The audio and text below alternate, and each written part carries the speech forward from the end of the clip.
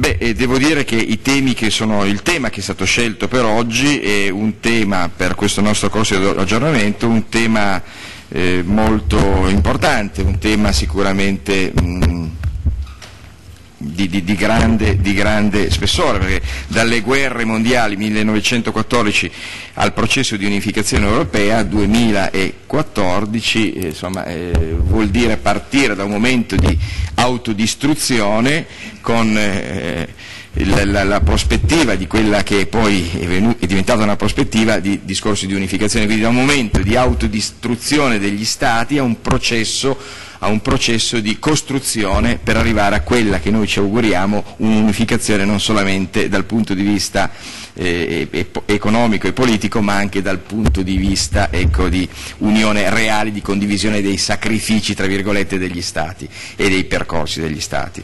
Quindi eh, devo dire che mh, il, la, la consulta europea si è adoperata moltissimo in questi anni ha fatto un lavoro di grande approfondimento, di grande formazione, ma questo è un lavoro che è stato possibile grazie alla collaborazione da parte degli istituti. E quindi grazie, un, un ringraziamento particolare va agli insegnanti che hanno accompagnato i nostri studenti in tutti questi anni. E devo dire che con un pizzico di orgoglio quest'anno siamo riusciti anche ad offrire un format un pochettino diverso del nostro concorso Diventiamo cittadini europei, inserendo anche degli aspetti multimediali per cercare di essere anche un pochettino al passo con i tempi e al passo con quelle che sono anche le eh, cambiate attitudini da parte dei nostri eh, studenti che sono, devo dire, quando uno dice ma una volta eh, la scuola era diversa, gli studenti una volta, io sento sempre dire, soprattutto mia suocera che è un insegnante di vecchio stampo, sento dire ah, ma la scuola, devo dire che secondo me la scuola oggi è migliore, ma soprattutto gli studenti, perdonatemi, io ho una figlia studentessa al terzo anno di università e un figlio che eh, frequenta l'ultimo anno di liceo scientifico, ma devo dire che è, secondo me non è vera questa cosa, perché la scuola è cambiata perché sono cambiati i tempi, ma io ritengo che la scuola sia migliorata e devo dire che anche gli studenti sono sostanzialmente diversi perché sono delle spugne, sono fortemente recettivi, perché i tempi sono, sono, sono quelli che sono e c'è la necessità di raccogliere il maggior numero di informazioni. Oggi vedi un ragazzino di 5 anni con un tablet in mano e fa delle cose impensabili e incredibili. Questo vuol dire che ci vuole sostanzialmente un accompagnamento. Quali migliori accompagnatori che i nostri insegnanti per un futuro che sarà sicuramente un futuro, noi ci auguriamo migliore, ma con ancora molte incognite. C'è bisogno di accompagnare questi ragazzi e noi vi ringraziamo veramente per quello che fate, per quello che vorrete fare e per quello che è stato il vostro messaggio, ma soprattutto per quello che sarà il vostro lavoro futuro. Grazie quindi ai docenti che oggi ci accompagneranno in questo momento formativo, li ringrazio tantissimo perché sono docenti di grandi qualità e ritengo che potrete raccogliere veramente grandi informazioni ma soprattutto grandi messaggi, importantissimi messaggi e potrete trasferirli ai nostri ragazzi. Buon lavoro a tutti gli insegnanti e mi auguro un prossimo rivederci alla diciottesima edizione corso di aggiornamento per, per i nostri insegnanti del Piemonte che vorranno partecipare al nostro concorso Diventiamo cittadini europei. Grazie.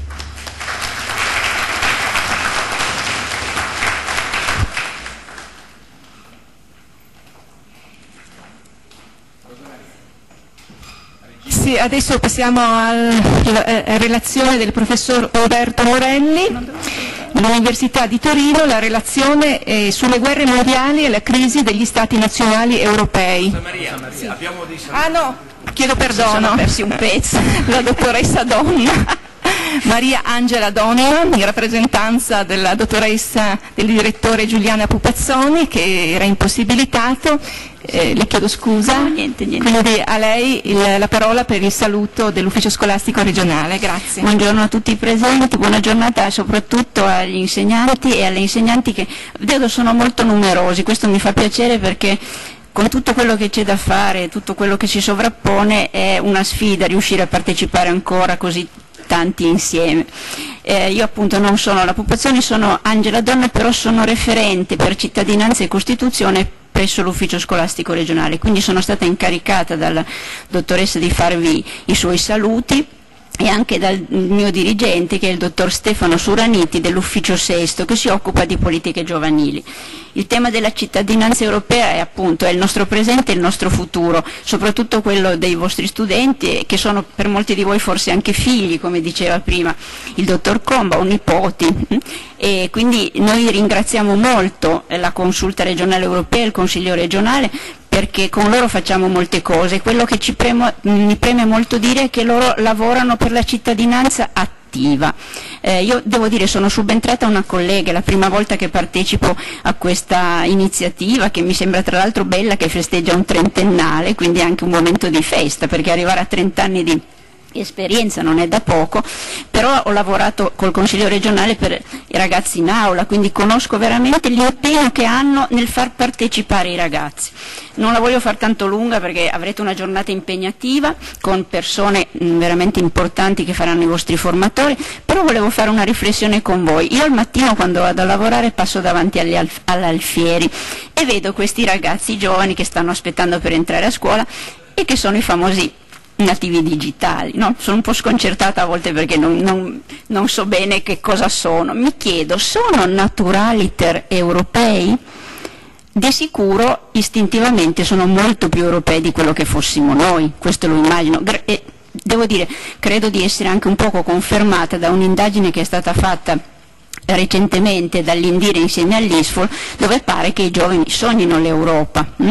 e anche perché la scuola per fortuna noi non siamo i primi in Europa come mobilità però insomma ci siamo dati anche noi una mossa e quindi un po' con i Comenius che sono poi gli Erasmus delle, super, delle superiori, delle scuole che, dove insegnate voi un po' per iniziative anche come questa che poi come premi hanno la mobilità, hanno degli incontri europei un po' perché l'inglese per fortuna si comincia a insegnare anche dalle scuole mm, primarie, insomma, quindi si imparano anche un pochino più le lingue, la facilitazione delle comunicazioni, diciamo i nostri ragazzi sentono che possono molto più muoversi, andare in Europa più di noi. E pare che la loro bandiera sia quella blu con le stelle gialle. Questa è una riflessione che volevo fare con voi, poi non, so, non avrò il tempo di sentire le vostre risposte.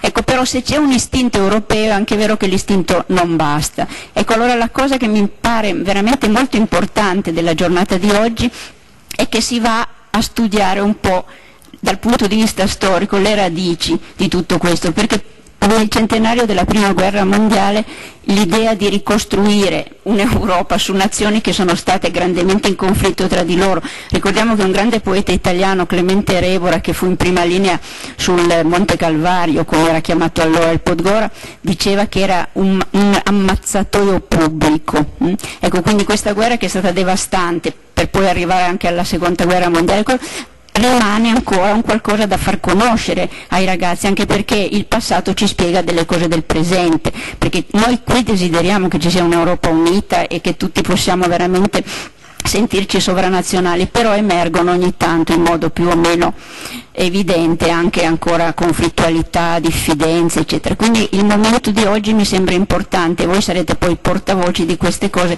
e veicolo per gli studenti. Quindi ringrazio ancora l'opportunità che è stata data dalla consulta europea. Mm, ringrazio ancora il Consiglio regionale, i professori qui presenti e nuovamente a voi, come già stato detto prima, buon lavoro.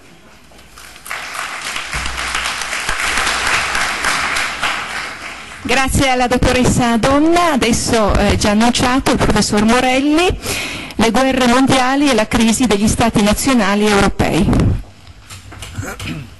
Beh, permettetemi di iniziare con, una, con, un ricordo personale, perché sono abbastanza dire, emozionato essere qua, perché sono invecchiato col concorso Diventiamo cittadini europei eh, 30 anni fa avevo 30 anni di meno quando con Rosa Maria abbiamo varato e altre persone che non sono più, hanno, abbiamo varato la prima edizione del concorso Diventiamo cittadini europei, si può quasi dire che ero in Braia Curte.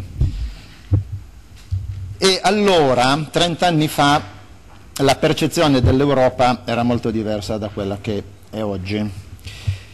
Ehm, Pensiamo che gli studenti che oggi si iscrivono all'università sono nati dopo la caduta del muro di Berlino Per questi studenti nati dopo la caduta del muro di Berlino che cosa significa essere europei? Non è la stessa cosa di ciò che significava per la mia generazione eh, essere europei. L'Europa aveva un significato molto preciso.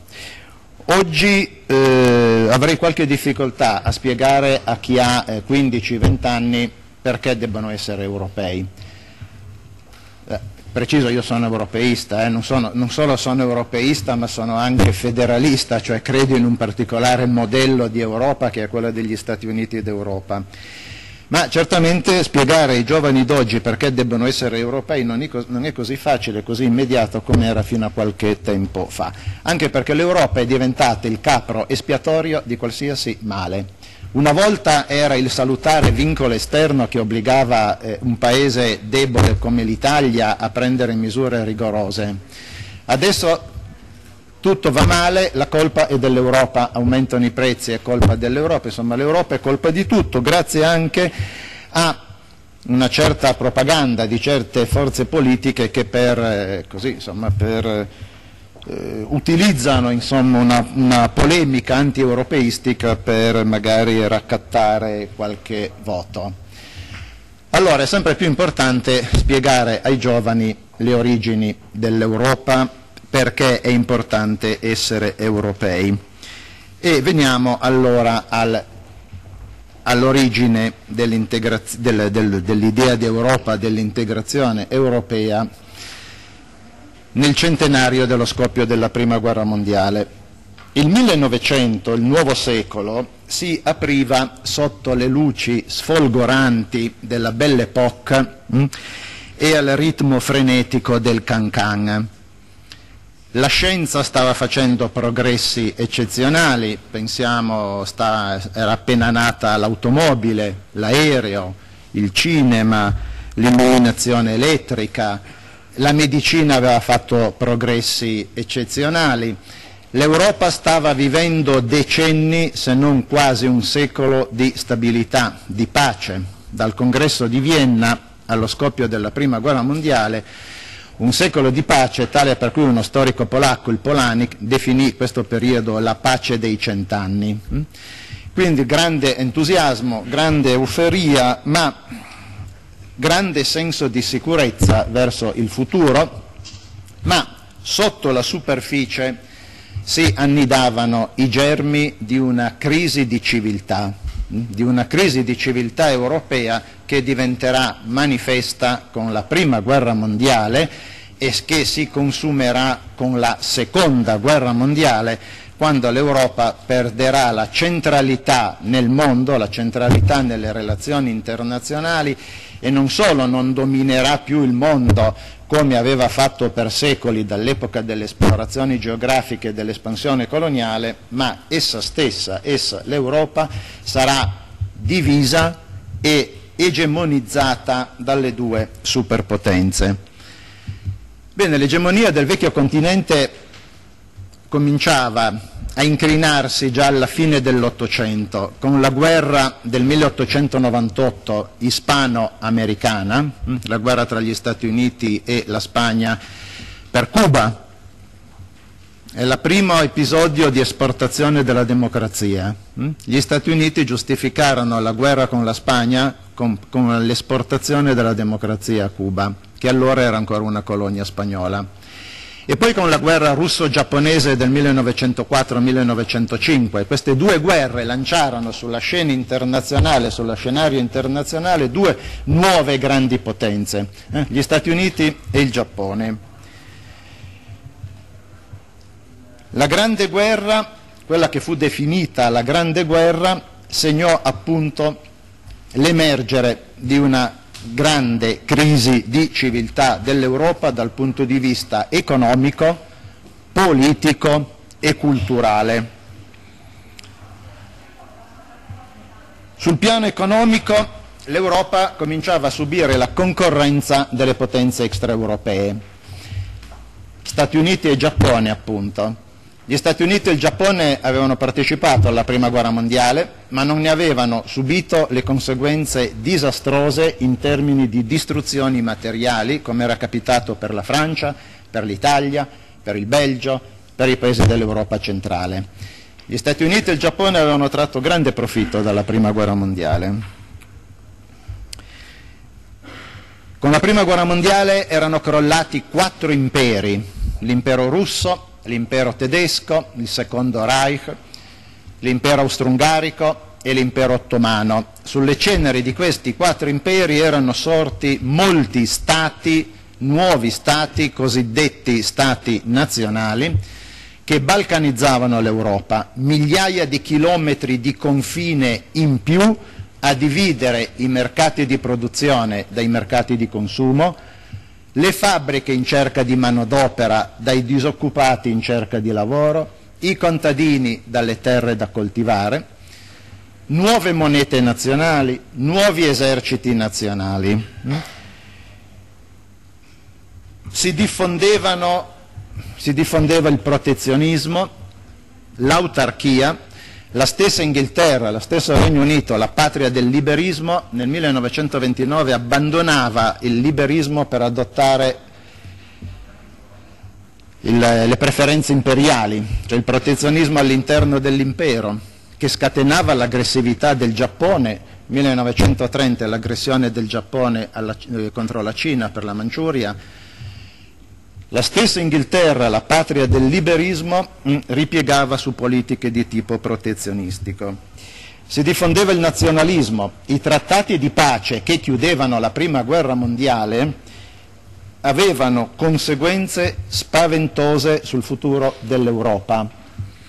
L'economista inglese Keynes, che faceva parte della delegazione economica dell'Inghilterra alla conferenza della pace di Parigi, così descrisse in un suo libro famoso, molto importante, Le conseguenze economiche della pace, così descrisse trattati, eh, il trattato di Versailles nei confronti della Germania. La pace cartaginese imposta alla Germania non è né buona né possibile né pratica e costituisce una sfida alla giustizia, alla pietà, al buonsenso. Il Trattato di Versailles non comprende alcuna clausola che miri alla rinascita economica dell'Europa. Era Keynes che parlava. Eh? Nulla che possa trasformare in buoni vicini gli imperi centrali disfatti. Nulla che valga a consolidare i nuovi stati d'Europa. Nulla che chiami a nuova vita la Russia.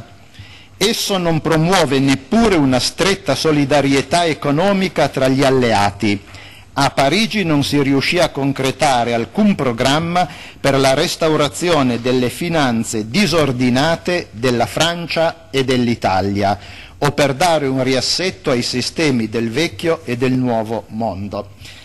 La pace imposta a Parigi fu una pace di vendetta, una pace cartaginese, per la prima volta nella storia del sistema europeo degli Stati. Dalla pace di Cateau-Cambrésis al congresso di Vienna, le paci che, er, che seguivano alle periodiche, periodiche guerre che avevano sconvolto l'Europa erano paci di compromesso. Pensiamo a Vienna, al congresso di Vienna.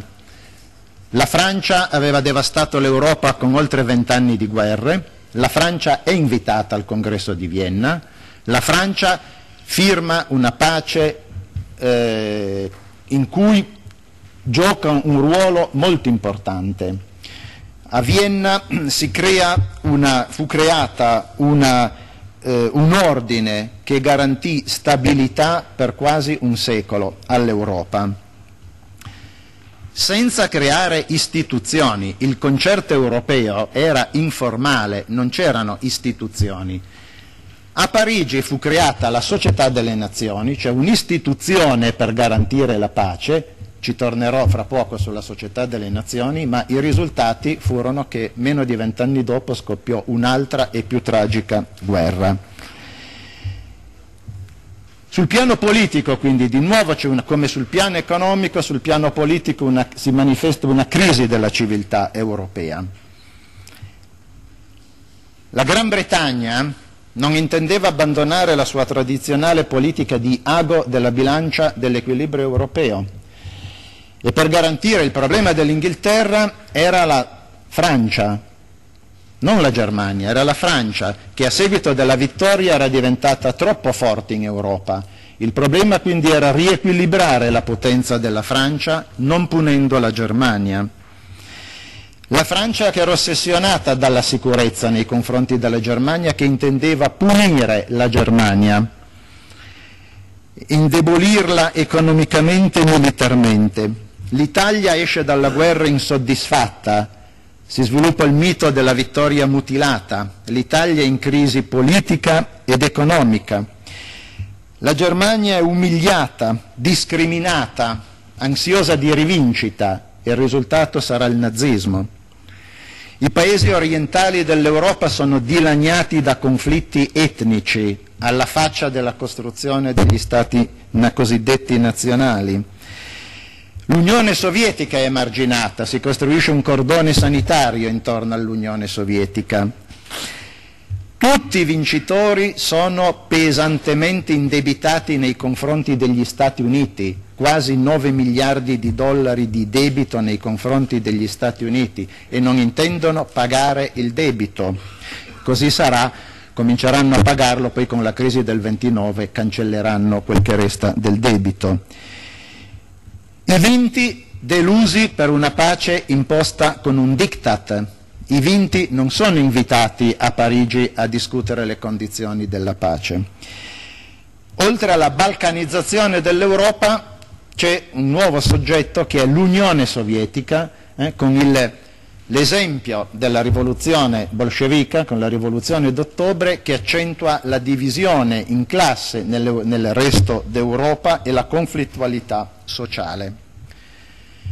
Sul piano culturale, crisi di civiltà sul piano culturale.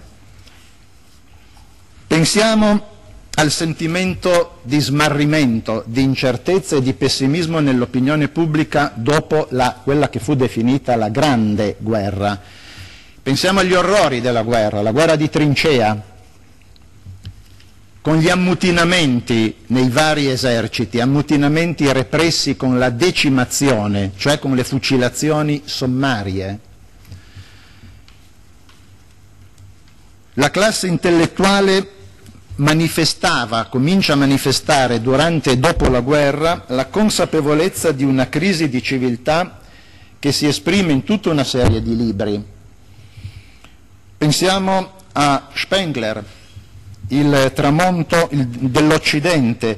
Il primo volume esce nel 1918, il secondo nel 22.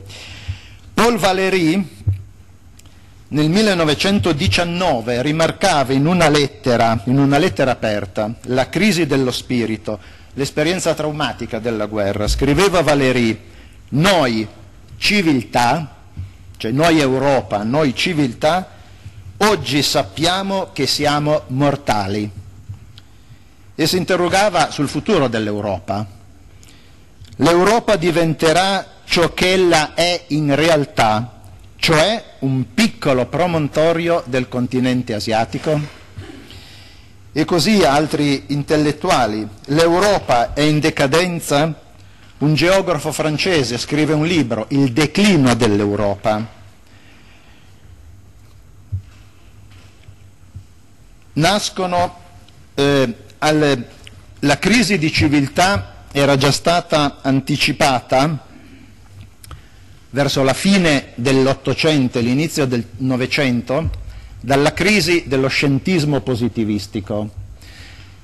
L'Ottocento è il secolo del positivismo, lo ricordavo prima, la fiducia in un progresso illimitato, la fiducia nella scoperta di leggi che descrivano oggettivamente la realtà, una concezione meccanicistico-deterministica, la fiducia di poter scoprire la realtà come effettivamente è. All'inizio del Novecento la stessa fisica entra in crisi, c'è una nuova concezione della fisica, con Planck, con Einstein, viene meno la fiducia nel rapporto deterministico causa-effetto, entra in crisi lo scientismo positivistico anche nelle scienze umane. Nietzsche, Bergson, Croce, si rivaluta il soggetto rispetto al culto dell'oggettività. La crisi dello scientismo positivistico si traduce anche in crisi delle ideologie politiche. Le grandi ideologie politiche dell'Ottocento, il liberalismo e il socialismo, erano accomunate, al di là della diversità di impostazione ideologica, erano accomunate entrambe dalla fiducia nel progresso. I liberali, quelli più avanzati perlomeno, erano convinti che il capitalismo era capace di evolversi e di allargare la libertà, gli spazi di libertà per tutti. I socialisti erano convinti di essere i, i prosecutori, gli eredi del liberismo riformista e di poter realizzare l'uguaglianza per tutti e entrambi si incontravano sul comune terreno della democrazia parlamentare. All'inizio del Novecento sulla destra dei liberali e sulla sinistra dei socialisti si sviluppano correnti antiparlamentari che mettono in discussione la democrazia parlamentare. Il nazionalismo a destra, antiparlamentarista, il nazionalismo e il razzismo, a sinistra il socialismo rivoluzionario che critica il ruolo dei socialisti nei parlamenti, temendo che ci sia una contaminazione borghese. Crisi culturale che si traduce anche nella letteratura, nella pittura, nella musica.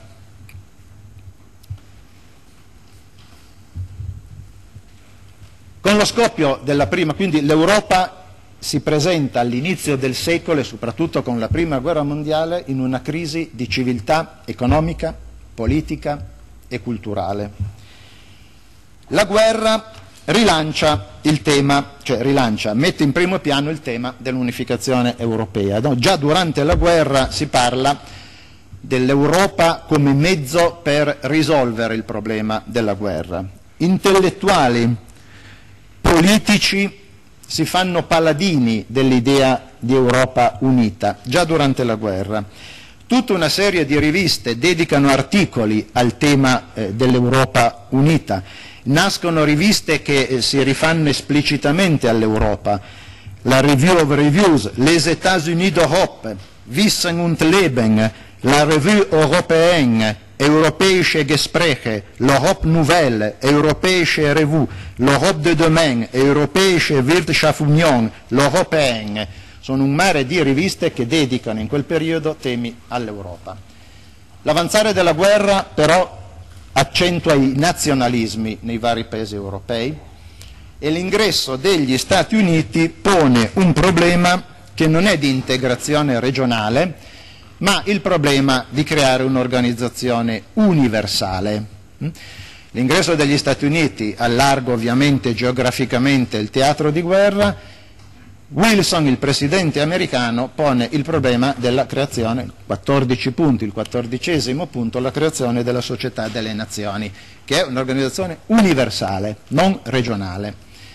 C'è quindi come dire, una specie di dibattito tra coloro che pensano a un'integrazione regionale per risolvere l'Europa e l'universalismo della società delle nazioni basato sull'arbitrato, basato sul disarmo e così via. Eh, la fine della guerra porta, come noto, all'istituzione della società delle nazioni. È la prima organizzazione internazionale a scopi politici. L'organizzazione internazionale, come la intendiamo oggi, e cioè una struttura, un ente con, eh, una, permanente, con una sede fissa, con degli impiegati, nasce l'organizzazione, il termine fu poi coniato all'inizio del Novecento mutuandolo da quello di organizzazione industriale. L'organizzazione internazionale intesa come uffici permanenti con una sede con degli impiegati che lavorano per l'organizzazione internazionale e non per il proprio paese, nasce nel corso dell'Ottocento. Su questioni molto limitate, settoriali, a seguito della rivoluzione industriale. La rivoluzione industriale poneva tutta una serie di problemi economici che andavano risolti, seguiti, affrontati giorno per giorno, non più nei congressi internazionali, non più occasionalmente dal concerto europeo che non aveva strutture permanenti, Ma, giorno, quindi nascono l'ufficio internazionale telegrafico, nasce l'ufficio postale universale, l'ufficio per garantire i brevetti di fabbrica, i marchi, la proprietà intellettuale, cioè tutte cose settoriali, specifiche, le commissioni permanenti per la navigazione sul Reno, addirittura al congresso di Vienna viene istituita, al congresso di Parigi del 56 dopo la guerra di Crimea la commissione permanente per la navigazione sul Danubio, no? Quindi nascono tutta una serie di organizzazioni settoriali per problemi specifici indotti dall'evoluzione economica. Dopo la Prima Guerra Mondiale nasce un'organizzazione universale per garantire la pace. Cioè il tema della pace non è più soltanto dopo la Prima Guerra Mondiale un problema di letterati, di filosofi, di umanisti, di Erasmo da Rotterdam, di Voltaire, di Dante e così via, ma diventa un problema delle cancellerie europee è, talmente, è, stata talmente devastante la prima guerra mondiale in termini di distruzioni che si sente il bisogno di creare per la prima volta un'organizzazione universale per garantire la pace.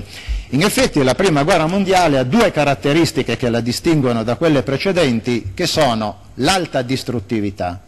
Prima guerra mondiale quasi 9 milioni di morti. Perché? Rispetto alle guerre precedenti in mezzo c'è stata la rivoluzione industriale.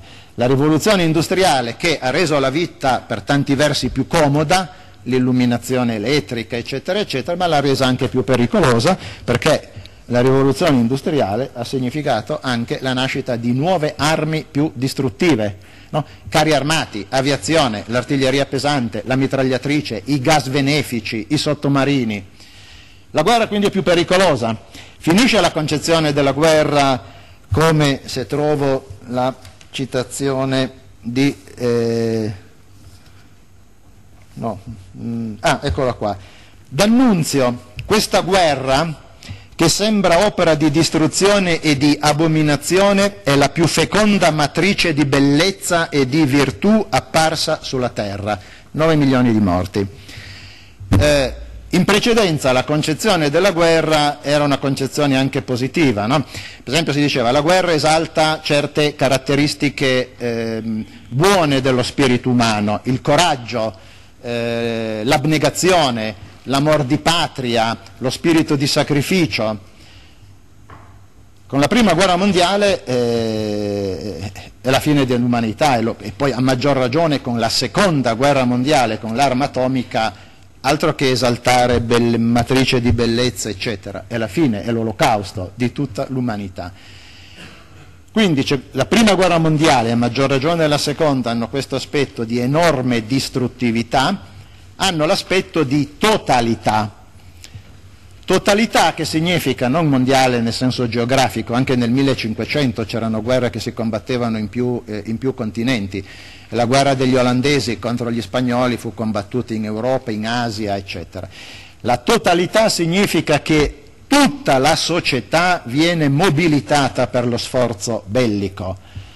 La guerra è totale nel senso che tutta la società è impegnata nello sforzo bellico. Le donne che debbono sostituire gli uomini che vanno al fronte, gli intellettuali che debbono, la, per la propaganda di guerra, che debbono galvanizzare la propria nazione contro la nazione nemica, il sistema industriale che deve produrre per le armi per la guerra.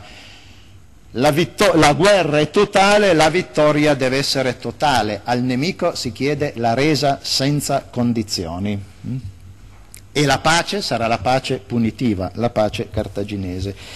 Di fronte a questa situazione, ecco che appunto dopo la, guerra, dopo la guerra, viene creata, su iniziativa del presidente americano Wilson, ah, addirittura prima, a seguito della prima guerra mondiale nasce una nuova disciplina eh, scientifica, le relazioni internazionali, che debbono studiare come mai è stata possibile una tragedia come quella della prima, una disciplina che oggi si studia nelle università, no? che studia appunto il problema della guerra, delle relazioni internazionali Prima cattedra di relazioni internazionali nasce nel 1919. Bene, nasce la Società delle Nazioni a Ginevra e è subito circondata da una serie di critiche. Ne ricordo qualcuna. Cominciamo con una delle critiche più corrosive della società delle nazioni che è quella di Einaudi, Luigi Einaudi, futuro Presidente della Repubblica Italiana. Grande europeista, federalista, ispiratore di uno dei testi fondamentali del, del federalismo di, di, del secondo dopoguerra, cioè del manifesto di Ventotene, scritto poi nel 1941 da Spinelli e da Rossi. Bene, Inaudi nei suoi scritti che sono del 1918, 1919, 1920, Inaudi parte dall'elaborazione di un concetto che diventa fondamentale per l'integrazione europea, cioè il concetto di crisi dello Stato nazionale.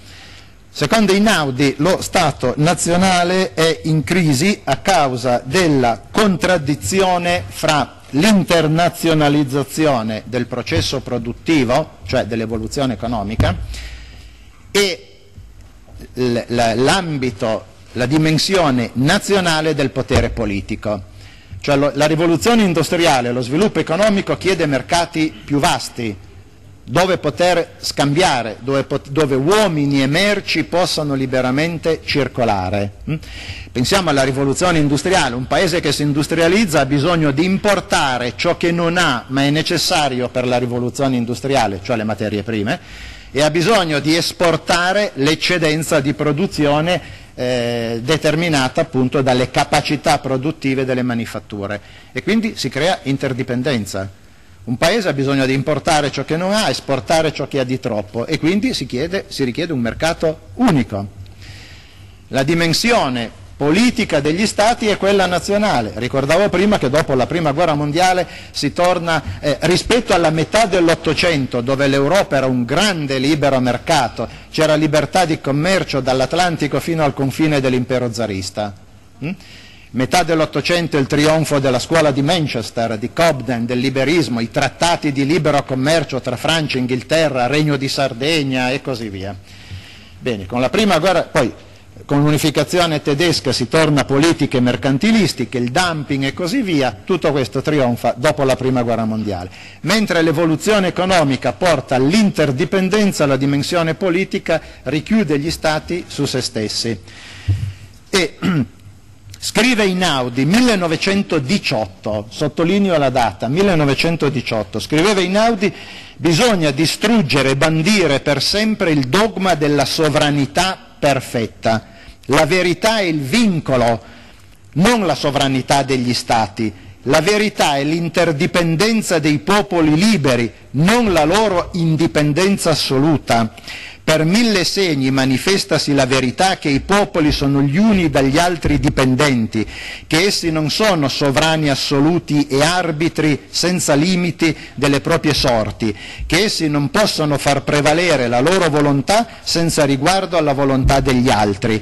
Alla verità dell'idea nazionale noi apparteniamo a noi stessi, bisogna accompagnare la verità della comunanza delle nazioni, noi apparteniamo anche agli altri. 1918. Pensiamo cosa valgono queste parole oggi in piena globalizzazione mondiale. E quindi Einaudi, partendo dal concetto di crisi dello Stato nazionale, diceva la società delle nazioni può risolvere i problemi? No. Perché? Perché non supera il dogma della sovranità perfetta. La società delle nazioni era un insieme di stati che rimanevano sovrani, quindi non c'era la creazione di un potere superiore agli stati, cioè la federazione, in grado di dare ordini, di comandare direttamente sui cittadini. Einaudi dava anche, oltre a criticare la società e a contrapporre all'idea della società delle nazioni l'idea della federazione europea, Einaudi dava anche una spiegazione della guerra mondiale, che riprenderà poi anche dopo la seconda guerra mondiale. Cosa dice Einaudi? Le due guerre mondiali sono due esempi, due manifestazioni della necessità dell'integrazione europea. Le due guerre mondiali, cioè Einaudi diceva Guglielmo II o Hitler sono il frutto di una necessità storica, cioè l'unificazione dell'Europa. Solo che l'unificazione dell'Europa condotta da Guglielmo II o da Hitler avviene, Einaudi usa un'immagine biblica, con la spada di Satana e non con la spada di Dio. Cioè il ragionamento di Einaudi è questo, l'Europa deve unificarsi per necessità economiche, perché gli stati nazionali sono in crisi, perché lo sviluppo economico e sociale richiede lo, di stare insieme, richiede l'integrazione. La Germania, che è il paese che non ha lo spazio vitale, chissà come mai sono i tedeschi che inventano la nozione di spazio vitale, perché sono dei degenerati, perché, chissà perché non viene in mente in Inghilterra la teoria dello spazio vitale. In Inghilterra lo spazio vitale ce l'ha, all'impero, il più grande impero del mondo la Germania, dopo l'unificazione con Bismarck in piena espansione economica, ha bisogno dei mercati. In un mondo che si va sempre più restringendo. L'America ormai sta diventando il cortile di casa degli Stati Uniti. In Asia emerge il Giappone che eh, eh elabora le sue teorie sulla, di, sulla, grande sfera di coprosperità asiatica. L'Africa è spartita tra Francia e Inghilterra e la Germania che fa? Non per giustificare il militarismo tedesco, sia ben chiaro, ma per capire perché la Germania nel Novecento mette in atto due tentativi egemonici che si rivolgono contro l'Europa, cioè cercano di unificare eh, l'Europa. 1942 l'Europa era unificata, peccato che è stata unificata con la spada di Satana. E Inaudi dice appunto che le guerre mondiali sono l'espressione di questa necessità storica di unificare l'Europa e dice che bisogna farla con la spada di Dio, cioè il consenso dei popoli, cioè la federazione europea.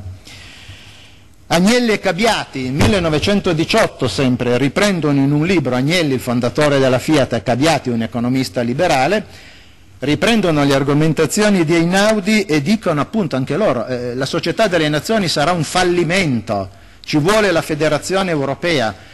Agnelli parlava ovviamente, il problema di Agnelli era quello di vendere eh, le automobili, no? Agnelli immaginava un grande mercato europeo integrato.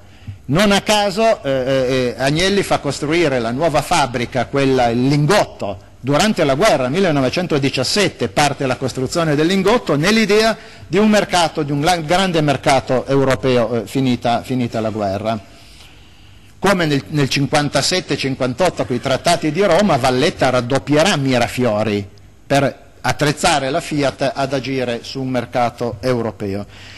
Bene, Agnelli diceva che la società delle nazioni sarà un fallimento, appunto perché non, gli strumenti della società delle nazioni non sono in grado di risolvere i problemi. E Agnelli diceva bisogna eh, di fronte alla, ai problemi che si porranno alla fine della guerra, la smobilitazione dell'esercito, eccetera, bisogna creare posti di lavoro, cioè bisogna allargare il mercato perché le industrie possano vendere e quindi investire e creare posti di lavoro. Bisogna risparmiare. Eh, siamo in tema anche qui di questi giorni, il tema della difesa europea, Agnelli e Caviati nel libro dicevano che nel 1914 in Europa la somma degli eserciti nazionali arrivava a quasi 2 milioni di soldati, Facciamo un esercito europeo, bastano 300.000 soldati per un esercito europeo. Pensiamo ai risparmi, ai risparmi materiali, ai risparmi morali, perché un esercito piccolo significa meno importanza alle caste militari, meno militarismo. E vi risparmio le altre considerazioni di questo libro di Agnelli e Cabiati, Federazione Europea o Lega delle Nazioni, in cui anche qui 1918 si perorava. Monnet critica la società delle nazioni, Monnet il fondatore della CECA, il fondatore del metodo poi eh, delle comunità europee, Monnet che dal 19 al 23 è il vice segretario generale della società delle nazioni, lavorò Jean Monnet alla società delle nazioni come segretario generale, allora ci credeva, Monnet diceva ma sì la società delle nazioni è una bella cosa, delle, eh, si baserà sulla buona volontà di collaborare eccetera nelle sue memorie scriverà mi sono sbagliato, è stato un disastro, la società delle nazioni non poteva funzionare perché c'era la sovranità assoluta degli Stati e il diritto di veto. Difatti nella cieca e poi nel metodo delle comunità europee Monnet cercherà di superare appunto il diritto, il diritto di veto. In questi anni nascono primi, il primo movimento europeista. 1923 il conte Richard Cudenove Calerghi fonda È il primo movimento europeista. Sull'esempio del movimento panamericano, eh, Calerghi si ispirava al movimento panamericano che proprio in quegli anni aveva tenuto un congresso a Santiago del Cile. A Paneuropa aderiscono personaggi che poi molto importanti per il futuro dell'Europa. Adenauer, il futuro cancelliere tedesco, Aristide Briand, primo ministro degli esteri e primo ministro francese, Benesch, ministro degli esteri e poi presidente della Cecoslovacchia, Léon Blum, socialista presidente del Consiglio francese, poi Paul Claudel, Einstein, Freud, Herriot, primo ministro francese, Salvador de Madariaga, Thomas Mann, Ortegui Gasset, Rainer Maria Rilke, Jules Romain, Miguel de Unamuno, Paul Valéry, Stefan Zweig. Paneuropa diffonde l'idea, appunto, coopera insomma, a diffondere nel, nel, nella società del dopoguerra l'idea dell'integrazione europea. Ci sono tutta una serie di iniziative per creare un'unione eh, siderurgica franco-tedesca che falliscono, che non vanno avanti, ma si pensa a una convenzione sul bacino del Reno, un eh, siderurgico lussemburghese, Mayrisch, riunisce nella sua tenuta eh, in Lussemburgo eh, tedeschi, francesi, inglesi, eccetera, per cercare di, di, di, insomma, di, far cooperare gli europei. Nascono tutta una serie di comitati, eccetera. C'è anche un'iniziativa governativa, viene presa dalla Francia, lo Stato più vecchio, lo Stato nazionale più vecchio e glorioso d'Europa. 1929, ehm, ministro degli esteri o presidente del Consiglio, non ricordo cosa fosse allora, Briand, 1929 Briand tiene un discorso all'Assemblea della Società delle Nazioni, settembre 1929. Eh, quello che dice, riassunto in uno slogan, lui non si espresse così, lo slogan fu giornalistico, comunque il concetto è questo, unirsi o perire. Briand diceva dobbiamo metterci insieme perché altrimenti non sopravviveremo, siamo troppo piccoli come stati per andare avanti da soli no? e presentò uh, un'idea, un progetto di integrazione europeo, peccato che fosse contraddittorio perché diceva che bisognava istituire una sorta di legame federale mantenendo la sovranità assoluta degli stati.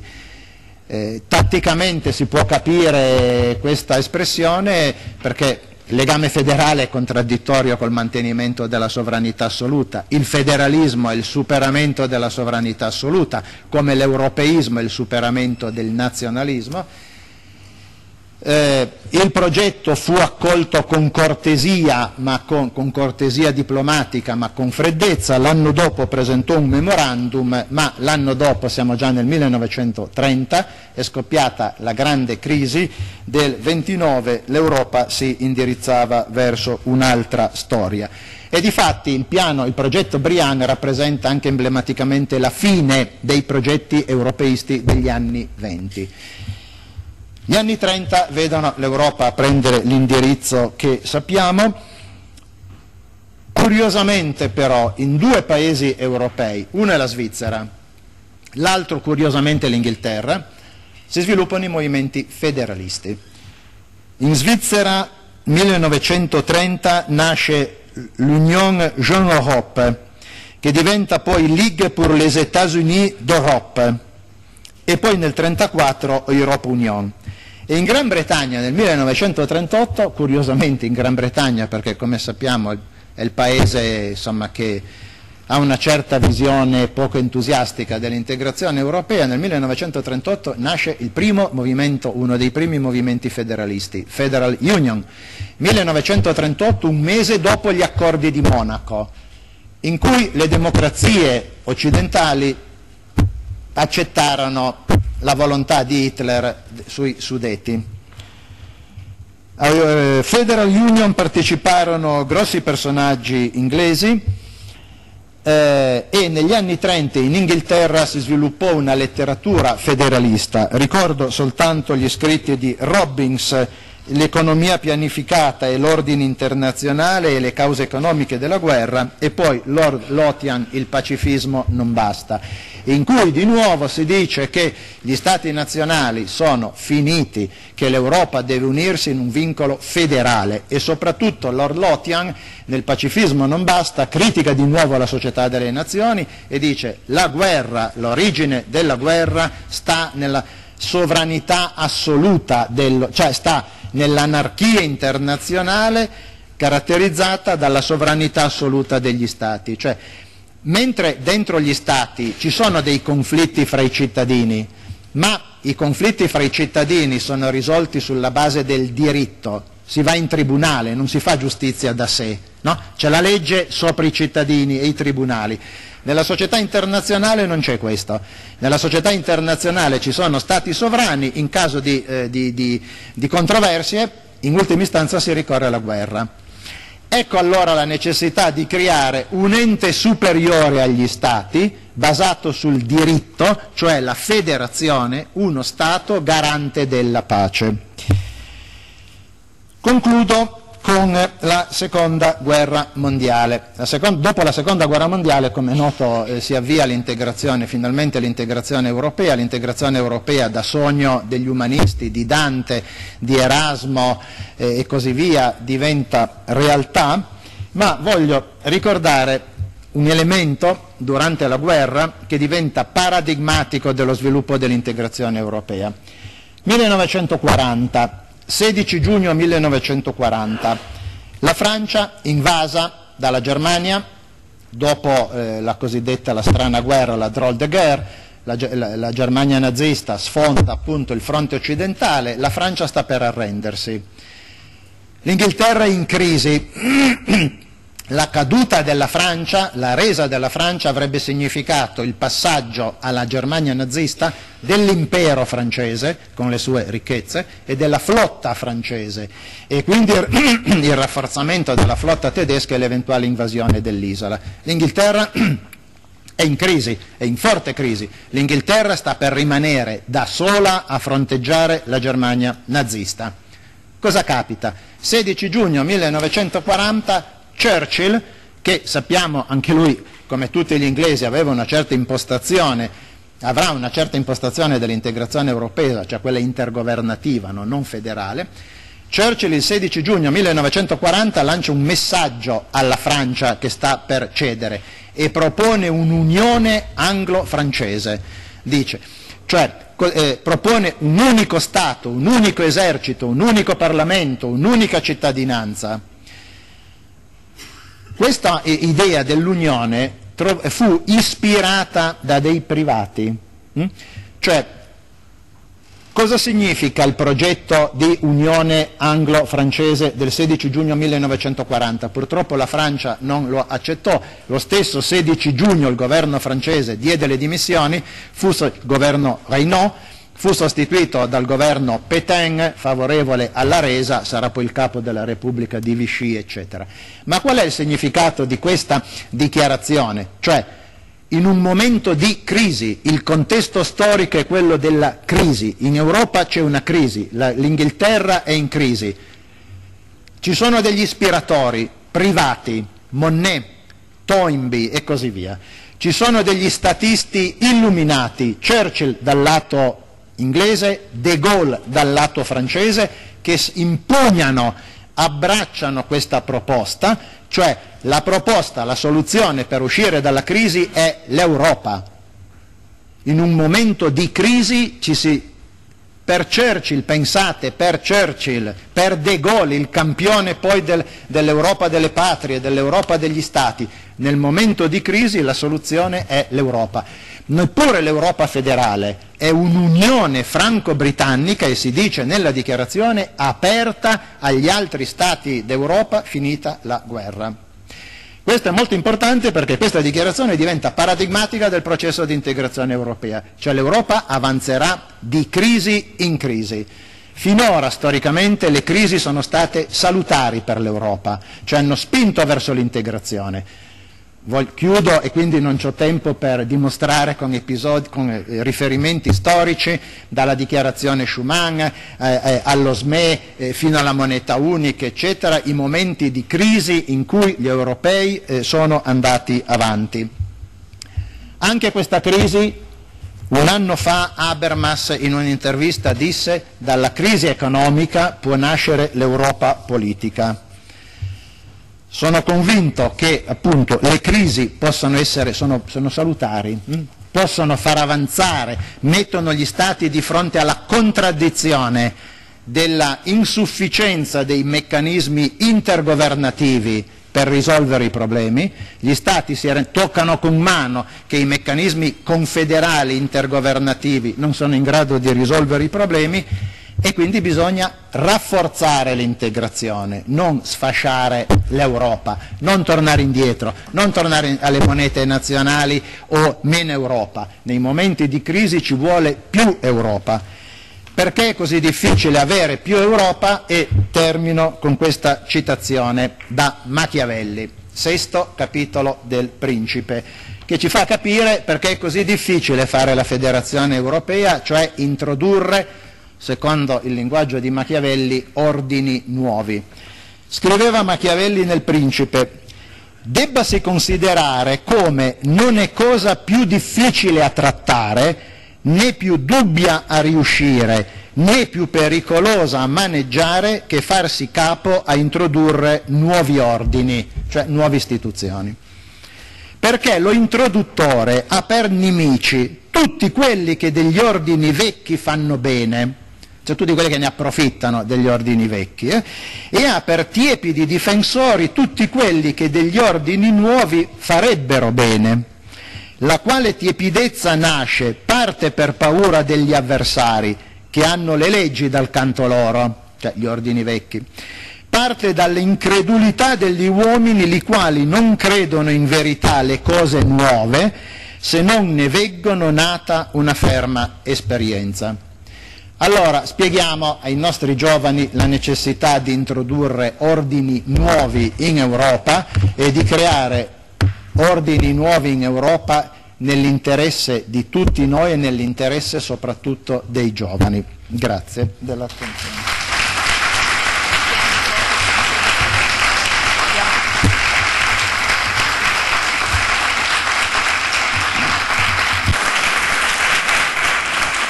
Grazie al professor Umberto Morelli, adesso eh, Corrado Malandrino dell'Università del Piemonte Orientale, la resistenza antifascista e l'idea dell'unificazione europea.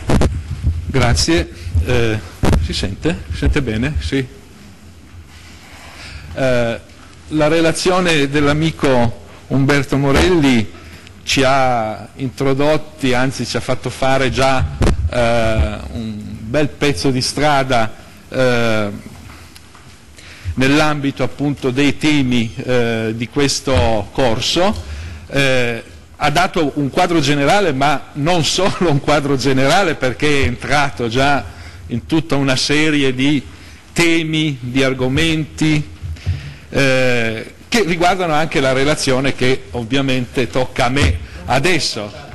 No, no, ma non mi hai affatto portato via, no, no, per nulla, per nulla, anzi è stato un bene perché appunto ha introdotto alcune eh, nozioni, alcune idee che sono eh, necessarie no? che avere presente no? per capire come mai eh, durante la resistenza, che cronologicamente parlando per l'Italia comincia nel 1943, la resistenza antifascista, ma per l'Europa no, per l'Europa era già iniziata ben prima e molti italiani lottavano ben prima del 1943 nella resistenza antifascista, antinazista, perché sono coordinati i due termini. No? Ecco, eh, la relazione di Umberto Morelli ci ha già fatto capire molto del significato eh, del tema generale scelto eh, per eh, questo corso e che eh, pone l'accento no, sulla Europa unita, sull'unità europea come idea forza, no? questo tema dell'idea forza è un tema non, non così recente, cioè l'unità europea eh, è un'idea forza, diceva Carlo Rosselli nel 1934, Carlo Rosselli fondatore eh, di, eh, che aveva scritto un'opera intitolata Socialismo liberale, e il fondatore di Giustizia e Libertà, uno dei maggiori antifascisti, assassinato dalla polizia segreta eh, di Mussolini in Francia nel 1937, nel 1934 in un articolo intitolato Europeismo e internazionalismo diceva che l'unità europea era un'idea a forza per lottare contro il fascismo, contro il nazismo, per restaurare una democrazia federale non solo in Europa, ma anche nella rinnovata Italia. E qui troviamo già un tema che toccherà appunto a me eh, sviluppare. Eh, questa idea è centrale nella nascita e nello sviluppo della storia dell'integrazione europea, nella storia concreta dell'integrazione europea, di cui molte cose appunto ha già detto Umberto, ed è centrale nello sviluppo dell'integrazione europea nei suoi primi 50 anni di storia.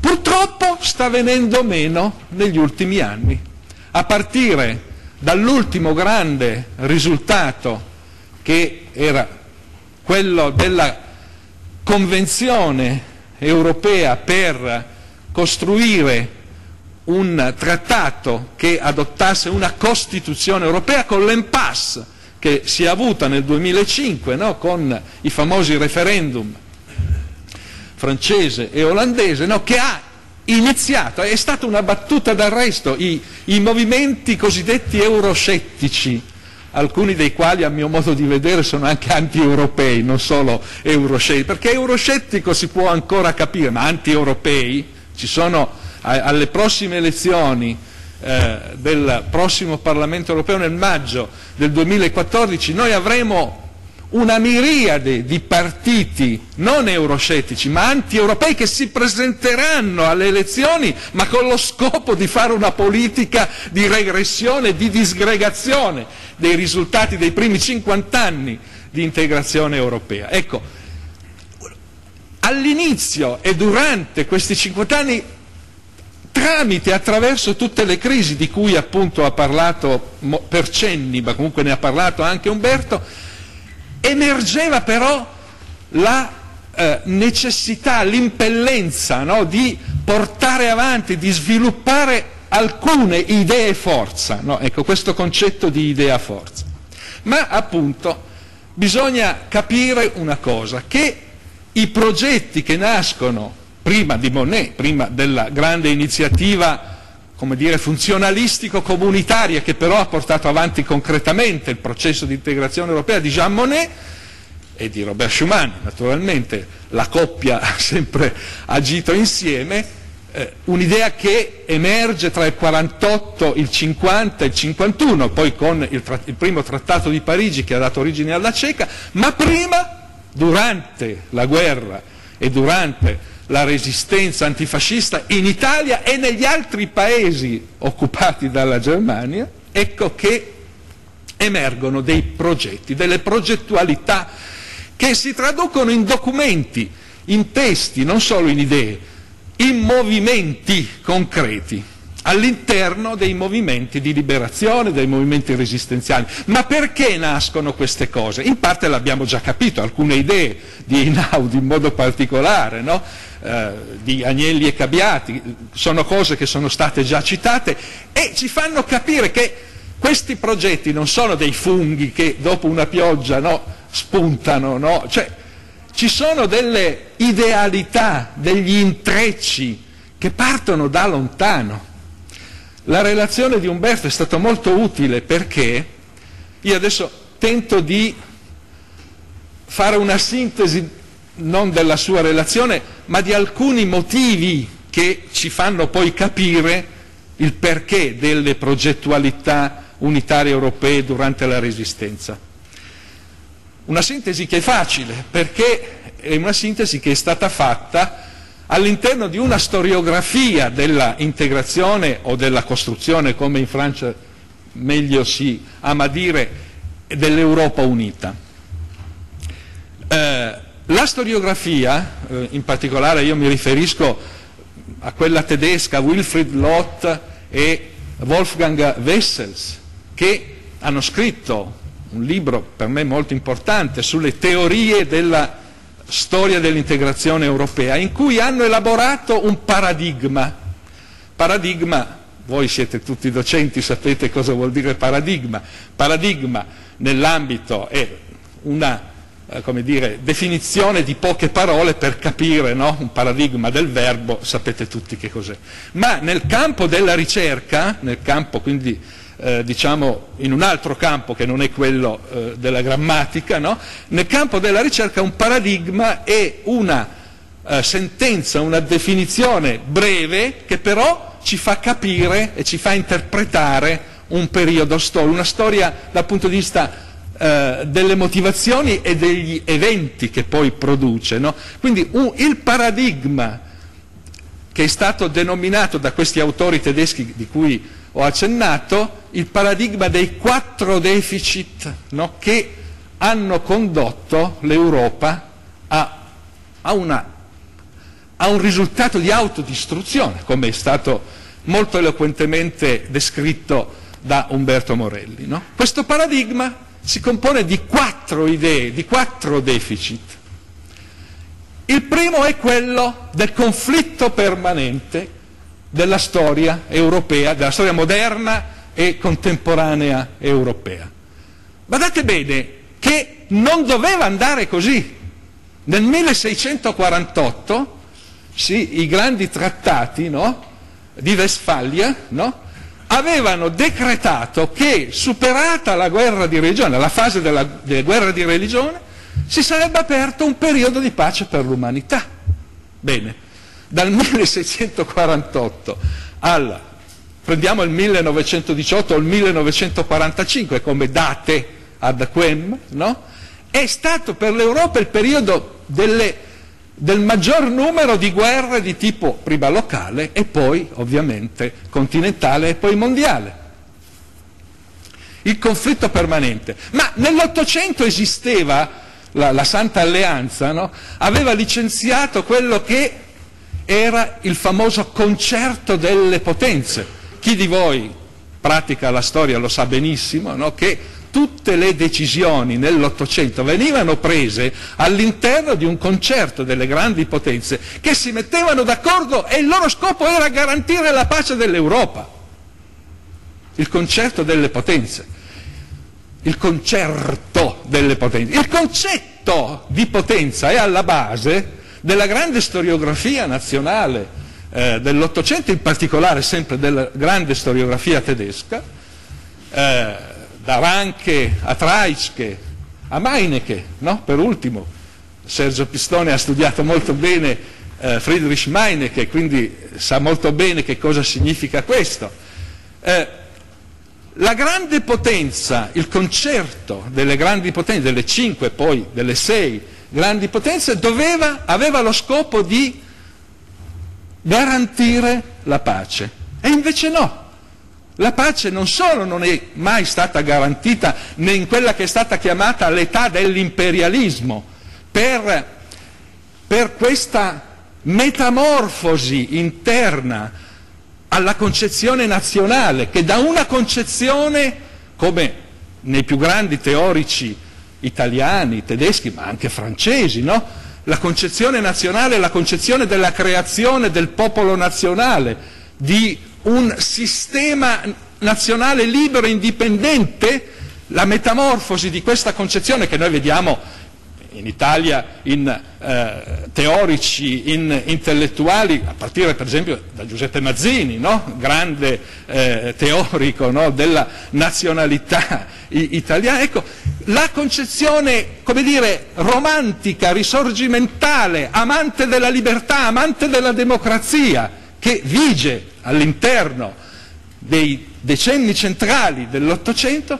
si metamorfizza, si cambia. All'interno, diventa una concezione prima imperialistica, poi estrema del nazionalismo che porta a una concezione per cui eh, tramite un, un processo che un grande sociologo italo, italo, eh, Roberto Michels, ha chiamato legge eh, ferrea della trasgressione, della trasgressione. I popoli una volta che hanno raggiunto la loro unità e indipendenza, diventano diventano, eh, come dire, vogliosi di nuovi acquisti al di là del loro territorio nazionale, mirano alle colonie, naturalmente in un meccanismo che è stato benissimo descritto eh, da Umberto Morelli, mirano alla creazione di imperi coloniali e nella conflittualità che si genera nella creazione di imperi coloniali, ecco che si arriva no,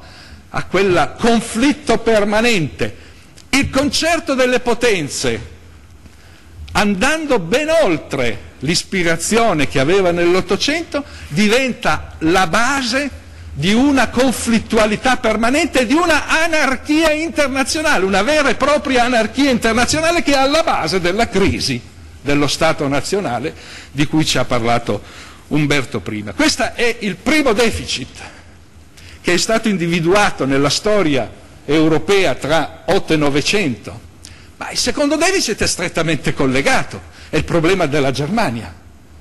La Germania, come è stato detto, non poteva accettare che una volta che le grandi eh, statualità nazionali europee, il Regno Unito di Gran Bretagna, la Francia, ma anche altri, il Belgio, eh, eh, i Paesi Bassi, no? Eh, che avevano conquistato i tre quarti del mondo, l'Africa, l'Asia, l'America Latina, va bene, c'era un processo di decolonizzazione nell'America Latina, in cui la Spagna perdeva parte del suo impero, però eh, eh c'erano pochi posti. Guglielmo II, il terzo Kaiser del, dell'impero guglielmino, no? eh, disse una famosa frase che poi è entrata, quelle frasi che entrano nell'orecchio di tutti, no? Vogliamo anche noi un posto al sole il posto al sole, la Germania voleva il posto al sole, ma non solo la Germania, anche l'Italia di Francesco Crispi, nella fine dell'Ottocento voleva il suo posto al sole e di qui il colonialismo, di qui l'imperialismo, di qui la conflittualità, ma soprattutto ci interessa di qui il problema della Germania. La Germania che è un paese, la Germania intendo dire tutti quelli che parlano tedesco, no? che non è solo la Germania come noi siamo forse ora abituati a considerare, ma che è la Mitteleuropa, l'Europa centrale, un paese che aveva 100 milioni di abitanti e che reclamava, che reclamava quindi un suo posto, come dire, un suo rilievo, no? che in quell'epoca, cioè nell'epoca dell'imperialismo, è un rilievo imperiale che necessariamente porta alla guerra. Alla guerra, come è stato detto, è stato detto nel manifesto di Ventotene, per esempio, da ultimo, ma è la guerra di tutti contro tutti, cioè quella famosa massima hobbesiana che per Hobbes è applicata ai, agli uomini no? e che induce tramite un processo non lineare, ma comunque un processo eh, dire, strutturale, induce gli uomini a creare un patto no? e a sottomettersi per poter creare uno Stato in cui è garantita la sicurezza. Ecco, la guerra di tutti contro tutti è la situazione che deriva dal fatto che alla Germania non veniva riconosciuto un posto e quindi la Germania entrò nella sindrome della potenza che doveva farsi valere. Ora, però questo era un, uno dei grandi deficit, il secondo grande deficit che ha portato a una situazione che appunto andà, andò poi a finire in un processo di autodistruzione con le due guerre mondiali. Il terzo deficit è più semplice, è stato spiegato molto bene, ed è quello della integrazione economica. Il capitalismo nelle sue varie fasi porta i paesi europei Parlo di paesi europei perché a quell'epoca era l'epoca dell'eurocentrismo, il mondo erano i paesi europei più gli Stati Uniti d'America, ma gli Stati Uniti d'America tra 800 e 900 non hanno ancora questa centralità. Quindi tutto si decideva in Europa, era l'epoca dell'eurocentrismo. I paesi europei però hanno delle economie, e questo è stato detto molto bene, non è stato citato, lo cito io, da Otto Bauer e da Karl Renner, due austro-marxisti, perché l'idealità europeista non è solo appannaggio dei liberali, no? ma anche dei socialisti, no? anche i socialisti hanno contribuito molto eh, con le loro opere di ricerca. Allora, Otto Bauer ha detto molto bene in un'opera del 1908 sulla questione nazionale, ha detto molto bene che in Europa si erano costruiti tutti una serie di strumenti che erano convenzioni, che erano patti, che erano trattati, che dovevano supportare una vita integrata, interrelazionata, più stretta tra le economie europee, ma la forma nazionale dello Stato, quindi dei poteri che decidevano, quindi le frontiere nazionali, impedivano di andare oltre. Faceva, riprendeva quel famoso, quella famosa immagine eh, de, de, delle città greche, no? le città greche che a un certo punto, essendo divenute sempre litigiose, ma nell'epoca diciamo, in cui emerge la potenza romana, prima la potenza macedone e poi la potenza romana, avevano di fronte a loro la prospettiva o di unirsi, no? di federarsi, il concetto di federazione è anche nella storia greca, no? oppure di perire. No? Sappiamo tutti come è andata a finire, sono perite le, le città greche, sono diventate prima eh, un, eh, una conquista di Filippo e di Alessandro e poi eh, dell'impero romano. Ecco, Otto Bauer diceva gli stati nazionali europei hanno, come poi efficacemente ha detto anche Luigi Einaudi, hanno, eh, sono polvere senza sostanza, diceva Luigi Einaudi. Ecco, Otto Bauer non disse polvere senza sostanza, ma disse non hanno la dimensione, la massa critica per poter da soli portare avanti una prospettiva di sviluppo. Devono unirsi, federarsi. L'idea della federazione europea c'è nel 1908 in Otto Bauer. Siamo nel 2013-2014 e dobbiamo assistere no, a, a persone, ma anche colte, che hanno avuto una formazione. Io venendo qui stamattina sentivo un radiogiornale no, di un esperto di banca e di finanza che diceva che l'unica strada possibile è uscire dall'euro per l'Italia. Ora, come si può dire una castroneria di questo genere senza sapere che cosa questo può significare concretamente per tutti noi? No? Eppure, eppure, noi assistiamo a questo. Quindi il problema dell'integrazione economica, delle interrelazioni economiche europee. Ma il quarto, la, il quarto deficit maggiore rilevato in questo paradigma era il deficit che io rendo con una frase, di non riuscire a parlare con una voce sola, che è una conseguenza di tutto quello che è stato detto finora. Cioè i paesi europei in quell'epoca non parlavano con una voce sola, il famoso concerto delle potenze, la cui ambizione era quella di riuscire a parlare con una voce sola, perché questa era l'ambizione del concerto delle potenze. Non riusciva strutturalmente a parlare con una voce sola, anzi si divideva continuamente su tutti i temi. Ecco, questi, questi quattro grandi deficit eh, non è che sono la creazione di Lot e di Wessels oppure di noi che facciamo storia dell'integrazione europea. Sono idee che vengono da lontano, vengono da lontano. Alcune le abbiamo viste emergere no? dal dibattito degli anni 20, degli anni 30. Eh, io prima ho iniziato con Carlo Rosselli, il fondatore, il capo di Giustizia e Libertà, eh, Giustizia e Libertà che poi ha dato origine al secondo partito d'azione nella storia italiana, cioè il primo partito d'azione è quello di Mazzini, no? dei mazziniani, il secondo partito d'azione è quello che ha preso origine appunto dall'esperienza di eh, giustizia e libertà e che è vissuto fino agli anni 40, no? Al, quasi alla fine degli anni 40. Ora, eh, l'idea della, eh, della necessità di superare la lo stato di conflittualità permanente tra i paesi europei, noi lo vediamo nell'Ottocento, Mazzini. No? Mazzini concepiva il processo di costruzione dell'indipendenza e della libertà italiana all'interno di un processo di costruzione di una Unione Europea che sostituisse la Santa Alleanza e che fosse l'Unione Europea nel nome della libertà e della democrazia del principio repubblicano, come diceva Mazzini.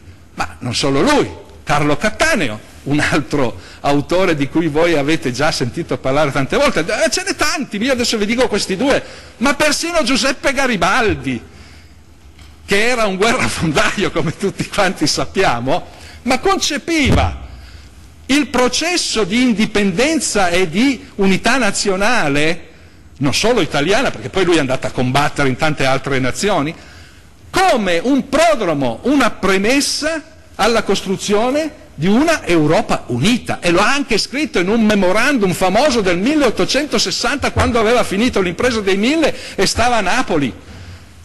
A onor del vero devo dire che in quel momento lì uno dei suoi consiglieri era Carlo Cattaneo, l'autore della eh, parola d'ordine degli Stati Uniti d'Italia, quindi con una visione dell'indipendenza nazionale di tipo federale rispetto a quella di Mazzini, che era invece di tipo unitario, ma che concepiva gli Stati Uniti d'Italia all'interno degli Stati Uniti d'Europa e Carlo Cattaneo ha adoperato proprio questa formula, Stati Uniti d'Europa.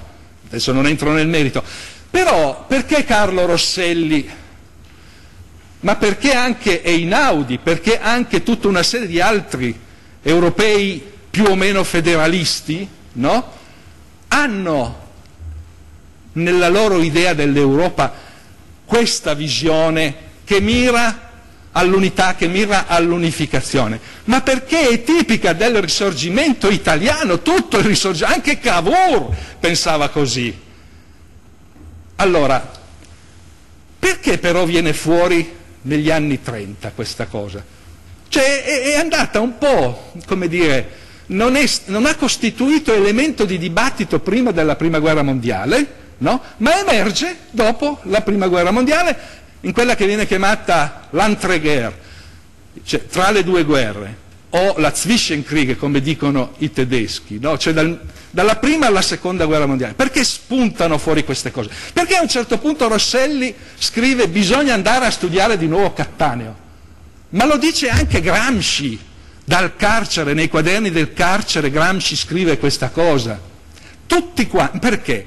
Il problema è che la metamorfosi del principio nazionale, voi vedrete tutte queste cose nelle belle dispense che vi sono state date, la metamorfosi del principio nazionale si accompagna alla metamorfosi della concezione dello Stato nazionale che avviene all'interno del positivismo giuridico nella seconda metà dell'Ottocento e nei primi decenni del Novecento, che porta a quella che un altro grande antifascista, Silvio Trentin, il papà di Bruno Trentin per intenderci, no? che è stato uno dei primi ad andare in esilio nel 1926 quando il fascismo ha preso il potere, scrisse e identificò come statolatria, cioè il positivismo giuridico, per carità non entro nel merito dire scientifico di questa uh, questione, ma non posso non dire che la concezione,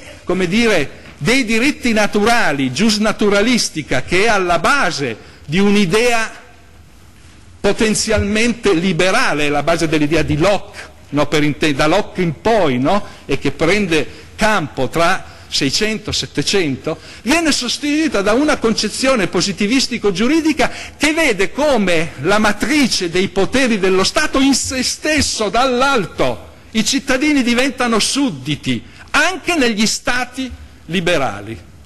I cittadini diventano sudditi, lo Stato diventa Stato latrico, hegeliano nel senso peggiore per intenderci. Ecco quindi che negli anni 30, quando il fascismo prende il potere, si sviluppa una riflessione critica ma anche autocritica. Silvio Trentini era un giurista e aveva condiviso tutti gli stilemi del positivismo giuridico finché non vede che questi stilemi, ma parliamoci chiaro, nel 1921, 22, 23, fino a quando Matteotti non viene assassinato nel 1924, molti, moltissimi liberali italiani che temevano l'avvento di un'epoca comunista, quindi la rivoluzione sovietica che si estendeva su tutta l'Europa occidentale, i liberali, anche quelli italiani, non solo negli altri paesi, hanno appoggiato Mussolini, hanno appoggiato il movimento fascista, finché non hanno visto, finché bruciava le case del popolo andava tutto bene, quando ha incominciato a non tenere in nessuna considerazione il Parlamento, allora hanno incominciato a capire che c'era qualcosa che proprio non andava. E quindi per quello dico una riflessione critica e autocritica, perché Silvio Trentino è stato il primo a, ad ammettere onestamente questo fatto ed è il primo a parlare insieme a Luigi Sturzo, devo dire ad onor del vero, di tendenza statolatrica e totalitaria dello Stato moderno. Siamo nel 1924-25 quando emergono queste cose. Ecco che si incomincia a collegare il discorso della metamorfosi dell'idea nazionale, della metamorfosi del concetto di potenza, dell'anarchia internazionale, delle cause che portano a questa anarchia internazionale, con il discorso di una critica nei confronti dello Stato moderno.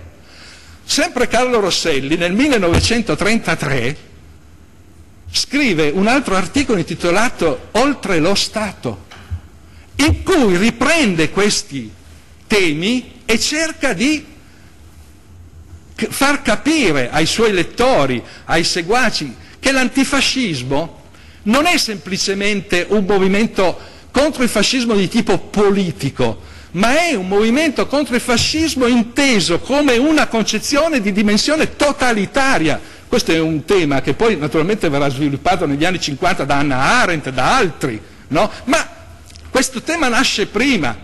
La tendenza alla dittatura, la tendenza al monolitismo, la tendenza alla concentrazione enorme del potere politico nello Stato moderno, la dimensione totalitaria che, come è stata spiegata da Umberto prima, eh, sono cose che diventano visibili e vengono individuati come elementi di creazione, di creazione come dire, di una deformazione dello spirito europeo, dello spirito che nel liberalismo e anche nei movimenti democratici, eccetera, aveva portato a una concezione e a un tipo di società no? che era, era, già una società in qualche modo da un punto di vista culturale, del costume europea.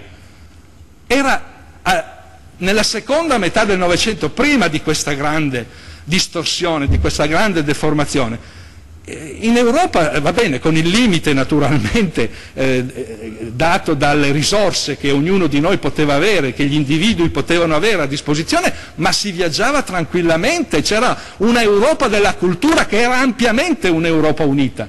Peccato che tutto questo è andato perso nell'età dell'imperialismo.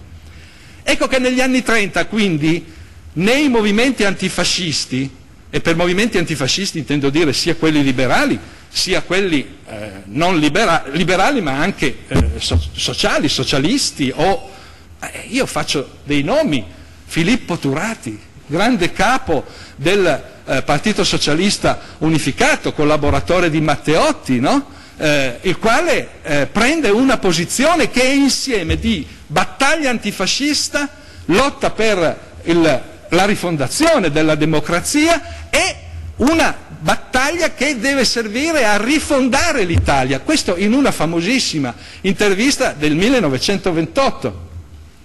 Claudio Treves, eh, che è stato direttore de della critica sociale, poi eh, eh, Giuseppe Emanuele Modigliani, eh, direttore dell'Avanti, no? Cioè Ugo Guido Mondolfo, altro socialista, no? Ma non solo in Italia, prima ho parlato di due austro-marxisti, cioè marxisti e socialisti austriaci, ma il grande capo, o i due grandi capi, diciamo così, del socialismo continentale europeo, Edward Bernstein e Karl Kautsky, eh, uno eh, revisionista, l'altro più, come dire, eh, marxista, tra virgolette, no? ma erano i grandi capi riconosciuti, i grandi ideologi del socialismo eh, eh, europeo, entrambi condividevano questa posizione di critica alle deformazioni eh, di tipo nazionalistico e di indirizzo verso la creazione di una Europa unita. Ci stavo arrivando, ci stavo arrivando. Anche all'interno no, del, eh, dire, di un mondo socialista e socialista rivoluzionario che era molto variegato, no? accanto a un Lenin che era che fu assolutamente, cioè i bolscevichi, Lenin, Stalin, furono assolutamente contrari al processo dell'integrazione europea e di qui il Partito Comunista Italiano, prima il Partito Comunista d'Italia e poi il Partito Comunista Italiano fino alla rivoluzione che fece Enrico Berlinguer e prima di lui Amendola, eh? ecco Giorgio Amendola, eh, prima, fino agli anni 60 ci spiega una contrarietà del mondo comunista, con qualche eccezione, Terracini, per esempio Umberto Terracini, invece andava contro, era uno il mondo comunista, invece tutte le altre forze antifasciste italiane condividono, ma persino Trotsky, come si diceva prima, anche Trotsky, con delle motivazioni un po' diverse, no? basate soprattutto su argomentazioni di tipo economico-politico, però anche lui arrivava all'idea che l'Europa, insomma l'Europa, l'Europa, l'unità europea, come è stato detto eh, citando Einaudi, si poteva unire, ecco, che, che l'Europa si poteva e si dovesse unire, o con la spada di Satana o con la spada di Dio, eh, questo è un concetto che eh, in Europa, nei, nel mondo degli intellettuali europei ha diritto eh, di cittadinanza fin dal, dalla fine del Settecento, inizio dell'Ottocento. Anche Napoleone, anche Napoleone prima di Hitler cercò di unificare eh, l'Europa. Perché? Ma perché, e questo è il terzo punto del famoso deficit no? di tipo economico, le nazioni, gli stati nazionali, le economie nazionali andavano avanti e scoprivano che la forma politico-istituzionale dello Stato nazionale non bastava, bisognava superarla, andare in direzione di una federazione. Ora, queste idee, queste idee che emergono negli anni 30, cito Silvio Trentin che eh, di cui ho parlato poco fa, scrive nel 1935 un trattato, era un giurista, un trattato intitolato La crisi del diritto e dello Stato. 1935, un trattato spesso così, in cui il filo conduttore è non basta il limite, il livello dello Stato nazionale centrale, bisogna fare una rivoluzione eh, strutturale cambiando la natura dello Stato nel senso federale e creando in Europa la dimensione della federazione europea. Queste idee le riprende durante la resistenza, perché lui fa la resistenza in Francia, era uno dei capi della resistenza francese nel 1941 e nel 1943 ritorna in Italia e diventa uno dei capi della resistenza italiana, capo della resistenza veneta fino al 1944 è Silvio Trentin, che viene però eh, catturato eh, dai repubblichini, no?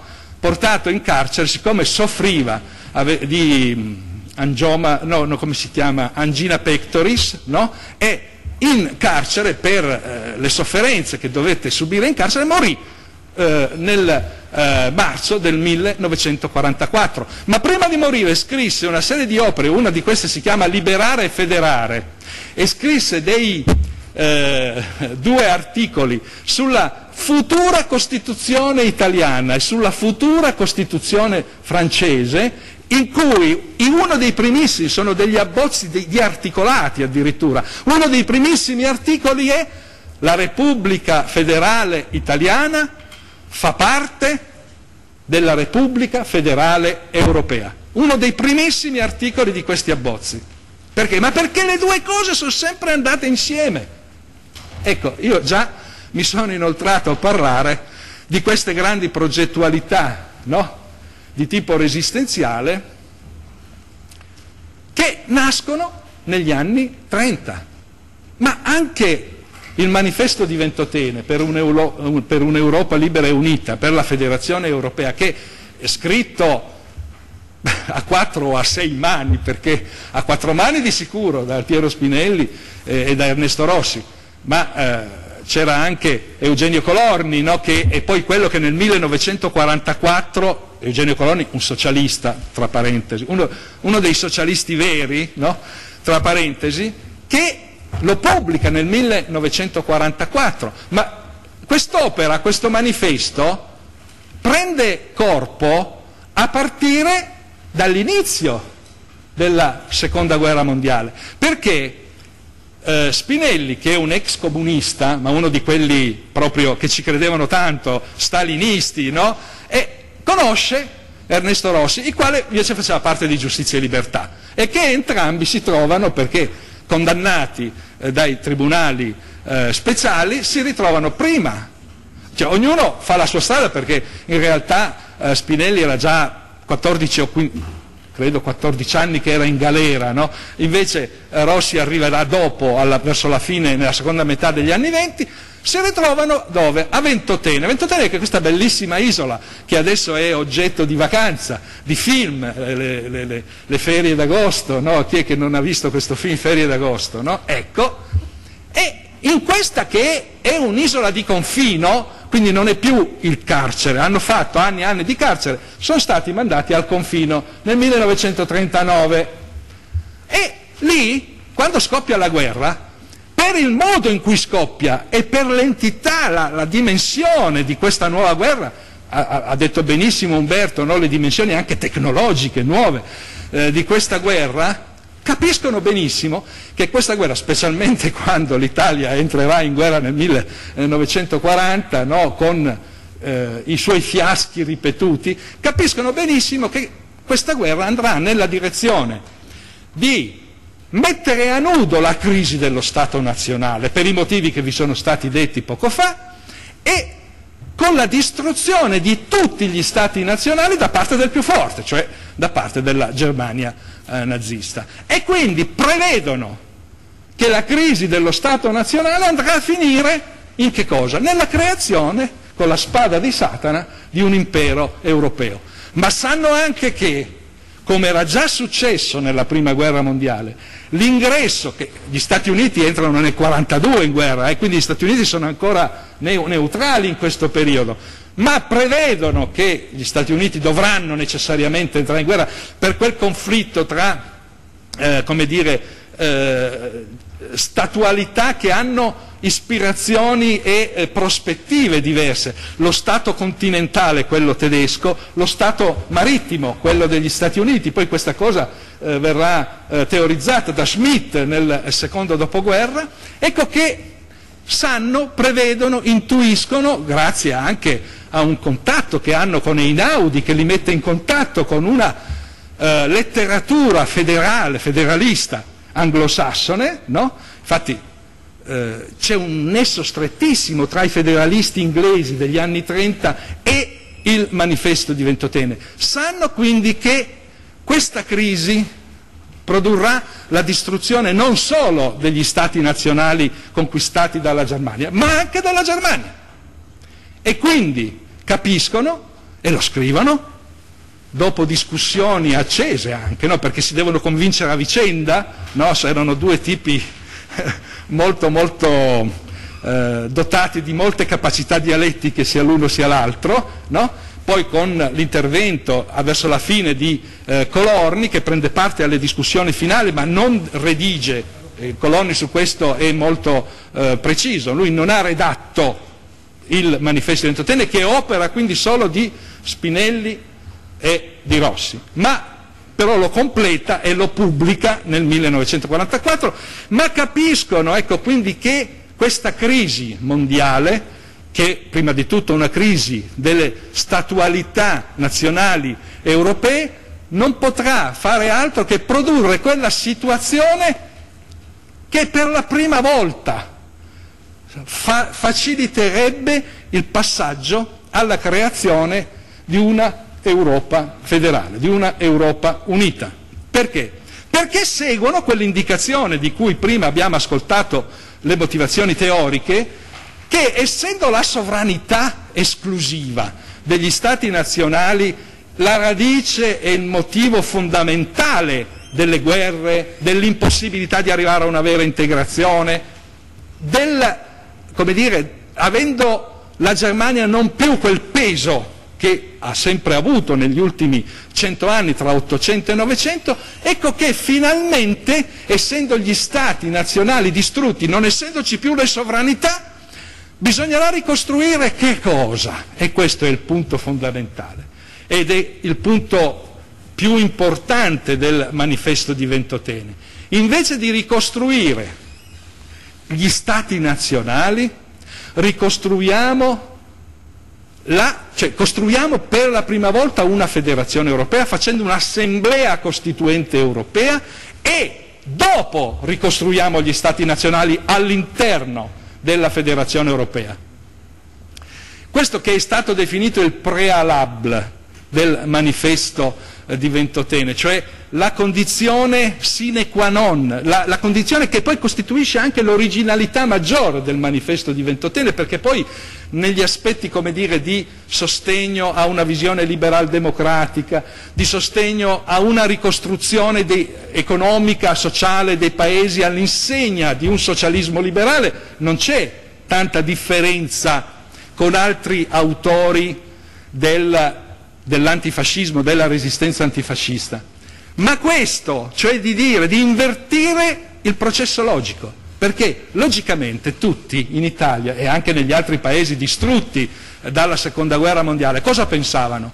Facciamo la ricostruzione dei nostri paesi, una ricostruzione che è economica, che è sociale, addirittura in Italia voi sapete che l'Italia era separata in due, no? c'era il regno del nord, c'era il regno del sud, era invaso il nord eh, dai, dai, tedeschi, dai nazisti, il sud pian piano liberato, ma l'Italia era proprio divisa. No? Allora l'idea qual era? Ricostruiamo le basi nazionali dei paesi, quindi ricostruiamo gli stati nazionali, i quali poi cosa faranno? Necessariamente questa era un'idea condivisa da parte di tutti i movimenti resistenziali, da parte di tutti gli antifascisti nel 1943, 44, 45 e dopo. Ricostruiremo gli stati nazionali e faremo con gli stati nazionali eh, non la federazione europea, ma l'unione, l'unità europea. Beh, siamo a Torino, eh, vi parlo di uno che era il direttore della stampa nel 1943, Filippo Burzio. Filippo Burzio, grande filosofo, peraltro le sue opere sul demiurgo, no? sulla dimensione del demiurgo, ma grande europeista e grande cultore dell'autonomismo locale, dell'autonomismo piemontese, no?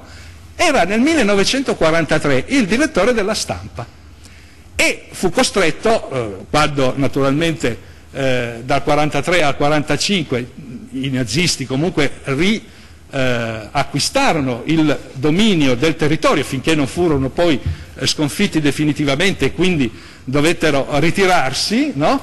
eh, dovette andare in clandestinità. il povero Filippo Bussi dovette andare in... E quindi ridiventò poi direttore della stampa nel 1945. Ora, Filippo Burzio pensava anch'egli all'Europa come a una confederazione europea. Cioè l'idea che l'Europa è l'idea di Churchill, è l'idea di De Gaulle, è l'idea dei grandi patriarchi dell'europeismo, che erano anche capi di governo, capi di Stato, grandi generali. Filippo Burci era un grande professore universitario del Politecnico di Torino, autore di teorie eh, sul tiro delle artiglierie molto importanti, che vengono studiate ancora oggi. No? E però era anche un giornalista ed era il direttore della stampa, era uno di quelli che contavano e pensava anch'egli che l'Europa nel, nel 1946-46 bisognava fare uno sforzo per costruire una confederazione europea. È chiaro, non c'è chiarezza, è chiaro che non c'è chiarezza, bellissima questa frase. Comunque, non c'era una chiarezza teorica in molti dei eh, sostenitori di un disegno unitario europeo. Perché? Perché la chiarezza teorica e istituzionale dipendeva da una familiarità con gli esempi realizzati di federazione che avevano in pochi. A conoscere la teoria federale del federalismo americano, la teoria hamiltoniana, Madison, e non erano mica tanti in Italia e in Europa. Cioè, se noi prendiamo l'Italia, oltre ai Inaudi, non è che ci fossero molti a conoscere questi temi. E si conosceva l'esempio svizzero, no? la confederazione svizzera, ma senza sapere esattamente la distinzione che c'è tra una confederazione e una federazione, tra uno Stato federale, una federazione e una confederazione. Una confederazione è fatta di Stati, come pensava Briand, che è stato citato, cioè stati, una federazione di Stati che si mettono insieme conservano integra la propria sovranità nazionale. Quindi il potere di decisione ultimo, il potere di veto e via di seguito. Ora, come ha dimostrato Inaudi per primo, ma dopo di lui anche altri, è impossibile questa cosa perché, eh, e questo è esattamente quello che oggi divide ancora i cosiddetti euroscettici, no? Cameron, ma prima di lui eh, la Thatcher, no? e prima ancora altri, come anche De Gaulle, i quali credono a, a un disegno unitario europeo, ma all'interno di, un, do, di una dominanza, in ultima istanza, degli Stati, che non credono nella cessione di poteri in modo da creare un sistema federale. Non a caso dell'euro, che è la cessione del potere monetario, uno Stato come la Gran Bretagna no, non fa parte e non farà mai parte. Che, che, ne pensino i Blair e cose di questo genere. Perché? Perché bisogna fare un salto di qualità, bisogna passare da una concezione di tipo confederale dell'Europa a una concezione di tipo federale. Mi chiederete, ma non nascono anche negli anni 40 quelle idealità, quelle progettualità, non solo federali, adesso abbiamo parlato del manifesto di Ventotene, che è il massimo esempio di progettualità federale, federalista dell'Europa durante la Resistenza, ce n'erano altre. Però nascono anche idee che sono o confederali, quindi che non si situano sul terreno della costruzione di uno Stato federale o addirittura di tipo funzionalistico. Nel 1944 un economista rumeno che si chiamava Davide Mitrani fa la teorizzazione del cosiddetto funzionalismo che è alla base dell'idea di Monet delle comunità, del funzionalismo comunitario. Qual è quest'idea? Che è, comunque fa parte del patrimonio antifascista e l'idea che eh, la pace nel mondo, Mitrani parlava di pace nel mondo, ma la cosa è stata applicata sul piano della pace europea. A quell'epoca parlare di pace europea e di pace del mondo era quasi la stessa cosa, tra l'altro. L'idea che costruendo delle strutture di tipo economico e socio-economico che prendevano alcuni elementi dell'economia, alcune fasce, alcuni spicchi, immaginate l'economia come un'arancia, ecco, alcuni spicchi, no? E si faceva in modo che stati diversi gestissero questi spicchi, quindi queste, questi eh, eh, ambiti economici, pensiamo al carbone e all'acciaio, no? ecco, la comunità del carbone e all'acciaio è uno spicchio, forse lo spicchio più importante eh, dell'economia, e ampliando gradualmente, gradualisticamente a tutta l'economia e quindi arrivando anche a elementi economici che non sono solo elementi economici, ma sono elementi economico-politici importanti. La moneta non è un, un, puro elemento economico, parlare di moneta significa parlare di scelte politiche anche, no? Ecco che in, si sarebbe imparato, Bonnet diceva, si, sare, si imparerà in 50 anni, no? si arriverà gradualmente ma in modo deterministico alla costruzione degli Stati Uniti d'Europa. Ora, nell'antifascismo invece ci sono idealità di questo genere, ma c'è un'altra idea, un'idea che direi eh, aveva vaccinato eh, gli antifascisti sia del Partito d'Azione, ma anche quelli, eh, alcuni eh, socialisti, i liberali, ma lo stesso Benedetto Croce aveva sul piano diciamo, dell'Europa idealità di questo genere. Benedetto Croce è stato anche ministro poi eh, del governo italiano tra la fine degli anni 40 e l'inizio degli anni 50. Ora, eh, c'era l'idea che prima viene la politica. Giustamente eh, Umberto Morelli ha terminato la sua relazione con una citazione di Machiavelli. Perché? Perché il problema vero che viene compreso dall'antifascismo italiano, in modo particolare da Spinelli, da Rossi, ma anche da altri insieme a Spinelli e Rossi.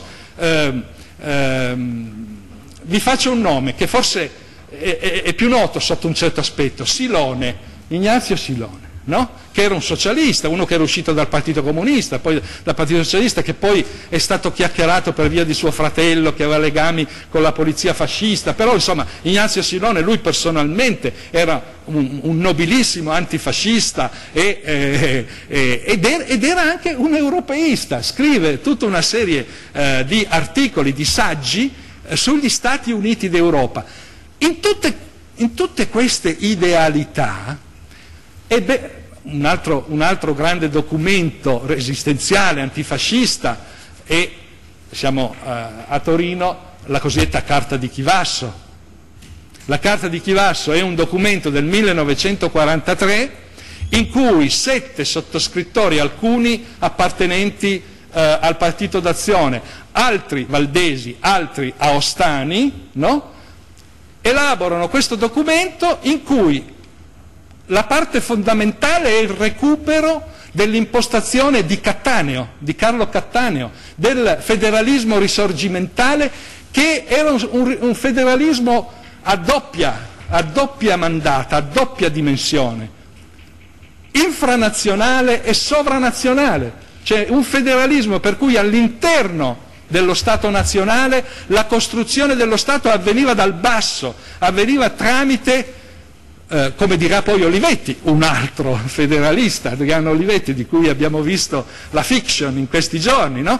Anche Olivetti pensava così, cioè una costruzione federale della società e dello Stato in Italia a cui doveva corrispondere a livello sovranazionale, doveva corrispondere una Europa unita, ma un'Europa unita che faceva i conti con, in più lunga prospettiva, con un mondo unito federalisticamente. E di qui il discorso dell'ONU no, che si faceva già a partire dal 1945, si farà a partire dal 1945-1946, ma la struttura, la struttura, argomentativa, problematica della Carta di Chivasso ha questo, questo slancio, questo sviluppo. No?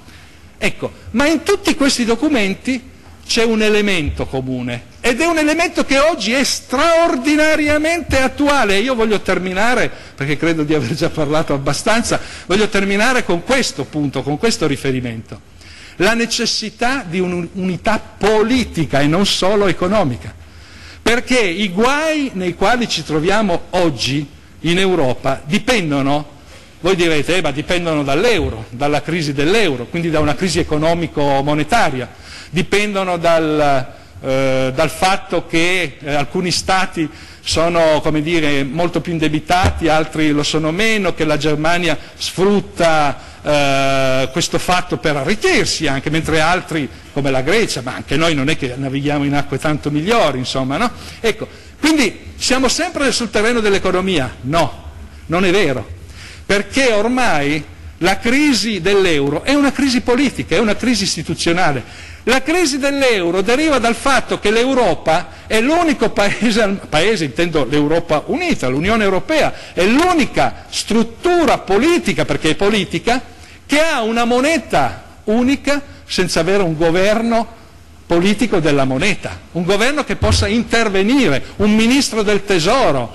perché l'Unione Europea in questo momento si trova in mezzo al guado di una incapacità di superare il livello del gradualismo funzionalistico comunitario in cui si trova e di procedere speditamente sul piano dell'unità eh, politica. Questo è il grande problema dell'Unione Europea. E Cameron nel gennaio del 2013, quindi pochi mesi fa, ha fatto un grande discorso alla, ai comuni, no? un grandissimo discorso verso la fine eh, di gennaio, mi pare il 23 gennaio del 2013, in cui riprendendo l'ispirazione thatcheriana, secondo me, del conservatorismo inglese più puro, ha detto che lui, lui intendo dire il Regno Unito, non entrerà mai in un cammino che significhi che la zona euro costruisce qualcosa di federale, cioè i paesi della zona euro si inoltreranno, se i paesi della zona euro si inoltreranno nel campo della, di una costruzione politica, istituzionale, quindi realizzando quello che oggi è necessario fare, quello che oggi è veramente necessario fare, lui starà sul piano del mercato, lui starà sul piano non dell'euro, lui starà su un piano più arretrato. Addirittura se poi fosse obbligatorio dire di sì a qualcosa che va nell'altra direzione, la Gran Bretagna se ne andrà per i fatti suoi. Ha detto queste cose Cameron. Ora, io spero che Miliband e i suoi colleghi di governo liberali non siano tanto d'accordo con lui, però siamo in questa condizione, in una condizione in cui su 28 paesi che fanno parte dell'Unione Europea, 17 fanno parte dell'euro e avrebbero la possibilità di fare quel passo in avanti. Non voglio prendere lo spazio che sarà occupato nelle prossime relazioni, naturalmente, ma voglio dire che nel, nei progetti dell'antifascismo era molto chiaro questo punto, che il problema non è solo economico. Le quattro grandi idee forza, cioè la difesa della pace, la garanzia alla Germania di un posto di riguardo nel contesto europeo, ma di un posto di riguardo che non vuol dire supremazia. L'integrazione economica creando uno spazio economico unico, un mercato unico, la moneta unica e il parlare con una sola voce. Queste sono le quattro grandi idee, forza, dell'unità europea che erano ben presenti, tutte quante, nel progetto nei progetti che sono stati avanzati dalle forze antifasciste nel corso della resistenza, tutte queste grandi idee e forza stanno su un unico punto che è quello che è oggi all'ordine del giorno, procedere attraverso una decisione politica che significa il rifiuto di ogni tipo di determinismo. Non arriveremo in Europa perché ci spingono forze economiche, certo, ci andremo perché siamo convinti che staremo meglio in una Europa unita, ma andremo in Europa solo se lo vorremo noi con le nostre volontà.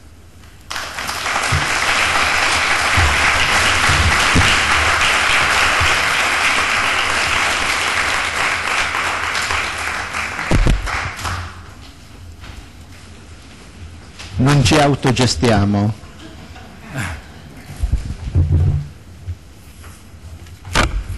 Grazie al professor Corrado Melandrino, adesso abbiamo un po' di tempo per il dibattito, quindi se avete delle domande il professor Malandrino che il professor Morelli sono a disposizione. In attesa eh, vi anticipo alle 12.30 ci sarà un piccolo rinfresco al piano terra e i lavori poi proseguiranno nel pomeriggio alle 14.30, ci raccomandiamo la puntualità in modo tale da veramente finire alle 16.30. Oggi pomeriggio avremo il professor Pistone il professor Bordino che sono qui, li ringrazio e anche poi si unirà con noi il professor Alberto Maiocchi dell'Università di Torino. Eh, ricordo che chi non avesse ricevuto la dispensa può richiederla in segreteria perché eh, ne abbiamo ancora, abbiamo ancora 5-6 copie, comunque la dispensa sarà, eh, sarà, ristampata e quindi sarà anche eh, quando verremo a fare le conferenze nelle vostre scuole ne porteremo ehm, da distribuire. Allora, chi inizia con le domande?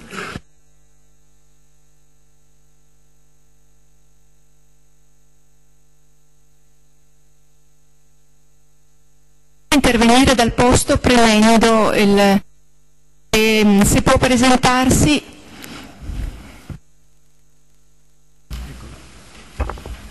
Eh, buongiorno, sono il professor Piano dell'Istituto Vittorini di Coliasco. Eh, ovviamente voglio innanzitutto ringraziare i docenti e il professor Malandrini Morelli per le bellissime relazioni, anzi devo dire che personalmente ho bisogno di voi e avrei bisogno di incontrarvi più spesso perché eh, purtroppo il nostro materiale è scarso e non abbiamo molte possibilità. I libri di testo sono molto scadenti e anacronistici direi. Diseducativi arriverei al punto di dire, se mi consente, professore. Ad ogni modo, volevo intervenire su una cosa, cioè su, nelle vostre relazioni di entrambi i due punti di vista, eh, è mancato il terzo incomodo, cioè gli USA, eh, gli Stati Uniti d'America. Gli Stati Uniti d'America hanno determinato gli esiti della Prima Guerra Mondiale e come tutti sappiamo anche quelli della Seconda Guerra Mondiale.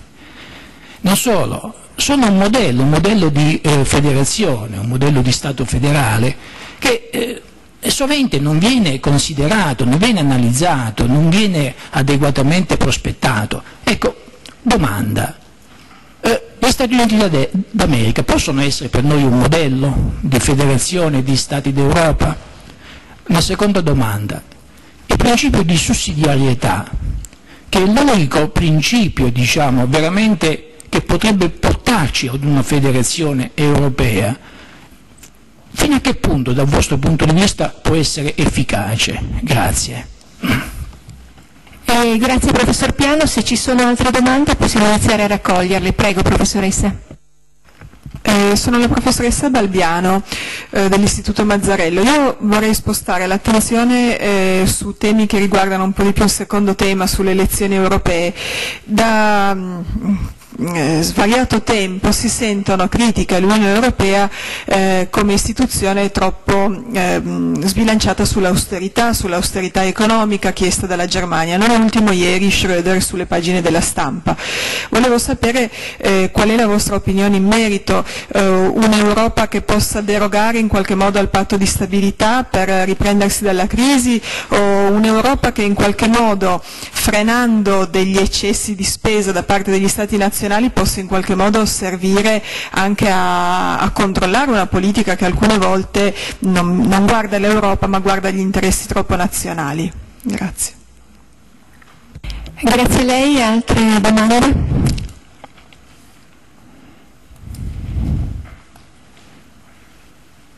Va bene, direi che allora possiamo, chi vuole iniziare a rispondere?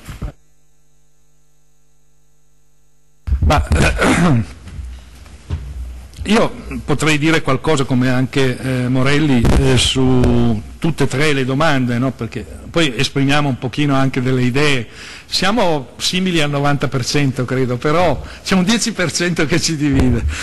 Allora, eh, dalla prima, eh, il problema degli Stati Uniti d'America, no? ne abbiamo accennato entrambi, sia in termini, come dire, di relazioni internazionali, sia in termini di modello federale. No? Quindi eh, io non ho parlato di una forza molto importante che è stata alla base del processo di integrazione europea, cioè dell'atlantismo, no? ma è stato veramente molto importante perché eh, cronologicamente si pone dopo il periodo sul quale io devo concentrare eh, la mia attenzione, credo ne parleranno altri oggi pomeriggio. No? La mia opinione è che gli Stati Uniti d'America sono stati un modello importantissimo per la costruzione dell'unità, dell'unificazione eh, eh, europea, eh, per quanto a mio modo di vedere noi non possiamo in Europa ripercorrere pedissequamente un modello federale americano, perché l'Europa è molto diversa, il contesto no, degli stati nazionali europei è molto diverso dal contesto no, nel quale si è formata la federazione americana. Però diverso non vuol dire del tutto dissimile. No? Quello che voglio dire è che eh, storicamente l'atlantismo, cioè il patto, il rapporto privilegiato dell'Europa con gli Stati Uniti d'America, è stato assolutamente importante perché eh, addirittura con il piano Marshall, no? ma questo magari ne vorrà parlare di più Umberto Morelli, quindi glielo lascio, no? eh, però appunto ne, nella seconda metà degli anni 40 le scelte concrete delle amministrazioni americane, no? di Truman, hanno portato, eh, si è detto a un certo punto che gli Stati Uniti erano federatore del, degli Stati europei, cioè eh, hanno dato un grosso contributo, ma bisogna pensare che una delle grandi forze no, che comunque negli stessi anni, nel, negli anni della guerra fredda, no, hanno fatto da motivo portante, trainante del processo di integrazione europea è stata la paura del blocco sovietico.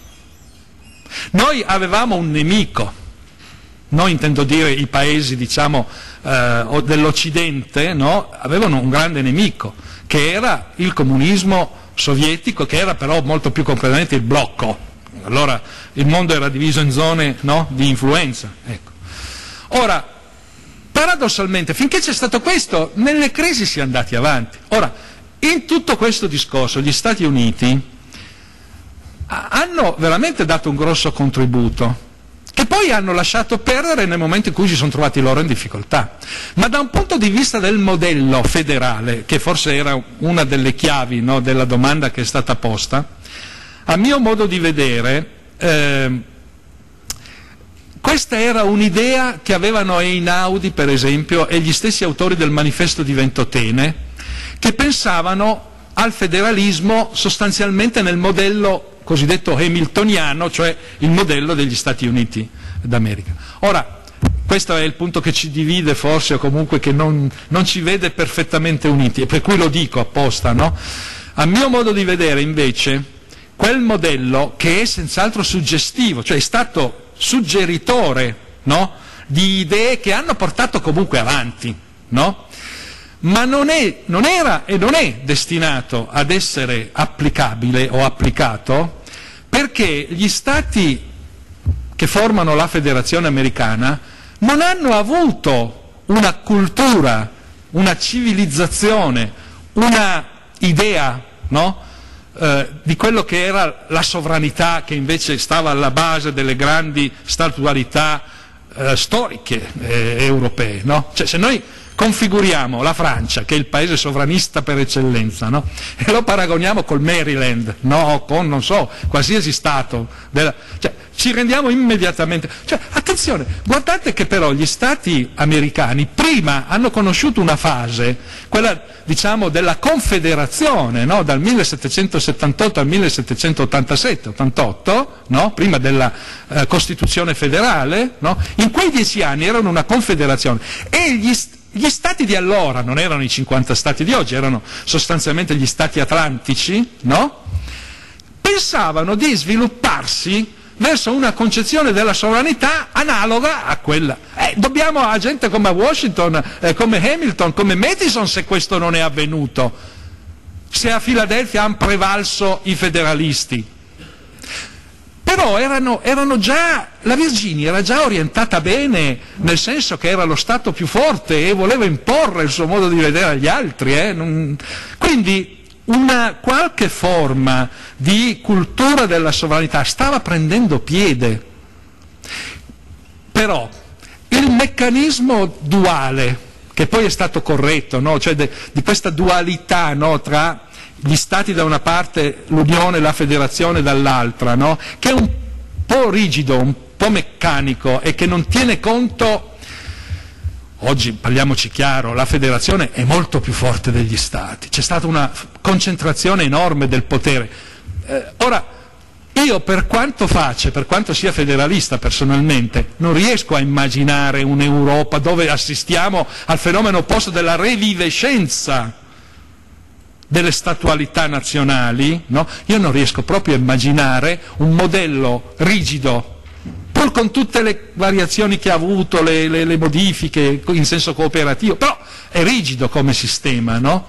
In Europa io immagino molto di più un sistema più mediato, più flessibile eh, tra gli stati che mantengono alcuni dei loro poteri forti, però una Unione federale europea che, che acquista poteri molto forti nel campo della politica estera, di sicurezza, nella politica delle migrazioni, nella politica ambientale, nella politica energetica, però ecco, questo meccanismo deve essere mediato dai cittadini europei. Ecco perché è così importante quella cosa che noi facciamo qui, cioè quello del concorso diventiamo cittadini europei. Cioè i cittadini europei devono porsi come terzo.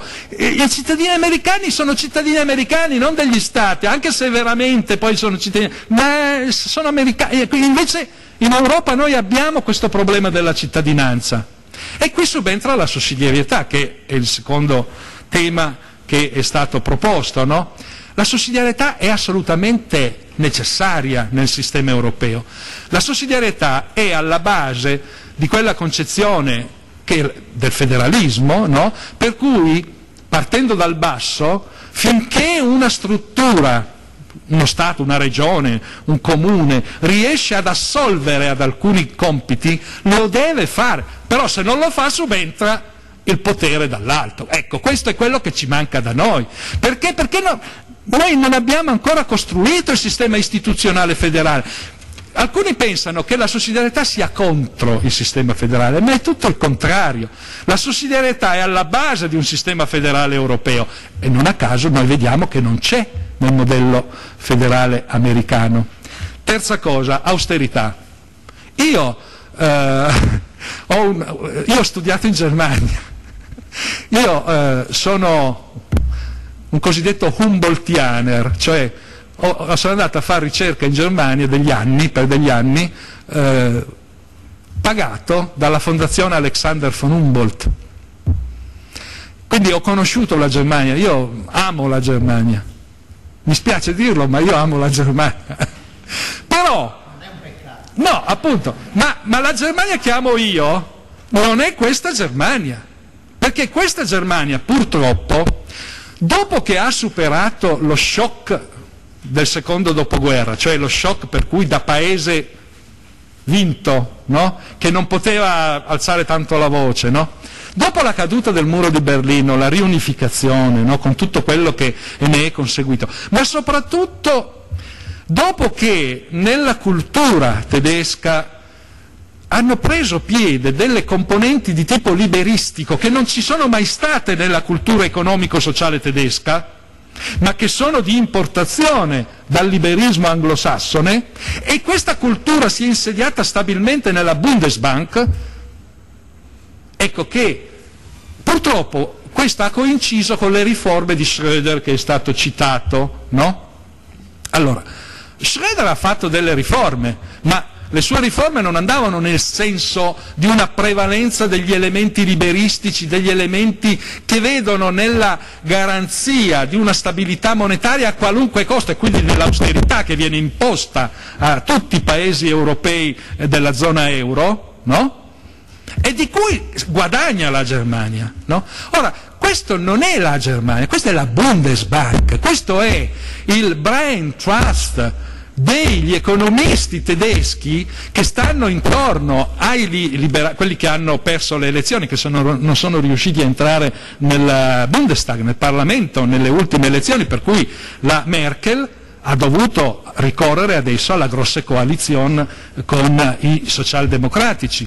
Ecco, questa idea, questa ideologia dell'austerità, in parte è europea, ma è dovuta proprio alla paura terrificante che hanno i tedeschi, in modo particolare i tedeschi intorno alla Bundesbank, intorno a questi gruppi di tipo liberistico oltranzista, no? e di cui anche la Merkel non è che faccia parte, però è un po' ostaggio ecco, di eh, questi gruppi per mantenere, perché se no i tedeschi ha paura che la abbandonino. No? Ora, eh, cioè di questa ideologia dell'austerità che vede come eh, questione fondamentale la stabilità monetaria contro l'inflazione, il buon andamento dei conti pubblici, non solo in Germania ma anche negli altri paesi, perché ha paura che la Germania, come paese più importante da un punto di vista economico, dovrà poi pagare i debiti degli altri.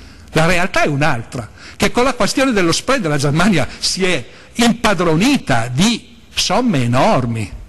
Ora, io spero che con la grossa coalizione, con l'ingresso della socialdemocrazia tedesca, che ha una linea in gran parte coincidente, ma in parte no, è più aperta a politiche sociali, Abbiamo letto anche, qui si parlava di interviste a Schröder, ma l'intervista a Schulz, che è il presidente del Parlamento europeo, che è un tedesco ed è un socialdemocratico, che va in un'altra direzione, è d'accordo con Letta, è d'accordo con una visione più ampia, però questa visione più ampia, parliamoci chiaro, non è che sia rifiutata dalla Germania, non è che la Germania rifiuti delle politiche sociali, un, una maggiore libertà di sforare il famoso 3%, di fare debiti, eccetera. No, non è che la rifiuti in toto, la accetterebbe nell'ambito di una costruzione di istituzioni federali in cui c'è un governo dell'economia che è controllabile e che controlla.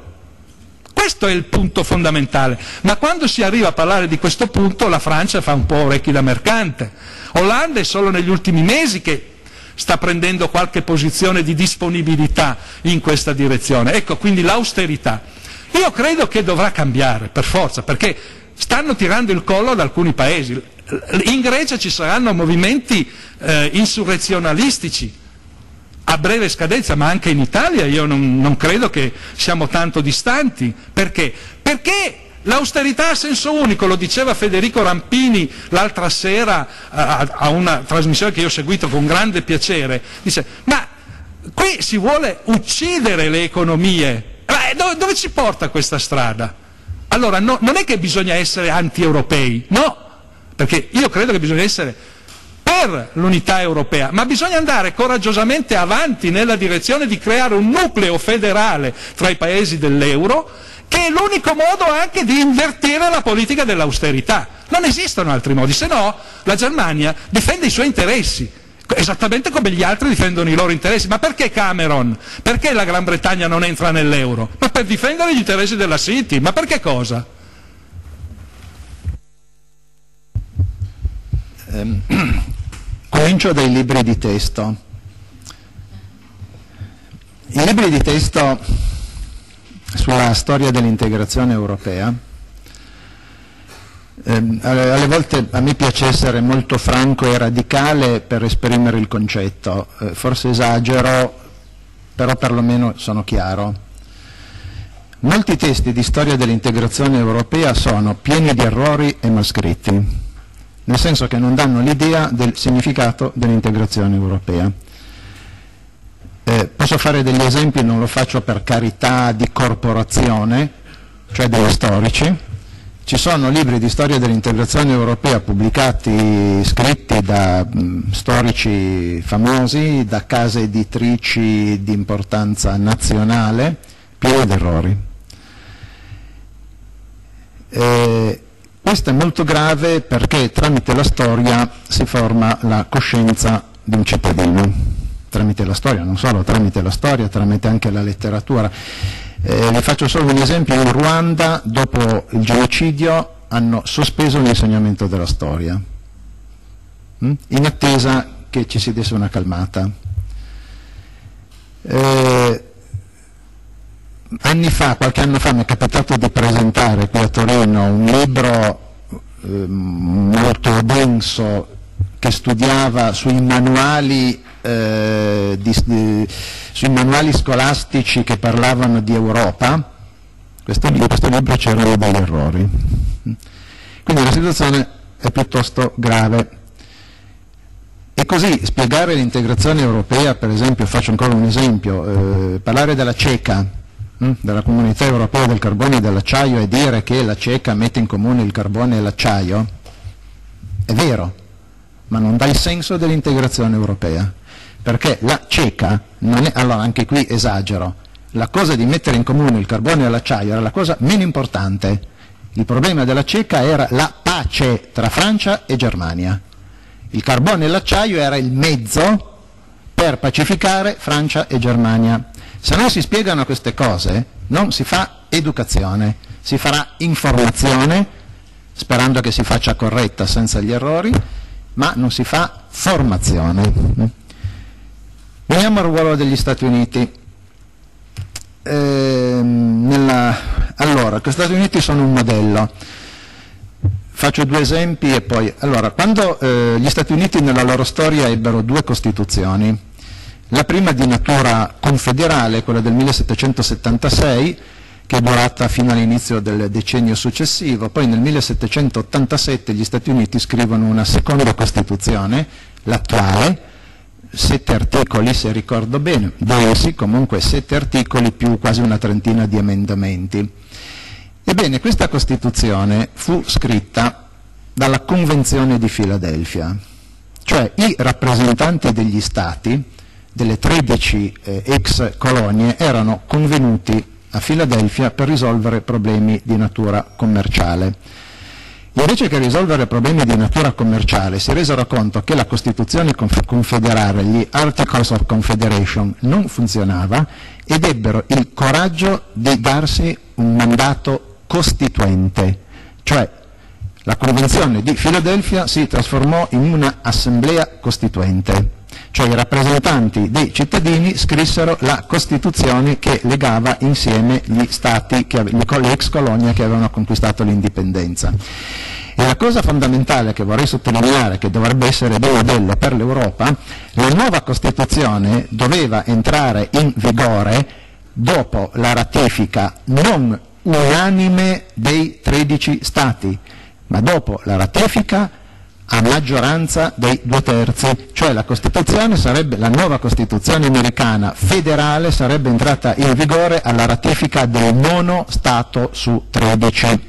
Difatti non entrarono tutti insieme, non mi sembra il Rhode Island o il Connecticut, non mi ricordo, entrò un anno o due dopo.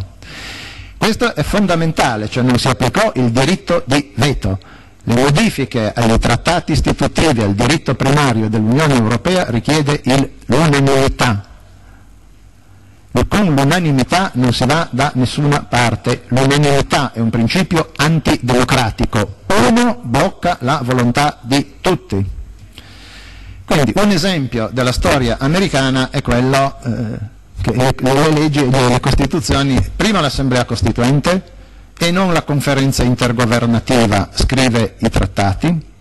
Cioè non un organismo intergovernativo, ma i rappresentanti dei cittadini. Come due volte è capitato nella storia dell'integrazione europea, sono fallite tutte e due, adesso non, non, entro, insomma, non, entro, nei dettagli, però un'assemblea costituente composta da rappresentanti dei cittadini è più avanzata in senso federale rispetto a una conferenza di ambasciatori, di diplomatici che sono addestrati per salvaguardare la sovranità nazionale, quello è il loro compito, non è quello di creare un nuovo Stato, di fare una federazione. E, gli ambasciatori eh, son, devono difendere la sovranità nazionale. Secondo eh, esempio, eh, lo, diceva, lo ricordava prima Corrado, oggi la federazione americana è molto più accentrata rispetto a un tempo.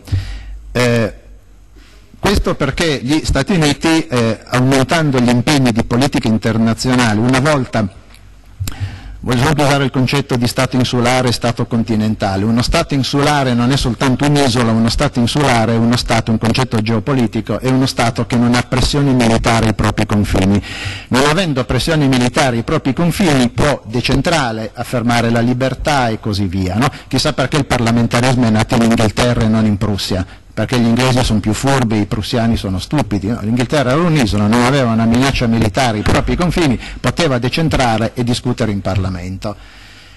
Eh, sintetizzo e banalizzo solo per questioni di tempo ovviamente. Bene, gli Stati Uniti hanno avuto una politica di tipo, anche se non erano un'isola, non avevano pressioni militari, proprio il Messico e il Canada non minacciavano gli Stati Uniti e quindi hanno avuto un grosso decentramento, la federazione e così via. Quando di fronte agli Stati Uniti sorge la minaccia globale dell'Unione Sovietica, la politica estera americana ovviamente cambia, non è più l'isolazionismo, non è più la dottrina Monroe, la dottrina Truman, la dottrina dell'intervento per appunto difendersi dalla minaccia. E quindi di fronte a una minaccia è il modello di Stato che interessa l'accentramento, la Prussia, lo Stato caserma, eh, non la libertà. Cioè, negli Stati Uniti c'è stato un forte processo di accentramento che curiosamente è stato messo in, in evidenza da un personaggio insospettabile come il presidente Eisenhower, generale, cioè militare e repubblicano nel messaggio di addio eh, di Eisenhower, quando lascia la presidenza Kennedy, Eisenhower mise in guardia la società americana contro i pericoli del complesso militare industriale. Adesso io non mi ricordo a memoria la citazione, l'ho citata in un mio libro su, su, sulla storia dell'integrazione europea, comunque Einaudi dice proprio eh, l'accentramento il complesso, mili complesso militare industriale vuol dire l'alleanza tra il Pentagono, il Ministero della Difesa e l'industria bellica. Il complesso militare industriale è un pericolo per la nostra, eh, dice per la, eh, ricordo, per, le nostre, per la nostra per le, le tradizioni istituzionale federale degli Stati Uniti. Questo l'Europa è un esempio che non deve seguire. Probabilmente l'Europa, a differenza degli Stati Uniti, il federalismo dire, potrebbe essere più, eh, più salvaguardato perché c'è una forte tradizione di stati nazionali in Europa, a differenza eh, degli, eh, dei 50 stati della federazione americana. L'accentramento è molto più difficile in Europa, per la tradizione, per la storia europea, per i secoli di storia di, di guerre, di Stato nazionale e così via. Eh, gli Stati Uniti hanno avuto un grosso ruolo nell'integrazione europea perché l'integrazione europea parte sotto la spinta americana. Truman e Eisenhower prendono a calci gli europei perché si unifichino. Poi la politica estera americana cambia soprattutto dalla presidenza di Nixon in poi per arrivare fino ad oggi. Eh, gli Stati Uniti hanno avuto un grosso ruolo, piano Marshall, Spesso si, si, parla del piano Marshall e tutti pensano agli aiuti economici, ma anche questo, un piano Marshall non è un piano di aiuti economici, gli aiuti economici dalle, dall'America all'Europa arrivavano dal 1944, da quando gli, gli americani liberali arrivavano gli aiuti.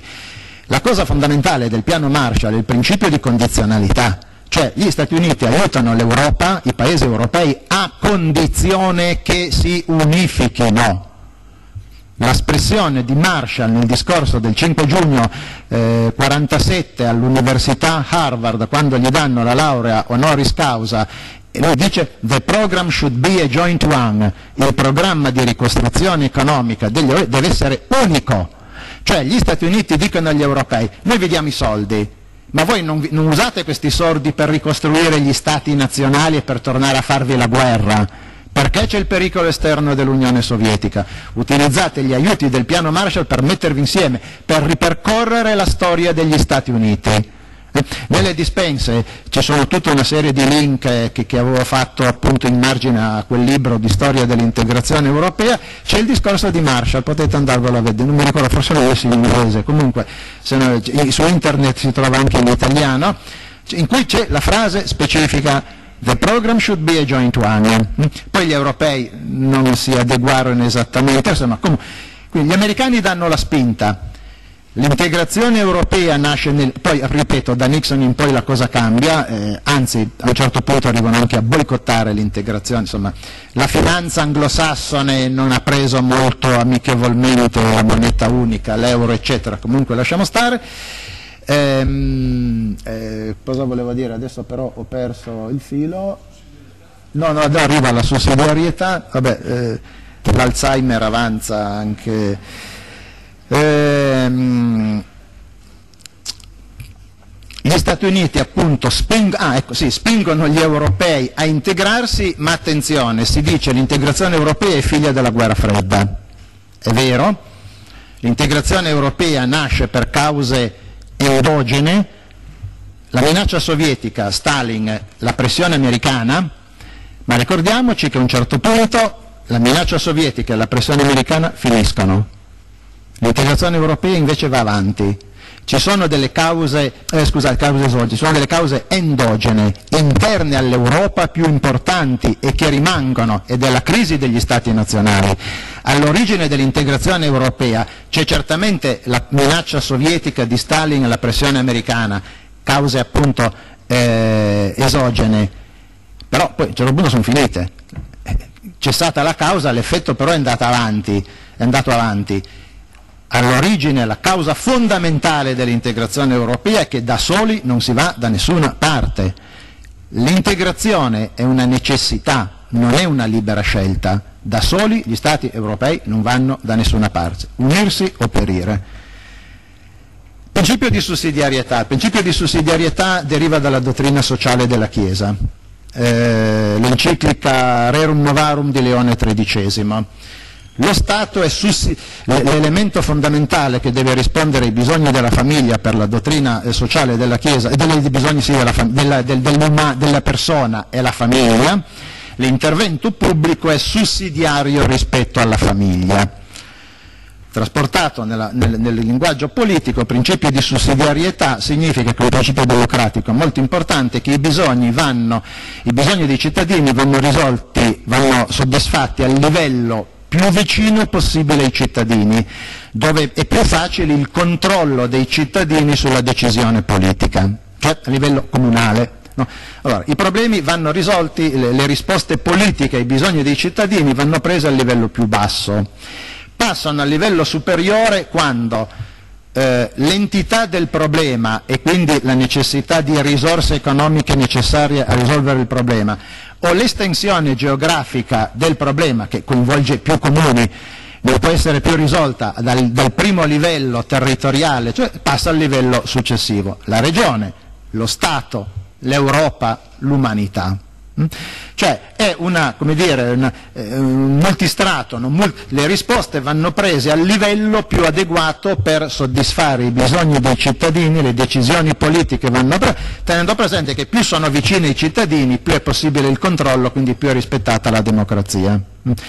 Questo è il principio di sussidiarietà che viene recepito nell'integrazione europea per la prima volta in un progetto che non è passato, una delle quelle due volte in cui un'assemblea costituente, in cui i rappresentanti dei cittadini hanno scritto un processo, una, eh, una bozza di Costituzione europea, cioè nel cosiddetto progetto Spinelli, progetto di trattato di Unione Europea, approvato esattamente 30 anni fa, il 14 febbraio eh, 1984, fra qualche mese si celebrerà il trentennale del progetto Spinelli, in cui viene recepito il principio di sussidiarietà. Poi eh, il progetto Spinelli, come è noto, non passò, comunque il principio di sussidiarietà. Attenzione, il principio di sussidiarietà è un principio molto democratico, può essere fatto valere anche dagli anti-europeisti per non passare i poteri all'Europa o a livello superiore. Bisogna fare molta attenzione. Il rigore. Allora, ehm, Uno degli elementi fondamentali di una comunità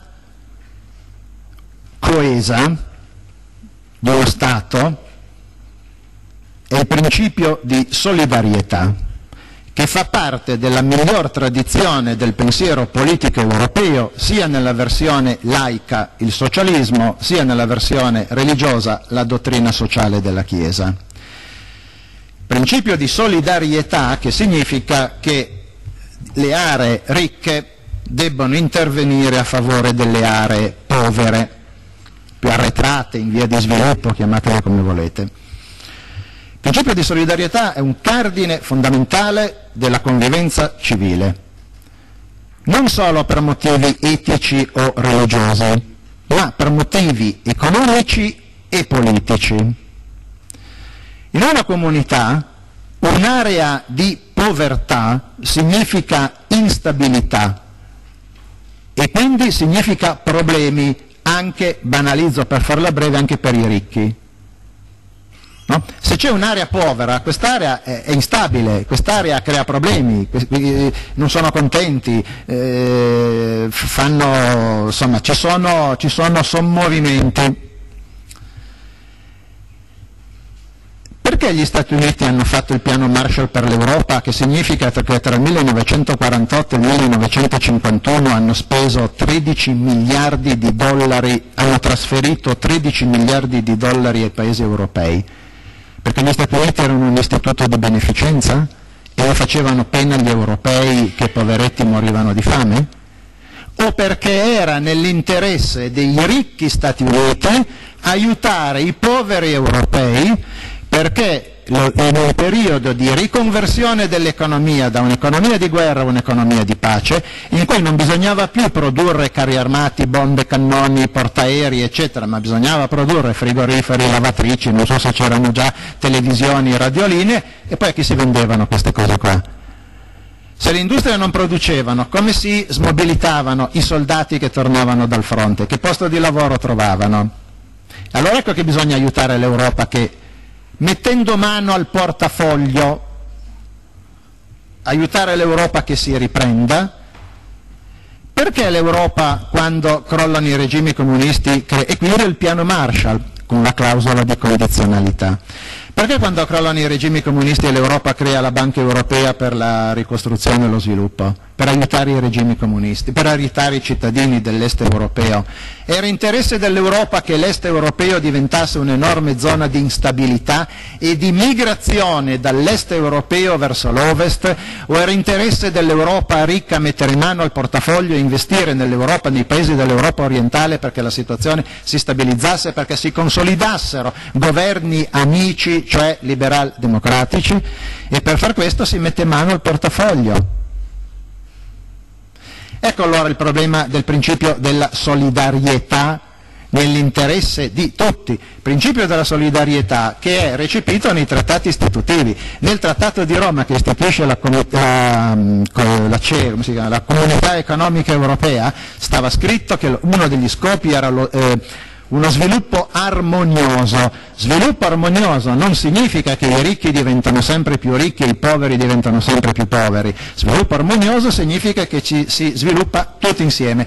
Ed ecco le politiche sociali non per far carità, ma nell'interesse di tutti, per svilupparci tutti insieme, perché aree di sottosviluppo creano problemi. E questo significa che il principio del giusto ritorno è una sciocchezza Prima ancora che il giusto ritorno significa, nel caso dell'Europa, che uno Stato versa tot al bilancio comunitario e deve ricevere tot al bilancio comunitario. No? Principio opposto più volte dagli inglesi, Thatcher, I want my money back e tutte queste cose qua. Principio del giusto ritorno è una stupidaggine perché è un concetto ragionieristico. Io do 10, devo, ritorna, devo, ritornarmi 10. La Lombardia versa 10 di tasse a Roma e deve tornare 10 da Roma. Sono stupidaggini perché non tiene conto del, eh, del vantaggio che non si può misurare dell'appartenere a una comunità più grande, di contare di più grazie alla comunità più grande nel mondo, di avere tutta quella serie di vantaggi in termini di sicurezza e di stabilità che non sono contabilizzabili in maniera ragionieristica. Detto questo, il politica del rigore eh, della Germania, eh, sapete quanto ha guadagnato la Germania dalla Grecia? Qualche mese fa sul Die Welt è uscito un articolo in cui faceva i conti di milioni di euro che la Germania ha ricavato vendendo armi, Mercedes, BMW e quant'altro alla Grecia. Die Welt, non un giornale greco, il Die Welt. Allora, il rigore, per carità, è... Ah, eh, eh, diciamo, eh, situazioni di questo genere, oltretutto, c'è il, il, rigore, la Merkel, eccetera. Quali sono i risultati? No? Che la Merkel viene dipenta con i baffetti alla, a Hitler e così via. Cose di questo genere eh, creano una forte eh, divario, no? eh, odio quasi direi, tra le opinioni pubbliche europee, perché i tedeschi diventano, sono tutti Hitler, i greci sono spendaccioni, gli italiani sono cicale, i finlandesi sono, sono virtuosi, sono biondi, occhi, eh, sono biondi, con gli occhi, azzurri e così via. Sono cose pericolosissime queste, eh, per le, le, la deriva populistica e razzistica a cui danno, eh, possono dare. Ma a Maastricht, quando si è fatta la moneta unica, eh, quando si è deciso di fare la moneta unica, si sono trasferiti all'Europa i poteri necessari, i poteri economici e politici necessari per gestire la moneta unica e necessari per fare le politiche sociali a favore dei paesi. No, ogni Stato, compresi quelli deboli, compresi la Grecia, hanno voluto difendere la sovranità nazionale. Il risultato è che adesso le politiche del rigore sono imposte non da un'Europa democratica, da un governo europeo, le politiche del rigore, le politiche economiche non sono decise da un governo democratico europeo responsabile di fronte a un Parlamento, sono decise dai direttori, dalla Germania, dalla Banca Centrale, dal Fondo Monetario. E non c'è un governo europeo, perché a Maastricht, quando si è fatto la moneta unica, e si sapeva questo, eh, chi ha firmato il trattato di Maastricht sapeva perfettamente che stava facendo una moneta senza il governo, e non si fa un esercito senza un governo, non si fa una moneta senza un... dove al mondo c'è un esercito e una moneta senza uno Stato. L'errore fondamentale fu fatto a Maastricht nella difesa della sovranità nazionale. Le conseguenze adesso lo scontano i paesi appunto più deboli, che hanno tutelato nell'illusione di tutelare la sovranità nazionale. Eh, concludendo, ah, faccio ancora un esempio, eh, la, la, la, cosa americana, eh, grande crisi del 29 il bilancio americano all'inizio della crisi del 29 era il 3% del PIL, anche qui cito a memoria e non, non ho i dati e non pensavo di parlare di queste cose. Dieci anni dopo, con Roosevelt, il bilancio americano era salito al 10%, se mi ricordo bene, del PIL, per far fronte alla crisi del 29. In Europa il bilancio è stato ridotto. Gli Stati, eh, gli stati sovrani che decidono il bilancio nell'ultima riunione un po' di mesi fa, eccetera, hanno ridotto il bilancio. Sapete quant'è il bilancio dell'Unione Europea? Più o meno l'1% del PIL, 120 miliardi di euro in valori assoluti. Sapete qual è il bilancio della, eh, di, di una federazione come gli Stati Uniti? 25% del PIL. Cosa si fa con l'1% del PIL? E l'Europa non ha i poteri per aumentarsi le entrate, perché le entrate sono decise dagli stati sovrani all'unanimità. Allora, ah, poi oltretutto la Germania che adesso vuole il rigore è la Germania dell'economia sociale di mercato, dell'ordoliberalismo, cioè del modello renano di capitalismo, non del modello anglosassone. E adesso però per i motivi che spiegava prima Corrado le cose sono un po' cambiate.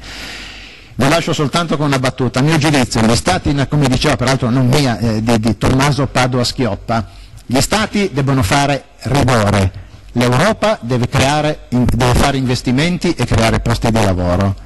Per far questo occorre un'Europa, cioè un governo europeo, occorre un ministro dell'economia europea, occorrono eh, eh, emissioni di bond europei per poter fare gli investimenti, per poter stimolare la crescita.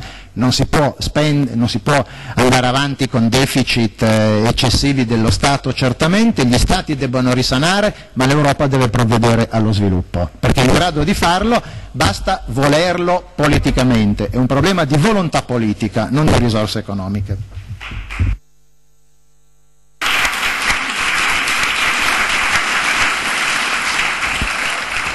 Grazie al professor Morelli e al professor Malandrino, vi ricordo che questo incontro è, è trasmesso in diretta streaming e potrete riascoltare gli interventi di questa mattina, non quelli di di questo pomeriggio eh, collegandovi sul sito www.crpiemonte.tv che noia che trovate eh, un invito adesso siete tutti invitati piano terra seguendo lo scalone al piccolo rinfresco. Grazie ci vediamo alle 14.30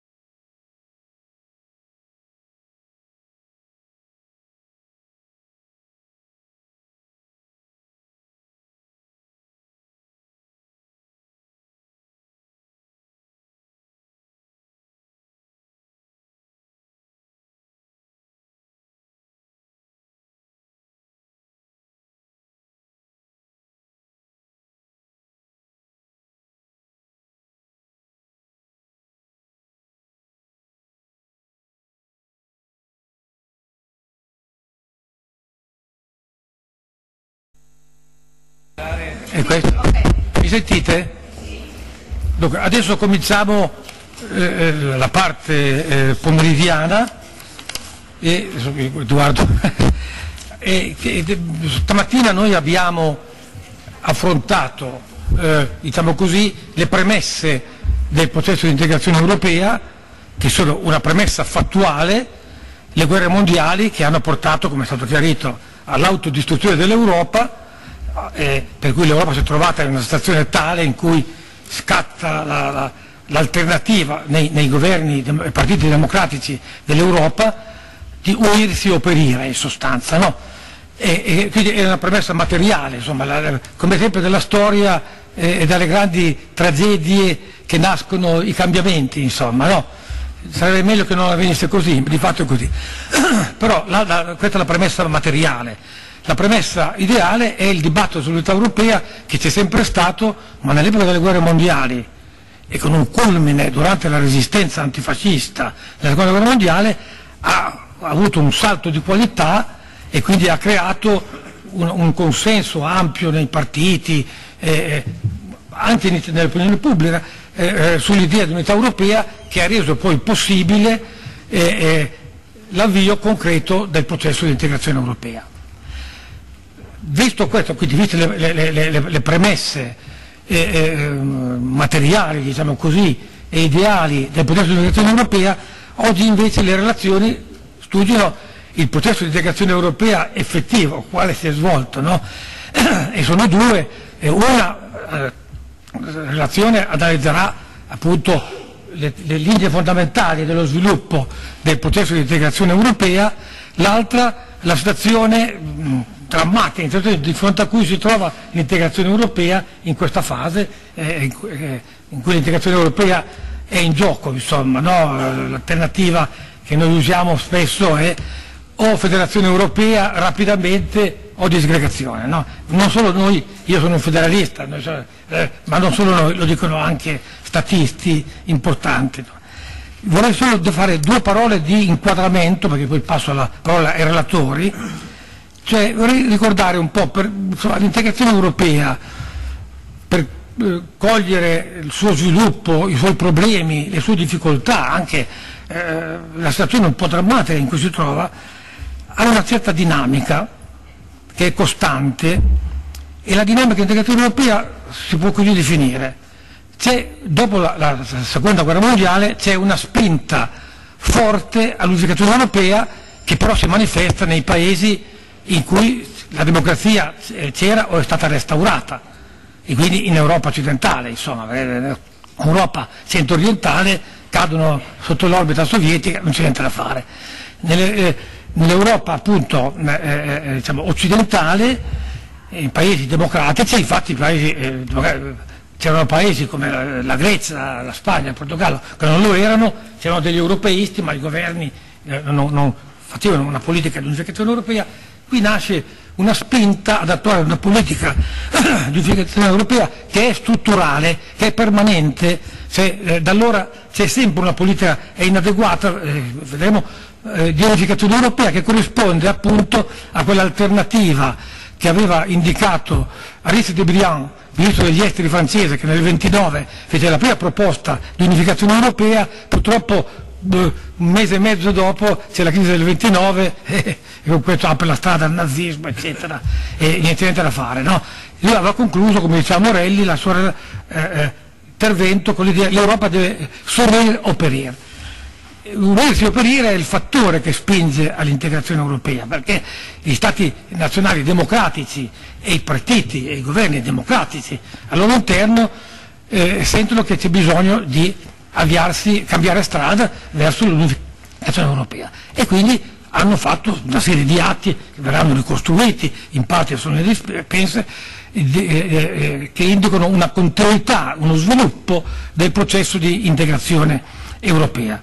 Ecco, ora, eh, però questa spinta che c'è, se non ci fosse questa spinta no, no, no, oggettiva all'integrazione europea, non sarebbe sviluppata e, diciamo così, è contrastata da delle resistenze.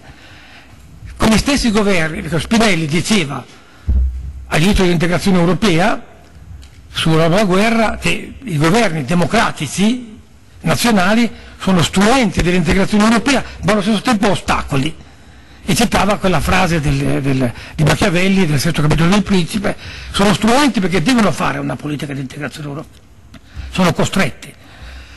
Però sono ostacoli perché un'integrazione europea portata avanti fino in fondo significa federazione, significa trasferimento di poteri sostanziali sul piano sopranazionale e qualsiasi eh, diciamo così, entità che ha un potere e la sua classe dirigente ha un po' la tendenza a, a mantenere il potere. Si chiama la legge dell'autoconservazione del potere, di cui il capitolo sesto del Principe, che è stato dedicato, no, è una prima formulazione.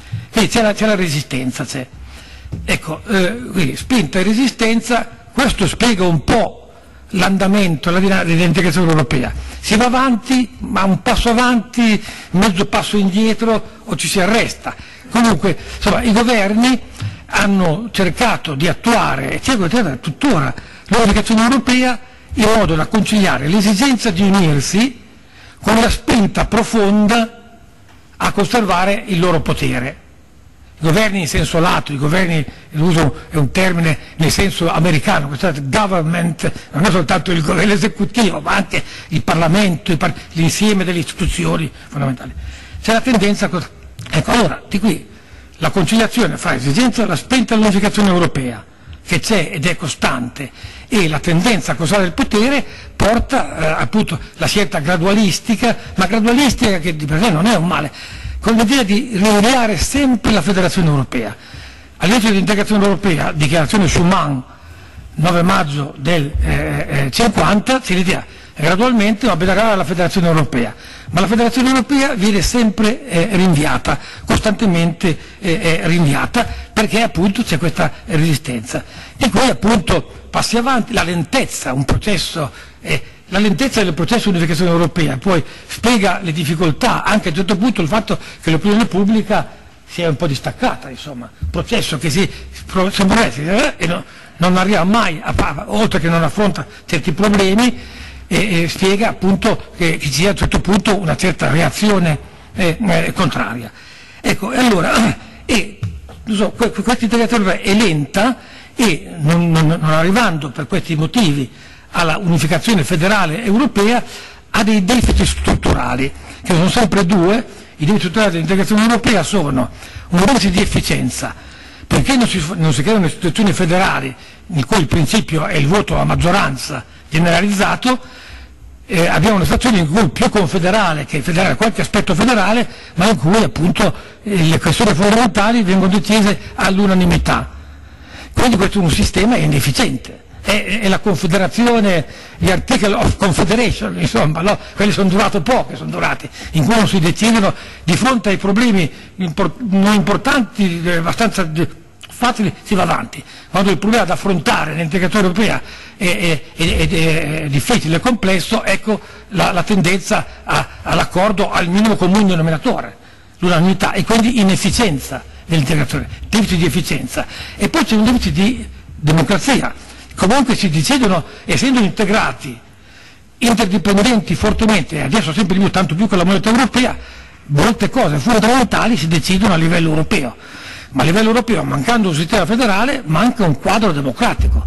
Gli organi che prendono le decisioni sono organi tecnocratici, come la Commissione, sì, approvata dal Parlamento europeo ma scelta dai governi e con, non, con, con poteri che non sono i poteri di un governo eh, eh, in senso pieno, no?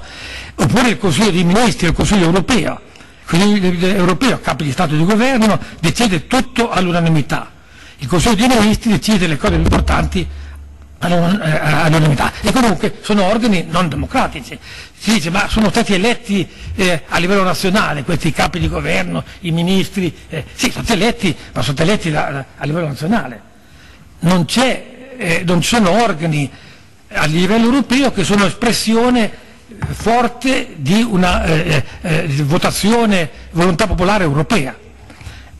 Ah, il Parlamento europeo in parte lo è, ma il Parlamento europeo non ha poteri adeguati, ha, perché poi le decisioni le, prendono, le prende il Consiglio dei Ministri, il Consiglio europeo, quelle fondamentali. E quindi ecco il deficit di democrazia. Ecco, eh, questo, insomma, quindi l'integrazione è appunto per questo, è andata avanti, ha ottenuto grandi risultati, ma è, questa integrazione è, è, è ancora in mezzo al guado. Quell'immagine che, che, si fa, io faccio, qualcuno di voi l'avrà sentita, ma in mezzo al guado cosa vuol dire? Alla fine della guerra gli stati europei democratici scelgono la strada dell'integrazione europea, cioè, cioè siamo su una riva del fiume incendiata, guerre, distruzioni eccetera, entrano nel guado per andare nell'altra riva fino all'altra riva dove c'è la federazione europea, la stabilizzazione, la democrazia, il benessere eccetera eccetera. Sono andati, eh, in mezzo al guado, andando nell'acqua si staccano da una riva incendiata, ecco progressi, no? Eh, se si stava lì si restava, si era bruciati, progressi, però non sono ancora arrivati all'altra riva e sono in mezzo al guado. Ora voi sapete che essere in mezzo al guado non è tanto bello, perché in mezzo al guado è il punto in cui la corrente è più forte, se stai troppo in mezzo al guado la corrente prima o poi ti porta via. L'integrazione europea è in mezzo al guado ed è in una fase in cui se non fa delle scelte serie verso la federazione europea rapidamente rischia di essere eh, spazzata via. Questo, in questo contesto sono importanti, uno dei temi parla delle elezioni europee, sono importanti, le elezioni europee dell'anno prossimo sono un momento decisivo in cui dovrebbero essere l'inizio, la scelta di andare avanti. E, e, beh, perché eh, queste elezioni europee ci sarà una grossa lotta fra i partiti che sono europeisti ma sempre troppo, calmi, mo, troppo moderati e partiti che vengono, eh, che parte, ci sono nel Parlamento europeo contro l'integrazione europea, si parla di populisti ma è generico, o che euroscettici, partiti contro l'integrazione europea, la, la, eh, la Le Pen, eh, Fronte Nazionale, ha il 24% insomma, e il Parlamento sarà forte. In Italia il partito di Grillo eh, è contro eh, la moneta europea, quindi è contro l'integrazione europea e, e, vuole smantellare tutto, eccetera, eccetera, quindi è, questo sarà presente. No? C'è, c'è, allora, la presenza forte e anche altri movimenti di questo genere, i veri finlandesi, pensate che bel partito, i veri finlandesi, tutti gli altri sono da buttare via, insomma, no? ecco, eh, però che è forte in, in, e così via. No? E allora ci sarà appunto uno scontro fra tendenze europeisti che però devono diventare forte, dei partiti democratici, insomma, no? europeisti che sono i popolari, i socialisti, i liberali e i verdi e le tendenze contrarie all'integrazione europea. E lì si decide, dovrebbe essere il momento in cui si decide, con la base del consenso, di andare eh, avanti. Insomma. Quindi le elezioni europee del 14 sono un momento, non so se sono l'ultimo appello per andare avanti, ma sono un momento delicatissimo. Insomma. Quindi questo è il quadro generale in cui eh, eh, si, si, appunto, eh, si può collocare la, la ricostruzione dell'integrazione europea e la fase attuale in cui si trova e quindi i problemi che deve affrontare. Detto questo, appunto, noi, eh, passo la parola al eh, eh, professor Bordino, che conoscete, del professore del liceo d'Azeglio, ricordate Pavese, Bobbio, Bobbio di cui c'è un testo nel coso, no? E, anche Burdino. Comunque viene da un liceo, insomma, un liceo importante, insomma, eh, e quindi e parla sullo sviluppo del processo di educazione europea, appunto, e quindi farà una ricostruzione eh, eh, nelle linee essenziali, per quello che è possibile. Nella, nella, nella dispensa avete tutto il materiale per ricostruire, quindi la parola a te, Piero. Eh, voglio fare prima di tutto una, una premessa. Eh, l'argomento che mi è stato assegnato è, è che la, lo sviluppo del processo di integrazione europeo vuol dire gli ultimi 60 anni di storia dell'Europa. No? Eh, raccontato un fatto dopo l'altro è micidiale, può risultare noiosissimo ed è una cosa che non voglio fare perché chiunque può prendersi un libro, una cronologia ragionata e si va a vedere la storia del processo di integrazione della dichiarazione Schumann in avanti. Vorrei fare, e siccome c'è anche poco tempo, cioè ho 20 minuti circa, vorrei fare un'operazione un po' diversa, cioè eh, che secondo me è, è, più, è, più, utile, e cioè lanciare uno sguardo retrospettivo, uno sguardo, a partire dal presente, parto dal presente in cui viviamo, lanciare uno sguardo retrospettivo sui 60 anni della storia dell'integrazione e rileggerla eh, criticamente eh, per, per fasi, andando a vedere quelle che Barbara Spinelli recentemente in un articolo che molti di voi forse hanno letto, eh, che riguardava un, poche settimane fa, ha chiamato le pieghe della storia. Le pieghe della storia. Che cosa sono le pieghe della storia? Sono quei momenti nei processi storici nei quali ci sono dei bivi possibili si può andare da, una, da un lato o dall'altro, si può scegliere una cosa oppure un'altra, perché la storia umana è il regno del possibile, no? ci sono delle possibilità che si presentano a noi durante il tempo, noi le possiamo cogliere queste possibilità oppure le possiamo perdere. La storia non è il regno del, della necessità, altrimenti saremmo inutili. Nella storia c'è un margine di, di, di libertà, diciamo così, di scelta, che noi esercitiamo oppure possiamo decidere di non esercitare. Io allora posso cercare di guardare il passato in questa luce, cioè chiedermi quali sono stati alcuni momenti della storia dell'integrazione europea in cui eh, c'erano delle possibilità che non sono state prese, c'erano dei bivi che sono stati, eh, che sono stati eh, scelti in un modo piuttosto che in un altro. credo che sia molto utile proprio alla luce del presente in cui viviamo, perché scopriremo che molti problemi che abbiamo noi oggi sono in qualche modo eh, già, stati, eh, eh dire, già, stati, presenti nel passato eh, e, e, la situazione in cui noi siamo oggi è molto dipendente dalle scelte fatte nel passato, eh, possiamo rileggere il passato alla luce del presente. E questo è il tentativo che faccio. Eh, vi, vi, segnalo che la parola piega che, eh, Spinelli, che Barbara Spinelli ha usato in quell'articolo può essere intesa in due sensi. Eh, piega sto- della storia vuol dire un, un pezzo di storia poco, un po' oscuro, che si vede poco, ma vuole anche dire appunto un pezzo di storia, un momento nel quale c'è un bivio, c'è la possibilità di una scelta. Eh, eh, eh, ho scelto questa, questo modo di, di, di, raccontarvi la storia dell'integrazione anche per contrastare un atteggiamento culturale che è molto diffuso negli ultimi tempi, e cioè eh, quello di considerare le cose che avvengono come necessarie, non se ne può fare a meno, eh, questo è inevitabile. Eh, de, de, la Spinelli in quell'articolo sottolineava spesso no, questo aspetto eh, che è molto legato alla, al, dire, agli ultimi 20-30 anni nei quali noi siamo stati abituati a sentir dire che questo lo vogliono i mercati, questo lo vuole l'Europa e non se ne può fare a meno. E cerchiamo di vedere si, eh, quali sono le possibilità che abbiamo attraversato, diciamo così. Eh. Ecco, dato questa, questa, eh, questa, impostazione retrospettiva, allora io suddivido un po' la storia del processo di integrazione in alcune fasi e vi segnalo alcune pieghe, cioè alcuni bivi che noi abbiamo vissuto e che sono stati più o meno eh, giustamente eh, scelti. No? Anzi, vi segnalerò le cose che sono state scelte in modo sbagliato. Allora, possiamo prendere una prima fase, 1950-1957. Di solito si fa iniziare l'integrazione con la dichiarazione Schuman del maggio del 50, quando il ministro degli esteri francese apre alla pacificazione con la Germania. No? Come sapete Germania e Francia erano stati grandi nemici storici delle due guerre mondiali, ma anche della storia precedente. La dichiarazione Schuman apre le porte alla CECA, cioè alla comunità eh, europea del carbone e dell'acciaio, perché mette in comune con la comunità quelle due risorse che sono il carbone e l'acciaio sulle quali si erano fatte le guerre non solo su quello ovviamente, ma sulle quali eh, fortemente c'era stata la contesa franco-tedesca.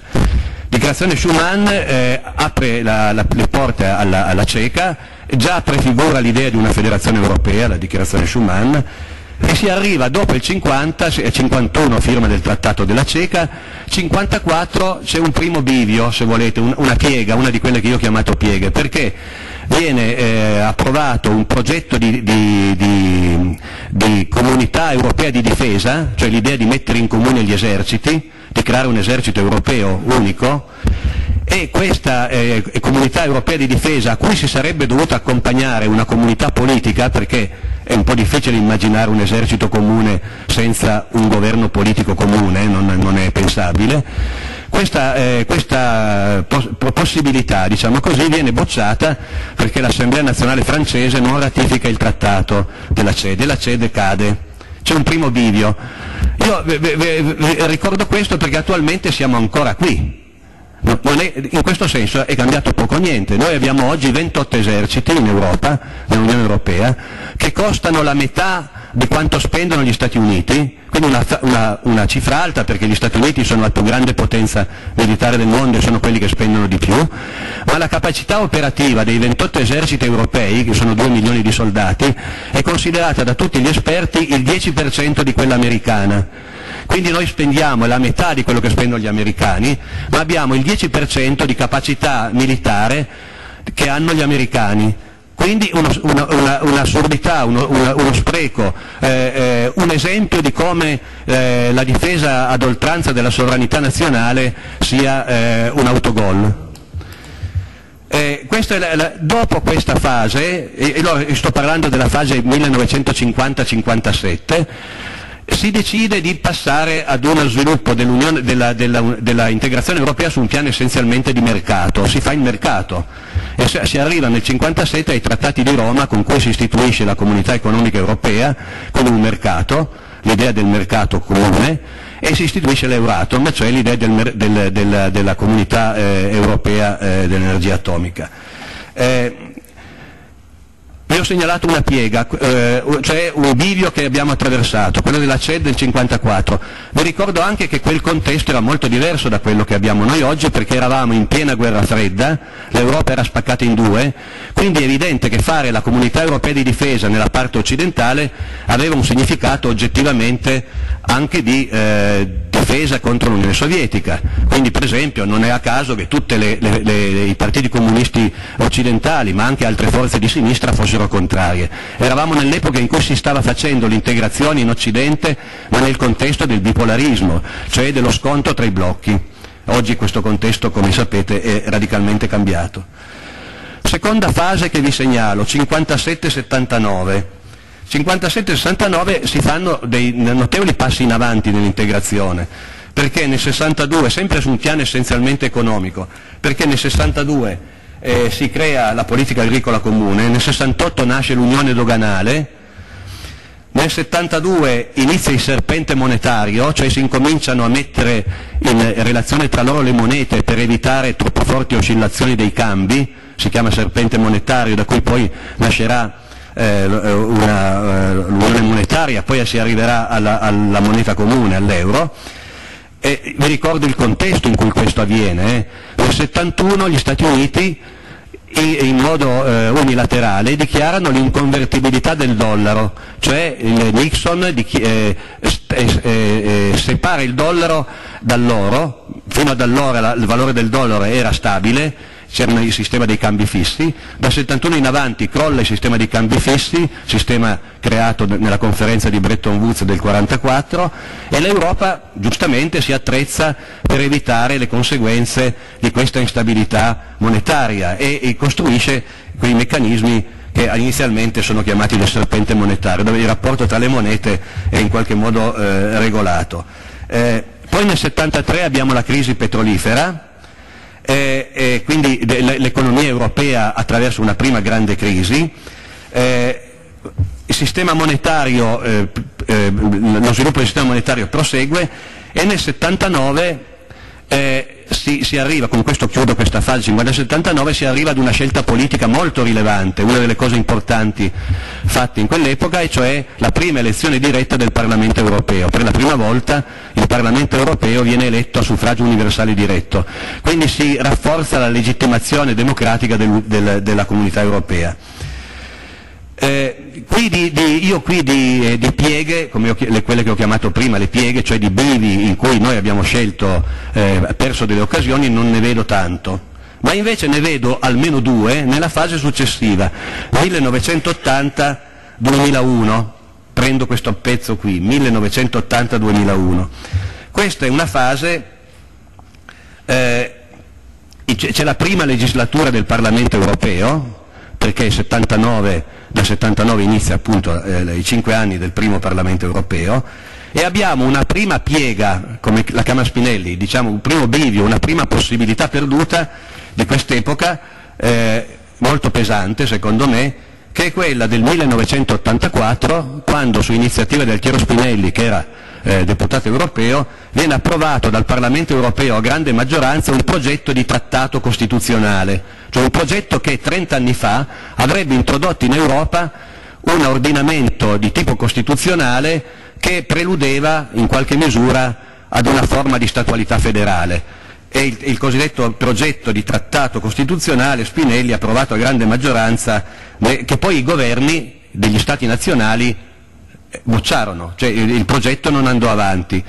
Eh, vi ricordo che quando eh, Spinelli parlò nel, nel, nel, Parlamento europeo per l'approvazione eh, del, del, progetto di trattato, eh, raccontò eh, un, un, celebre apologo di Hemingway, quello che racconta la vicenda del pescatore, del vecchio pescatore, il quale pesca per la prima volta un grande pesce che si trascina dietro per arrivare a riva, ma quando arri- il grande pesce sta per eh, trattato costituzionale, ma quando arriva alla riva, il pescatore, eh, col pesce al, al traino, i pescecani si sono mangiati tutto il pesce, è restato solo la lisca. Eh, Spinelli disse nella riunione del Parlamento, disse state attenti perché può accadere questo cioè sostanzialmente il, il trattato venne svuotato, non venne, non venne poi eh, approvato, ratificato e, e l'Europa perse un'occasione di, di, di, unione politica eh, nel 1984, siamo a 30 anni fa. La, la, la CED 1954 siamo a eh, 50, no, 50, anni fa. Eh, siamo a eh, eh, eh almeno 30 anni fa.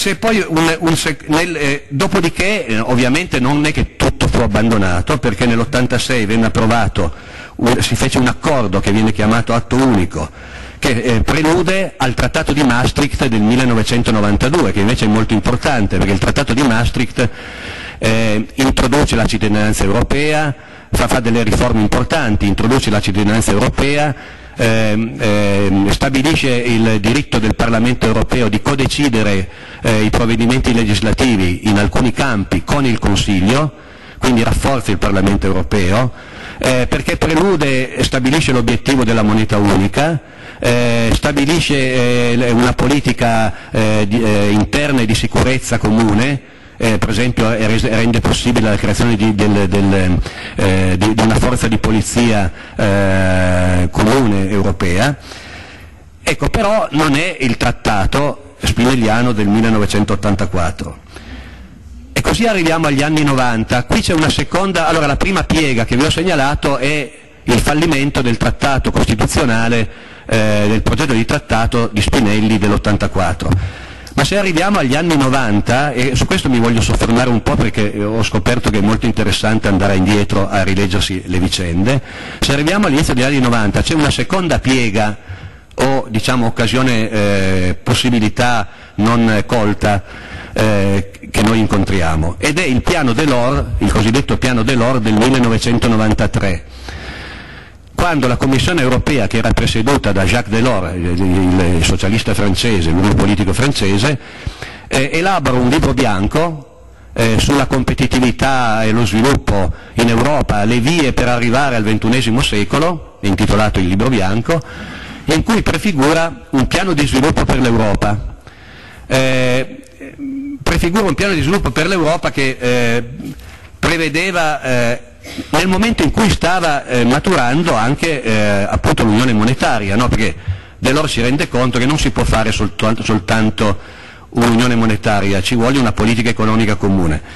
E questo piano di sviluppo, questo piano eh, Delors, eh, libro bianco di Delors del 93, eh, offre una possibilità ai governi europei se la vogliono prendere eh, i governi non la prenderanno, come sapete tutti, il libro bianco resterà lettera morta e anche i successivi eh, programmi della, delle, della, Commissione negli anni successivi, come la strategia di Lisbona del 2000, non verranno attuati.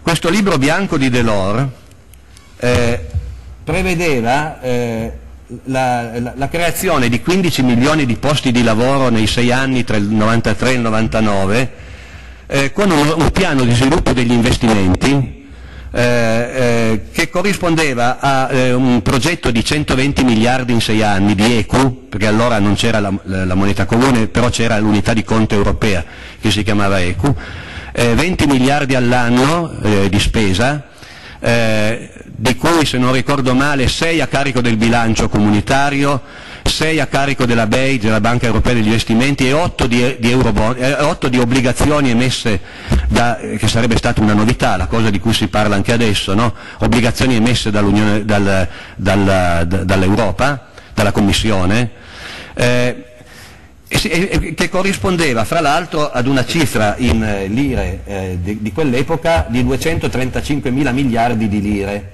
di lì al 99. Avrebbe dovuto questo piano, insieme a provvedimenti di, di, sul mercato del lavoro e ad altri provvedimenti, portare ad una crescita di 15 milioni di posti di lavoro.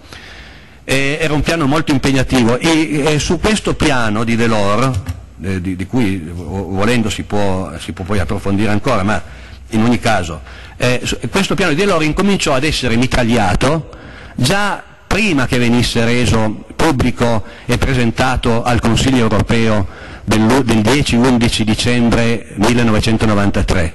È molto interessante andare a leggere che cosa scrivono i corrispondenti dei giornali eh, italiani eh, sulle, sul piano Delors nei giorni precedenti o immediatamente susseguenti alla sua presentazione. Questo piano viene... Eh, dunque, una, una, vi cito una, um, un articolo del... del eh, vi cito un articolo della, della, una corrispondenza di Repubblica, per fare un esempio, eh, del 6 dicembre 1993 e il piano verrà eh, presentato al, al, vertice dei capi di Stato e di Governo, verrà presentato al, al Consiglio europeo eh, credo il 10-11 eh, dicembre. Nei giorni precedenti c'è una corrispondenza di Repubblica, ho anche visto il Corriere della Sera, come sapete adesso gli archivi dei giornali sono online, quindi uno se le può andare a vedere. Se io leggo 6 dicembre 93, il titolo dell'articolo è Silurato il piano dell'OR, congeliamo i salari, la, la, la risposta principale è silurato il piano dell'OR, congeliamo i salari, la scelta che viene fatta. Delors proponeva interventi sul mercato del lavoro per renderlo più, più, flessibile, ma proponeva nello stesso tempo un grande piano di investimenti, possiamo chiamarlo un piano keynesiano. Se io vado a leggere che cosa si racconta in quei giorni, è molto interessante vederlo, perché già a novembre la Bundesbank in Germania, il governo tedesco, eh, gli inglesi incominciano a dire ma questo piano non va bene perché si, si vuole trasformare l'Europa in un banchiere, si spendono troppi soldi, noi dobbiamo contenere i deficit di bilancio, non spendere tutti questi soldi. Fra l'altro anche il governo italiano, che pure aveva Ciampi dentro, dice ma questa idea di emettere obbligazioni potrebbe intasare il mercato, il mercato del credito, il mercato delle obbligazioni. Non, c'è entusiasmo di fronte a questa roba qua. E, eh, e quindi incomincia eh, in, in, Inghilterra eh, i giornali, il governo eh, in modo sarcastico dice ma questo Keynes, questo, eh, Delors viene paragonato a Keynes, si dice ma questo qui vuole fare il Keynes degli anni 90. Keynes come sapete è l'economista che lanciò eh, l'idea del, del, delle idee che stanno alla base dell'uscita dalla crisi degli anni 30. E, eh, però la, l'allarme che c'era allora, io vi, vi, leggo le parole di Delors, siamo nel 1993, l'allarme che c'era allora sulla crisi economica e sociale in Europa forte, e anche politica, mi ricorda fortemente quella di questi giorni, eppure siamo a vent'anni di distanza. Sentite cosa dice Delors su questi problemi. Allora, Delors dice che gli viene in mente un'immagine terribile di mezzo secolo fa quando ancora bambino vide per le strade della Francia, la Francia della sconfitta militare, migliaia di persone allo sbando, eh, eh, soldati in rotta, generali in, in fuga. Lui francese descrive la situazione europea in termini non molto diversi. Dice, siamo nel 1993, attenzione, eh, dice, è ovunque un divorzio fra la, fra la gente comune e le classi dirigenti, c'è ovunque un divorzio tra la gente comune e le classi dirigenti. Lo smarrimento è totale e prima o poi un capopopolo potrebbe elevarsi a indicare un nemico magari negli immigrati. Anche qui, eh, quando l'ho letto mi sono venute in mente un po' di cose. Eh, è un continente questo, dice Delors, che non ha più eh, eh, competitività produttiva, non ha nemmeno più la competitività, competitività produttiva, ha perso in- la capacità di assicurare la piena occupazione, e adesso lo sappiamo, e nel, nel quale l'invecchiamento della popolazione sta mettendo a rischio le conquiste dello Stato sociale. Ma queste cose sono scritte nel, nel 1993, attenzione, eh. siamo vent'anni dopo, abbiamo pessa- passato vent'anni inutilmente, in Italia poi li abbiamo passati peggiorando la situazione, non inutilmente. Eh, vado avanti. Eh, Delors constata con amarezza che è fallita la prima fase dell'Unione economica e monetaria. Essa avrebbe dovuto rafforzare la convergenza delle 12 economie, allora erano 12 paesi membri dell'Unione, eh, non 28 come oggi, e invece la convergenza è diminuita. Ma se io vado a vedere le, le- le asimmetrie che ci sono oggi, dopo vent'anni da queste cose scritte qua, tra l'economia dei paesi europei, tra Germania e Italia, Germania e Grecia, eccetera, vedo che sono cresciute. Allora gli allarmi lanciati ne- nei giorni del piano dell'OR, che poi non fu approvato e invece era una possibilità di fronte a noi, sono molto evocativi, sono molto evocativi perché fanno venire in mente cose di cui stiamo eh, discutendo eh, ampiamente oggi. Allora, questa fase 1980-2001, sto parlando di questa fase, ha queste due pieghe, diciamo così, una quella del Trattato Costituzionale di Spinelli nell'84, l'altra quella del Libro Bianco del 93, dopodiché ovviamente le cose non stanno ferme per niente, eh, si arriva a- alla nascita dell'euro nel 99, eh, c'è il vertice di Nizza del 2001, il vertice dei capi di Stato che fa nascere la Carta europea dei diritti fondamentali, la cosiddetta Carta di Nizza, che è, che è essenziale perché, fra l'altro oggi, come sapete, è diventata vincolante per i cittadini e per gli Stati, come è scritto nel Trattato di Lisbona, quindi ormai è un pezzo di una Costituzione europea, possiamo dire, ma sta di fatto che noi abbiamo attraversato queste due pieghe e le abbiamo perse. E le abbiamo perse. Vado avanti nel, nel, eh, L'Europa nel frattempo è cresciuta, eh, cioè, allora io qui non ho parlato della- del- del- dell'estensione, ma siamo partiti da sei membri, negli anni, otta- negli anni 70 sono entrati l'Inghilterra e i paesi del nord Europa, siamo arrivati a 12, poi negli anni 80 sono entrati i paesi ex fascisti, e cioè la, la- la Spagna, la- il Portogallo e la Grecia all'inizio degli anni 80, quindi sa- siamo, siamo, eh, cresciuti a 15 e così via, c'è stato l'allargamento, no? Eh, e questo, questo, eh, periodo 1980-2001 ha visto eh, poi un successivo allargamento decisivo che è quello derivante dalla caduta del muro di Berlino, dalla fine dell'Unione Sovietica e dall'ingresso dei paesi ex comunisti nell'Unione. Dopo il 1989, che è l'anno della caduta del muro, e il 91, che è l'anno della dissoluzione dell'Unione Sovietica, entra- entrano progressivamente i paesi ex comunisti. C'è un, un allargamento no, che porta poco per volta ad, ad arrivare ai 28 che siamo oggi. Questo allargamento avviene però senza un adeguato rafforzamento delle istituzioni. Questa è una- un'avvertenza che molte volte era stata data, no? ci allarghiamo molto ma dobbiamo avere un perno su cui reggere l'allargamento, altrimenti l'allargamento non funziona. Eh, 2002-2007. Allora, qui abbiamo, 2002 entra eh, in circolazione le- le- l'euro, no? Dal- dal- dall'inizio del 2002 l'euro è diventata la moneta che circola, abbiamo una moneta senza Stato, questo è il problema che abbiamo oggi di fronte, no? senza governo economico comune, senza governo politico comune, è una cosa che non può reggere, molti l'avevano già detto allora, eh, una cosa che poteva reggere un po' di tempo, ma adesso non può più reggere, anche perché di mezzo tra il, 2007, tra il 2002 e il 2007, la fase di cui sto parlando, c'è stata la crisi mondiale iniziata negli Stati Uniti nel 2008, 2007-2008 e in cui siamo ancora immersi, la crisi iniziata come crisi finanziaria, poi diventata recessione e quindi è evidente che, questa, che questo nodo cioè di una moneta comune senza un governo economico e politico comune non poteva reggere. Allora in questa fase, 2002-2007, in cui la moneta unica è una grande conquista, c'è un'altra piega, e sarebbe 1, 2, 3, la quarta piega, o quinta, no, quinta, la, no, qu- sì, quarta, la quarta piega che, che metto in evidenza, il quarto bivio, e cioè, come sapete, dopo, dopo gli accordi di Laken del 2001 viene creata la Convenzione Costituente, cioè si decide di creare una grande convenzione costituita da parlamentari europei, parlamentari nazionali, rappresentanti dei governi, rappresentanti della Commissione, la convenzione che è presieduta da Giscard d'Estaing, che lavora fino al 2003 e a, che doveva preparare un progetto di trattato costituzionale, un progetto di trattato costituzionale, una Costituzione si dice.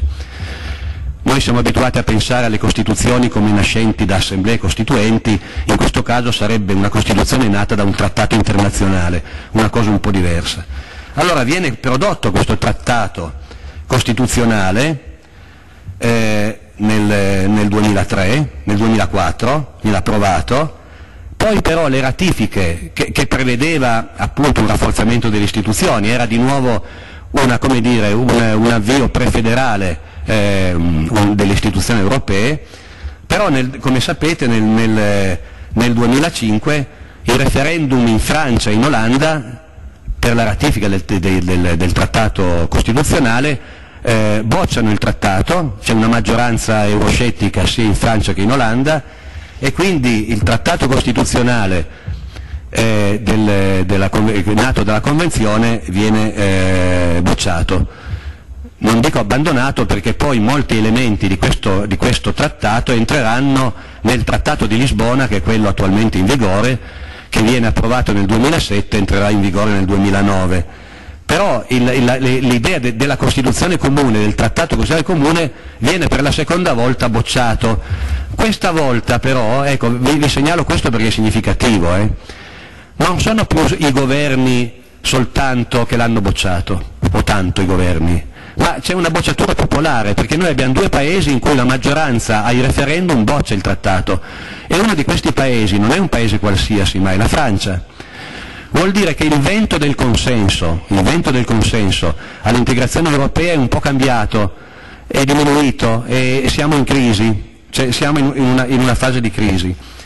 Eh, d'altra parte lo si era già visto chiaramente, lo, lo si vedrà, anzi non lo si, era già, lo si vedrà chiaramente nelle elezioni europee del 2009, perché se voi guardate il tasso di partecipazione alle elezioni europee del 2009, vedete che è sceso al 43%, votano il 43% degli aventi diritto, il tasso più basso da quando è nato il, il, il Parlamento europeo e speriamo bene per le elezioni di maggio in questo senso.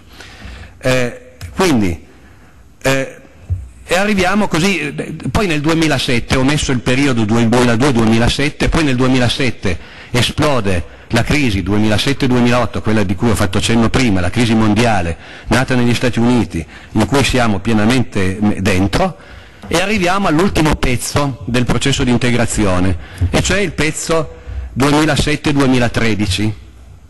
Allora, il pezzo 2007-2013 eh, sarebbe gli anni in cui eh, noi oggi viviamo. Ora, a me sembra che oggi, eh,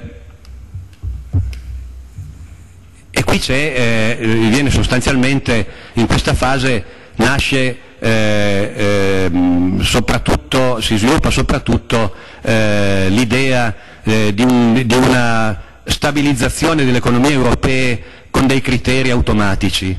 Eh, non solo viene, vengono confermati i criteri automatici del trattato di Maastricht, cioè 3%, non si può sforare il 3% del deficit, non si può sforare, oppure si sfora ma bisogna recuperare il 60% su, del debito eh, sul PIL ma vengono, viene introdotto il patto di stabilità, eh, un controllo eh, eh, europeo sui bilanci degli Stati nazionali, l'obbligo di mettere nelle Costituzioni nazionali il divieto di, eh, di, di deficit, l'obbligo del pareggio del bilancio e così via. Questa cosa si accompagna alla fase di crisi finanziaria e poi di recessione dentro la quale siamo noi in Italia siamo, credo, ormai da cinque anni in recessione, abbiamo perso un pezzo molto grosso del PIL. Leggevo ieri che si parla di deflazione in Grecia. Allora, questa, noi eh, oggi eh, quindi siamo in una fase di integrazione, come poi eh, dirà eh, eh, rimando all'intervento del professor Maiocchi, eh, in cui è evidente che siamo al bivio tra una disintegrazione oppure un salto in avanti, cioè una federazione, perché siamo in una condizione drammatica. Di, io la, la, la configuro, sintetizzo questa crisi in cui siamo in tre dimensioni.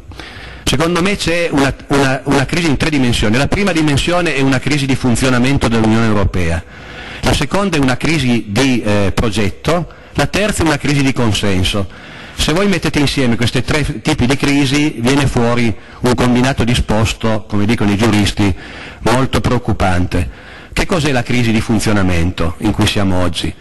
La crisi di funzionamento secondo me ha due facce. Per un verso è una crisi di struttura, cioè le strutture, l'ordinamento dell'Unione come oggi è assolutamente inadeguato, assolutamente inadeguato, sia dal punto di vista dell'efficacia, perché non si riesce a prendere decisioni, eh, pensate che la politica fiscale è eh, eh, decisa, eh, eh, no, no, praticamente non è eh, ehm, nelle mani dell'Unione perché può essere decisa solo all'unanimità, e pensate alla politica estera, l'Unione Europea non ha politica estera in pratica perché può essere decisa solo all'unanimità, praticamente sono due paralisi.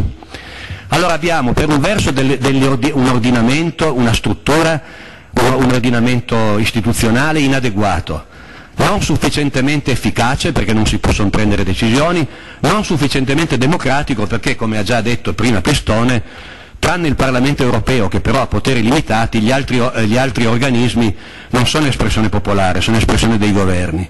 E la percezione della gente, che la gente ha delle decisioni prese a Bruxelles è una percezione, come sapete, eh, eh, estranea, cioè è qualcuno che decide per me senza che io abbia dato il mio consenso.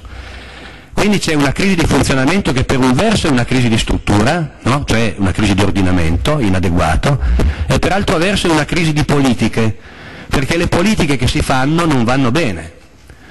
Allora le politiche che si fanno sul piano, eh, eh, sul piano economico-monetario sono politiche a senso unico, quelle dell'austerità, che sono fra l'altro un autogol, perché, come si dimostra negli ultimi anni, queste politiche finalizzate a ridurre il deficit e a ridurre i debiti hanno fatto aumentare i debiti, perché se voi fate delle politiche che fanno diminuire il PIL, è evidente che questo fa diminuire la base imponibile su cui si eh, esercita il potere fiscale e quindi fanno diminuire gli introiti degli Stati.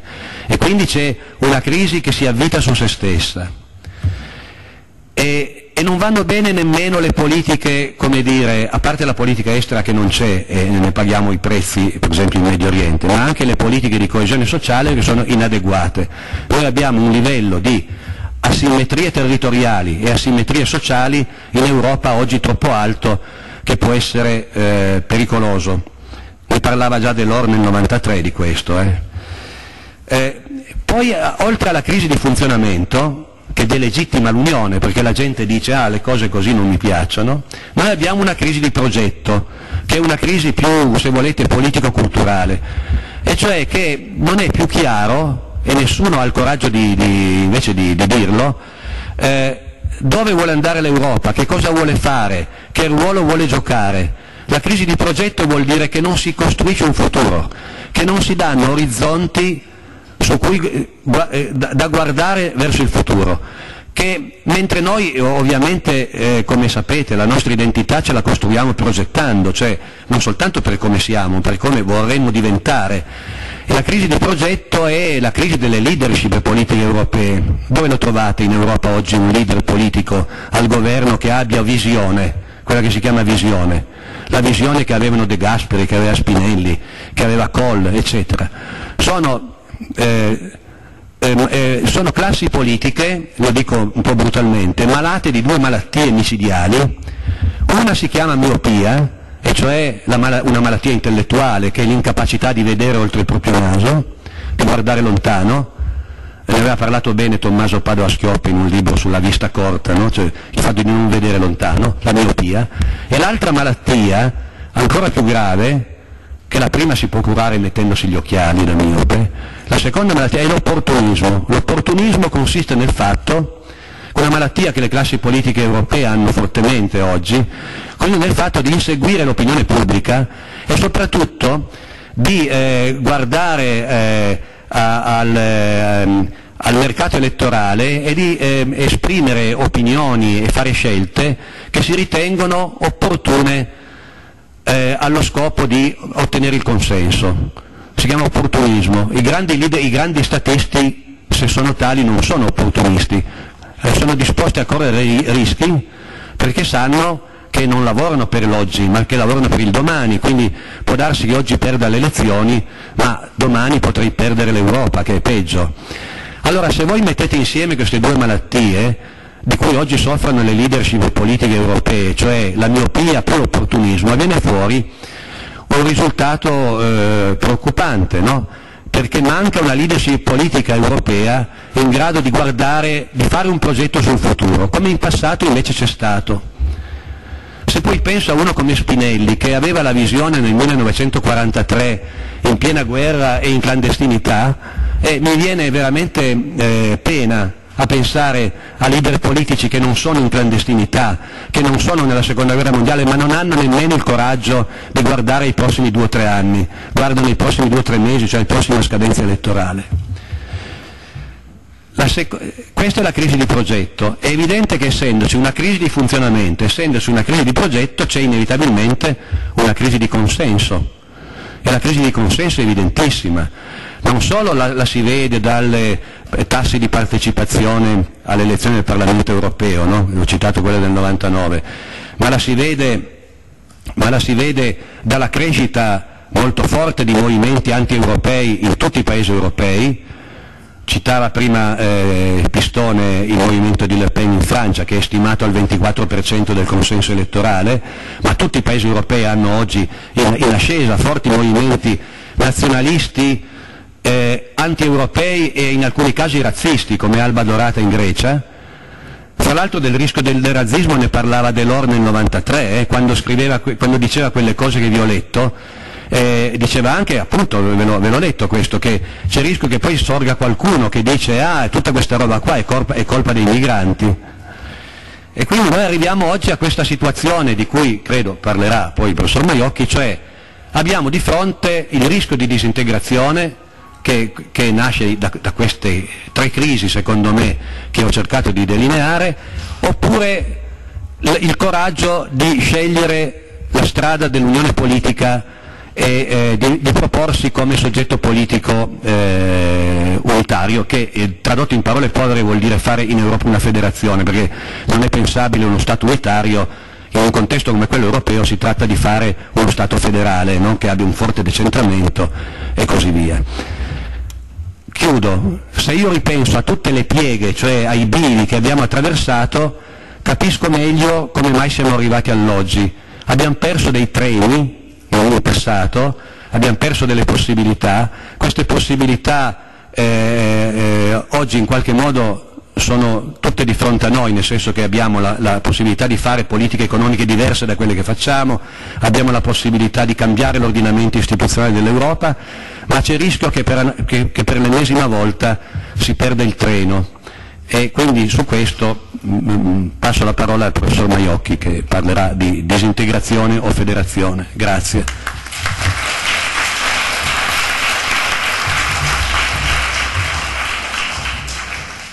Parola al professor Alberto Maiocchi che eh, è un docente di Scienze delle Finanze all'Università di Pavia, ma una cosa, una cosa importante, ha fatto parte della commissione McDougall che alcuni anni fa aveva proposto un rafforzamento del bilancio comunitario, adesso che non c'è ancora, ma ogni volta che si, si, oggi c'è il problema di triplicare il bilancio comunitario che è, appena neanche l'1% del prodotto lordo europeo, negli Stati Uniti è il 26%, no?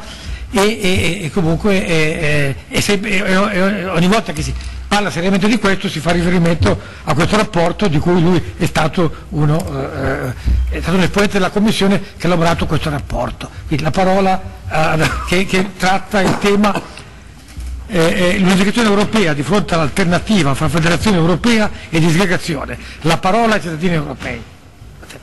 Sì, eh, grazie.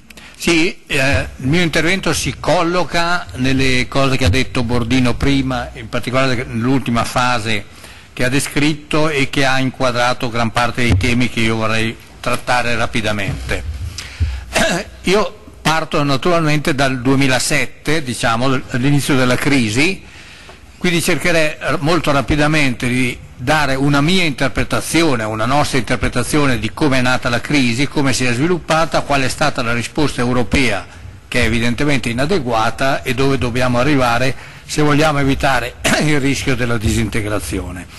Allora io partirei da questa considerazione. Per quanto riguarda la crisi c'è una interpretazione corrente che dice che la crisi internazionale è dovuta eh, innanzitutto all'Europa, la crisi è una crisi europea, secondo luogo che la crisi è dovuta alla crescita del debito pubblico nei paesi europei.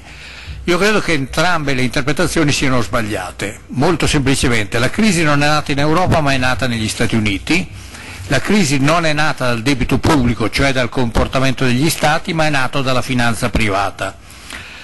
Ora, individuare correttamente eh, l'origine della crisi è importante per cercare di uscirne, perché ho l'impressione che le politiche che sono state adottate finora per uscire dalla crisi sono inefficaci e lo vediamo anche dai dati che Bordino ricordava precedentemente.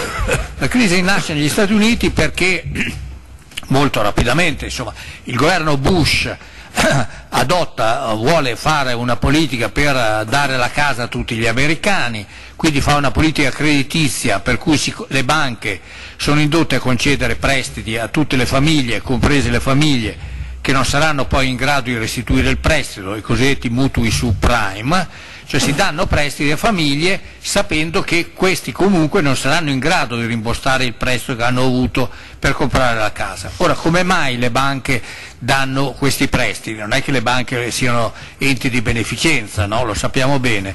Le banche danno questi prestiti perché c'è un boom immobiliare negli Stati Uniti, i prezzi delle case continuano a salire.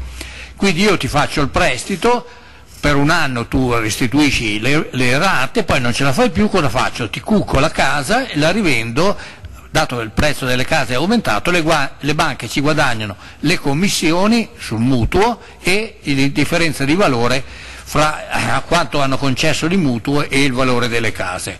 In più questo provoca ulteriori ondate di credito perché le famiglie che hanno comprato la casa possono chiedere altri prestiti a altre banche per comprarsi la macchina, le, gli elettrodomestici e così via. Cioè c'è un boom creato dall'espansione del credito.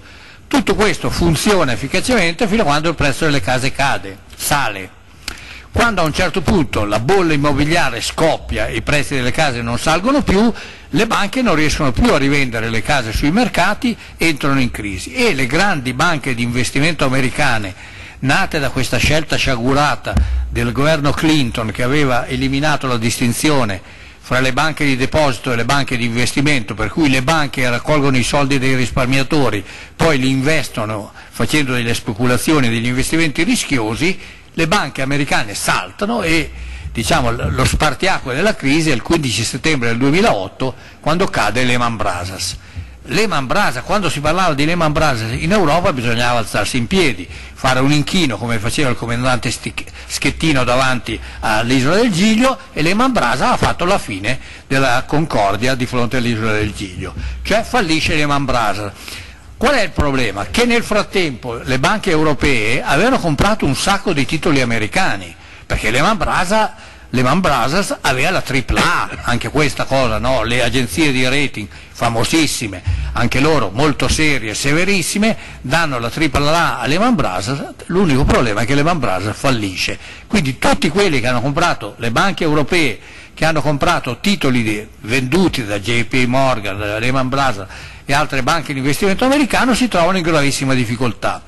Allora, qui è il collegamento, cioè la crisi nasce negli Stati Uniti, la crisi nasce dal debito privato, dal credito, dalla politica creditizia del governo americano, ma poi si trasferisce in Europa.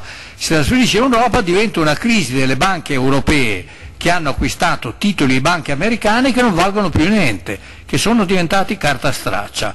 Quindi le banche Prendete il caso dell'Irlanda, l'Irlanda era considerato anche qui un paese estremamente virtuoso, paese tassi di crescita enormi, eh, saldo di bilancio in equilibrio, eh, bilancio dei pagamenti in attivo, era il paese modello. Le banche irlandesi si sono riempite di titoli americani, entrano in crisi, il governo irlandese interviene per salvare le banche, in un anno il bilancio dell'Irlanda raggiunge un disavanzo superiore al 32% del debito pubblico, cosa che ha fatto molto irritare gli italiani perché erano abituati ad avere il primato del disavanzo e si trovano superati di un solo colpo. La cosa non riguarda solo l'Irlanda, ma anche la Spagna. La Spagna aveva un bilancio inattivo prima della crisi. Entra in crisi perché lo Stato eh, spagnolo deve aiutare le banche spagnole. Anche qui i grandi, grandi gruppi bancari spagnoli entrano in crisi e lo Stato lo deve salvare. Quindi qui scopriamo il, il secondo nesso. Il primo è partiamo da una crisi americana, la crisi diventa europea, partiamo dalla crisi determinata dal debito privato, dall'eccesso di debito privato e arriviamo alla, alla crisi del debito pubblico.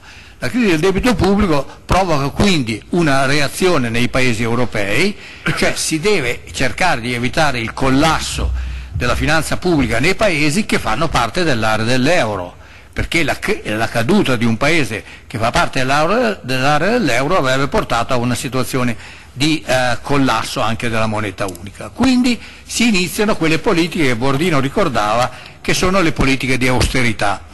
Le politiche di austerità hanno eh, una, alcuni effetti umoristici, anzi se vogliamo trovare qualche elemento positivo. L'effetto umoristico è che ci sono alcuni economisti, fra cui alcuni economisti italiani di grande prestigio che scrivono anche su un grande quotidiano che ha sede in via Solferino. Eh, questi grandi economisti italiani, eh, italiani, europei, americani, pensavano che fare politiche restrittive favoriva la crescita. Era quella favola degli effetti anti-keynesiani della politica fiscale.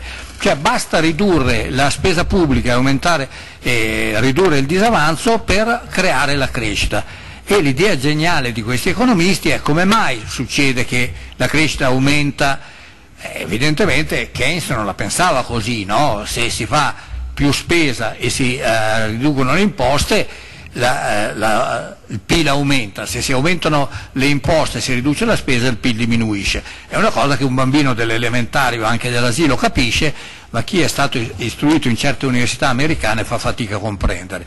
L'idea è che eh, gli uomini sono, eh, la teoria di fondo è la teoria delle aspettative razionali di un grande economista, anche qui fortunatamente è defunto, ma eh, i danni li aveva già fatti. la teoria delle aspettative razionali cosa dice? Se io riduco il deficit la gente spende di più, non come pensava Keynes spende meno, perché? Perché pensa che in futuro, non avendo più il deficit da colmare, avremo meno tasse da pagare e quindi spenderemo di più. Ora quest'uomo razionale nella realtà non esiste perché in realtà le politiche deflazioniste portate avanti in Europa hanno portato a una caduta del prodotto interno lordo.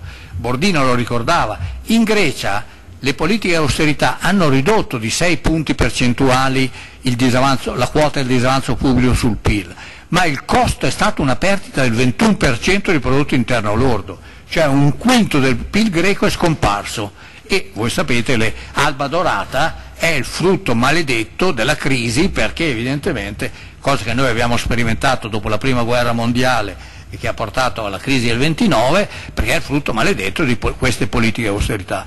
Ma queste politiche di austerità hanno questo primo effetto, l'idea degli effetti anti-keynesiani e politica fiscale è una favola, è ridicolo, ormai lo dicono anche le organizzazioni internazionali. La, uh, come ricordava Bordino, se faccio politiche di austerità il disavanzo tendenzialmente aumenta perché appunto avrò meno gettito fiscale, dovrò pagare più sussidi di disoccupazione, aiutare le imprese. Quindi ogni anno io dovrò fare più austerità ancora. Quindi la, il problema del, da questo circolo vizioso si esce soltanto se io faccio politiche di austerità nei Paesi membri dell'Unione Economica e Monetaria ma come diceva Padova Schioppa c'è qualcuno che fa la crescita e chi fa la crescita è l'Europa. E su questo ritorneremo. Vorrei anche mettere in evidenza un altro aspetto, le politiche austerità, la Germania ha sostenuto fortemente le politiche austerità. E la tesi del governo tedesco è anche molto ragionevole, dice noi abbiamo fatto in Germania a partire dalle riforme introdotte dal governo Schröder in poi, una serie di riforme sul mercato del lavoro, su una politica fiscale eh, molto attenta, per cui in Germania abbiamo una buona situazione economica, un bilancio sano e via dicendo. Nei paesi dell'Europa del Sud invece si è fatta politica, una politica della follia, cioè spese, i consiglieri regionali prendono i rimborsi per pagare le loro spese nuziali o per fare i viaggi matrimoniali, cioè tutte queste cose qui in Germania le sanno. E dico, ma noi dobbiamo sostenere l'Italia, la Grecia, la Spagna fanno questo tipo di politica. Questo è il primo elemento, no? La politica di austerità ha una giustificazione morale. Noi dobbiamo, non dobbiamo eh, premiare il vizio. La virtù è la virtù fa, eh, portata avanti in Germania, il vizio è quello dei paesi dell'Europa del Sud. Il secondo elemento che giustifica la, la scelta tedesca è quello che gli economisti chiamano l'azzardo morale, il moral hazard cioè a dire se noi li aiutiamo e gli consentiamo di superare la crisi, i governi non fanno più le riforme che sono necessarie, perché le riforme portano via consensi. Cioè se io devo mettere a posto il bilancio dello Stato, devo aumentare le imposte e ridurre la spesa, perdo dei consensi elettorali. Se l'Europa mi mette la pistola alla tempia e dice o fai così oppure non ti diamo gli aiuti, le riforme vengono fatte. Se noi concediamo comunque degli aiuti a tutti, le riforme non vengono più fatte. Quindi la politica di austerità è una politica giustificata. Allora, io credo sia giusto fare un punto preciso su questo. La politica di consolidamento fiscale da parte degli Stati membri dell'Euro, dell'Eurozona, zona eh, dell'Unione monetaria è fondamentale. Non si fa sviluppo con il debito, non si fa sviluppo con il debito, come hanno fatto per anni gli americani, che venivano a farci la morale a noi, perché l'Italia, l'Europa viveva al di sopra dei propri mezzi e poi hanno fatto questi disastri che hanno rovinato l'economia mondiale facendo una politica fiscale, eh, creditizia espansiva, creando di, eh, eh, inflazione e così via. E lo stanno facendo ancora, e lo stanno facendo ancora perché gli Stati Uniti oggi stanno uscendo dalla crisi a ritmi più elevati di quelli europei perché fanno politiche monetarie espansive. La stessa cosa fa il Giappone. L'Europa non può seguire questa strada, ma è un, una scelta molto complicata, perché questo significa che gli Stati membri dell'Unione monetaria devono fare politiche di austerità, cioè ognuno deve mettere a posto i propri conti, deve evitare le spese inutili, deve evitare la corruzione, deve evitare che intere regioni italiane siano governate dalla mafia e dalla camorra, che il mercato del lavoro sia funzionale, che le riforme del mercato del lavoro facciano aumentare l'occupazione e non invece la disoccupazione. C'è un insieme di riforme che devono essere portate avanti, quindi è giustissimo che la Germania che ha fatto il suo dovere in questi campi imponga agli altri Stati di fare i loro compiti a casa. Tutto questo è giusto se accanto alle politiche di consolidamento fiscale all'interno di ciascun Paese membro c'è una politica di sviluppo e la politica di sviluppo la può fare soltanto l'Europa. Come diceva Padre Schioppa, agli Stati il rigore, all'Europa lo sviluppo. Allora si tratta di vedere se la politica di sviluppo è una politica ragionevole, si può fare, se ci sono le basi economiche e politiche per portare avanti una politica di questo genere in Europa. Pistone ricordava prima, il bilancio europeo non è in grado oggi, con le risorse che abbiamo, di fare una politica di crescita. Il bilancio europeo è l'1% del prodotto interno lordo, non ci sono vere e proprie imposte europee e gran parte del bilancio sappiamo è assorbito dalle spese per la politica agricola, poi c'è una parte di spese per le politiche di coesione e di solidarietà, il fondo di sviluppo, il fondo di coesione, il fondo regionale FEOGA agricolo e così via.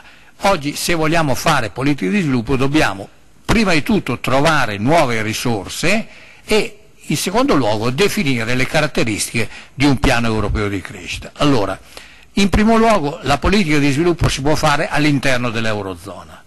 In Europa ormai si è consolidata una divisione fra l'Unione Europea diciamo, allargata che comprende tutti i paesi e l'area dell'Eurozona. Nella Unione Europea sono compresi paesi che non vogliono l'unione monetaria, infatti non sono entrati nell'euro e non vogliono uno sviluppo verso la federazione europea, chiaramente quando c'è la nebbia sulla manica, gli inglesi dicono il continente è isolato, perché pensano che loro sono il punto di riferimento del mondo e quindi loro vogliono mantenere la loro sovranità. Gli, gli svedesi, gli scandinavi fanno politiche molto avanzate dal punto di vista sociale e ambientale e non vogliono entrare in Europa, diciamo a pieno titolo in una federazione, perché pensano che queste politiche sarebbero minori, meno incisive a livello europeo. Quindi c'è una parte di paesi europei che comunque ha scelto di entrare nell'Unione Europea per garantirsi le, i vantaggi del mercato interno, ma non vuole avanzare verso l'Unione politica. Quindi la base su cui si può lavorare per portare a compimento il processo di unificazione federale è l'Eurozona, il che non vuol dire che gli altri paesi non possono entrarci. Gli altri paesi, sì, io sono convinto che molti paesi, se si facesse veramente l'Unione federale nei paesi dell'Eurozona, entrerebbero, ma per il momento si parte dall'Eurozona, come diceva Mitterrand, e si avanza avec ceux qui voudront, coloro che sono disposti ad andare avanti. Quindi questa è l'area di riferimento. In quest'area è possibile creare delle risorse per finanziare un piano di sviluppo. Io credo ci siano almeno due risorse e qui ritorniamo a quella tripartizione che diceva Bordino, che ricordava che Delora aveva già anticipato nel libro bianco del 93. Ci sono risorse proprie possibili per, per il bilancio dell'Eurozona, c'è la possibilità di finanziare con eh, interventi della Banca Europea degli Investimenti, si possono, una volta che, si, che il bilancio dell'Eurozona avrà risorse proprie, si possono emettere eurobonds, cioè obbligazioni europee per finanziare il piano di sviluppo. Le imposte sono due, non entriamo nei dettagli, ma sono l'imposta sulle transazioni finanziarie e la carbon tax. L'imposta sulle transazioni finanziarie nasce dalle esigenze, è, una, è la cosiddetta Tobin tax, già proposta da tempo da questo economista americano, che diceva che i mercati finanziari sono diventati, e aveva ragione tanto tempo fa, i mercati finanziari sono diventati mercati fortemente speculativi, Oggi io compro a Singapore, fra un secondo vendo in Indonesia, riacquisto titoli sul mercato della Thailandia, vendo in, in Canada. Si fanno milioni di transazioni finanziarie ogni giorno e ogni volta si cerca di guadagnare un piccolo margine che alla fine diventano margini enormi. Ebbene, queste transazioni non producono benefici sull'economia reale e sul benessere dei cittadini, producono producono vantaggi solo per coloro che lavorano nel settore della finanza, non per l'insieme della collettività. Quindi queste transazioni devono essere tassate. Questo è il contributo che chi guadagna facendo finanza speculativa dà al finanziamento delle spese pubbliche in generale. La seconda imposta che può essere utilizzata è la carbon tax, perché noi dobbiamo fronteggiare il problema dei cambiamenti climatici, questo enorme problema derivante dall'uso dei combustibili fossili e la carbon ha una, ha una funzione molto semplice. Io tasso chi usa combustibili fossili, non viene tassato chi usa energie rinnovabili. Quindi in questo modo io induco da un lato un risparmio di energia, perché costa di più l'energia,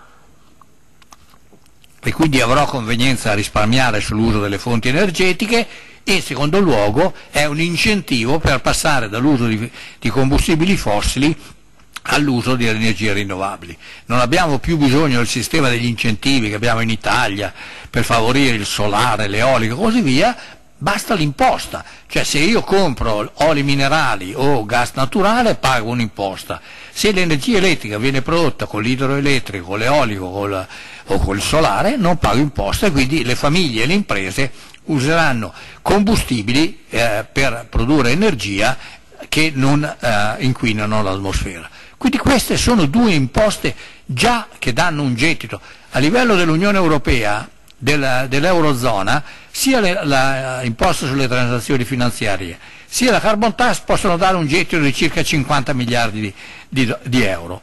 Quindi sono 100 miliardi di euro di gettito di queste due imposte che consentono di raddoppiare il bilancio dell'Eurozona. Oggi il bilancio è l'1%, sono grosso modo nell'Eurozona 100 miliardi di euro, con il gettito di queste imposte si può raddoppiare il bilancio. Ma se io ho delle risorse proprie del bilancio dell'Eurozona posso poi emettere titoli perché i, i risparmiatori possono acquistare titoli europei che sono garantiti da queste risorse che vanno al bilancio, cioè so che mi verranno ripagati il prestito che io faccio all'Eurozona perché l'Eurozona dispone di un bilancio finanziato di risorse proprie. Il terzo elemento è la Banca Europea degli Investimenti che può finanziare investimenti, come diceva prima Bordino. Ora, qual è il punto? Il punto è che cosa serve, qual è il, qual è il piano di sviluppo che deve fare l'Europa? Dicevamo prima, oggi è un dato acquisito, diciamo con il fiscal compact, che ormai si è tradotto in termini costituzionali all'interno dei Paesi membri, che non si fa più sviluppo con il debito gli Stati membri non fanno più sviluppo con il debito perché il saldo di bilancio pubblico deve essere in equilibrio. Ma c'è un secondo elemento. Il secondo elemento è che la politica europea di sviluppo non deve promuovere più la crescita dei consumi, ma deve essere indirizzata a finanziare investimenti e produzioni di beni pubblici. Due parole perché siamo eh, scarsi di tempo. Perché non dobbiamo più finanziare i consumi? Se noi pensiamo, è chiaro che nella situazione attuale c'è un problema di consumi. Molte famiglie, come si dice nei telegiornali, non arrivano alla fine del mese, no? Quindi non riescono a soddisfare i bisogni primari. Ma questo problema deve essere affrontato in modo diverso, non facendo, come si diceva prima, il taglio delle tasse oppure politiche creditizie. Questo problema è un problema di distribuzione del reddito è un problema legato alla cattiva distribuzione del reddito. Un manager di un hedge fund americano, un manager di un fondo speculativo americano, guadagna 526 milioni di dollari all'anno. Non ho sbagliato, sono 526 milioni. Un dirigente di una nota impresa torinese, di cui non faccio il nome, ma che è molto nota nel mondo, guadagna come tutti gli operai del lingotto messi insieme. Cioè non, non è possibile garantire una ripresa dei consumi se non si fanno politiche redistributive. Non c'è bisogno di... basta poco. Cioè se io tolgo mille euro a una persona che guadagna o mille dollari o un milione di dollari a una persona che guadagna 526 milioni, i consumi non diminuiscono. Ma se io do mille euro in più a un pensionato al minimo, i consumi aumentano. Quindi le politiche di eh, diciamo, aggiustamento nei livelli di consumi che sono necessari sono politiche redistributive, riguardano la distribuzione del reddito. Noi in questi dieci anni abbiamo aumentato enormemente il divario fra la fascia dei ricchi e la fascia dei poveri e molti del ceto medio sono diventati poveri. Quindi c'è un problema di redistribuzione per sostenere i consumi, ma non c'è un problema di aumentare i consumi, per una ragione molto semplice perché noi viviamo in società opulente in cui i consumi sono eccessivi, soprattutto rispetto al vincolo ambientale. Il vincolo ambientale oggi non consente di espandere i consumi nei paesi ricchi, perché oggi su 7 miliardi di persone, 6 miliardi stanno entrando nella fase della crescita dei consumi e se i cinesi e gli indiani vogliono raggiungere gli stessi livelli di consumo degli europei e degli americani, il mondo non regge più. Quindi c'è il rischio dell'olocausto ecologico e non è terrorismo ambientalista, questa è la realtà perché prima era un miliardo di persone che avevano consumi opulenti, oggi abbiamo 6 miliardi di persone fortunatamente che stanno cercando di avere un livello di consumo più elevato. Se tutti vogliono avere 4 automobili e cinque televisori come hanno gli europei e gli americani, il mondo non ce la fa più. Allora l'Europa deve fare una scelta diversa. Bisogna garantire una politica di ripresa gestita a livello europeo con un, un piano europeo di sviluppo sostenibile, nel senso che sia compatibile con i vincoli ambientali, si può finanziare questo piano di sviluppo con l'imposta sulle transazioni finanziarie e la carbon tax, con le emissioni eurobonds e con i finanziamenti della Banca Europea, ma questo piano deve essere finalizzato agli investimenti che fanno crescere la produttività dell'economia europea e alla produzione dei beni pubblici. Voglio dire una parola su questo ultimo punto. No? Da noi cioè, il, nel dibattito corrente l'obiettivo è far aumentare i consumi privati io dico che i consumi privati non possono crescere se non attraverso la redistribuzione del reddito. Chi ha molto deve consumare meno e chi ha poco deve consumare di più. Il problema è di avere soddisfazioni di bisogni insoddisfatti. Noi viviamo in società che sono opulente dal punto di vista dei consumi privati, ma bisogni fondamentali della società. Se voi siete insegnanti, lo sapete bene, cosa succede? Bisogni fondamentali della società non sono soddisfatti. Ora, questo è il problema fondamentale che noi abbiamo di fronte. Io dico, faccio sempre un esempio paradossale. L'Italia è il paese dove si dice, io ci credo, c'è concentrato la maggiore quantità di beni culturali al mondo. Oggi, se un giovane in Italia vuole essere sicuro al 100%, senza nessun margine di rischio, di rimanere disoccupato nella vita, segue un corso per la protezione dei beni culturali. E questo è, una, è un ossimoro, è un ossimoro. Noi dobbiamo rovesciare questa situazione. Noi abbiamo soddisfatti in misura eccessiva i bisogni privati e abbiamo un'enorme quantità di bisogni collettivi insoddisfatti. La scuola non è finanziata, l'università non può finanziare i suoi laboratori, la ricerca non va avanti, non c'è innovazione tecnologica, le nostre città sono in decadenza, i beni pubblici non sono conservati, non c'è protezione dei beni culturali, dei beni... questi sono gli obiettivi di una politica europea di crescita. Da un lato gli investimenti per rendere competitiva l'industria europea, d'altro lato la soddisfazione dei beni collettivi, il che richiede che ci sia meno produzione di beni privati e più produzione di beni pubblici. Allora, questo è l'obiettivo del piano di sviluppo, il piano di sviluppo è possibile, il piano di sviluppo richiede una trasformazione istituzionale dell'Europa, dell'Eurozona, perché se vogliamo fare politica di sviluppo non è possibile oggi con le istituzioni europee, come ricordava Bordino prima, le decisioni europee vengono prese in campo fiscale vengono prese all'unanimità, non è pensabile che 18 paesi si mettano d'accordo per fare le stesse cose se non c'è un governo, ma c'è di più. Se noi creiamo un bilancio dell'Eurozona per finanziare un piano di sviluppo europeo e a questo bilancio attribuiamo delle imposte, la carbon tax e la tassa sulle transazioni finanziarie, c'è un principio fondamentale di democrazia che dice no taxation without representation, cioè non c'è possibilità di riscuotere imposte se non c'è un controllo popolare, se non c'è chi decide sull'uso delle risorse, sul prelievo delle risorse e chi decide, cioè un governo europeo dell'economia, deve essere controllato attraverso le istituzioni democratiche. Quindi io dico, ic rodus x alta. Siamo arrivati, come si diceva prima, o si va avanti o c'è la disintegrazione.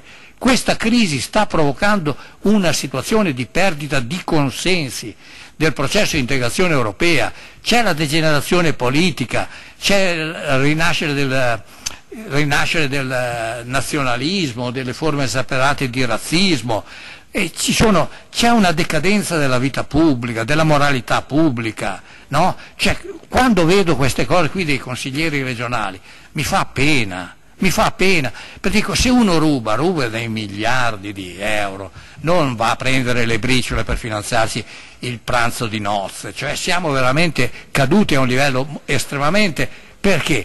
Ma perché non è che i partiti siano in decadenza, sono gli stati nazionali che sono in decadenza e la, la, decadenza degli stati nazionali provoca la crisi della politica e la crisi dei partiti.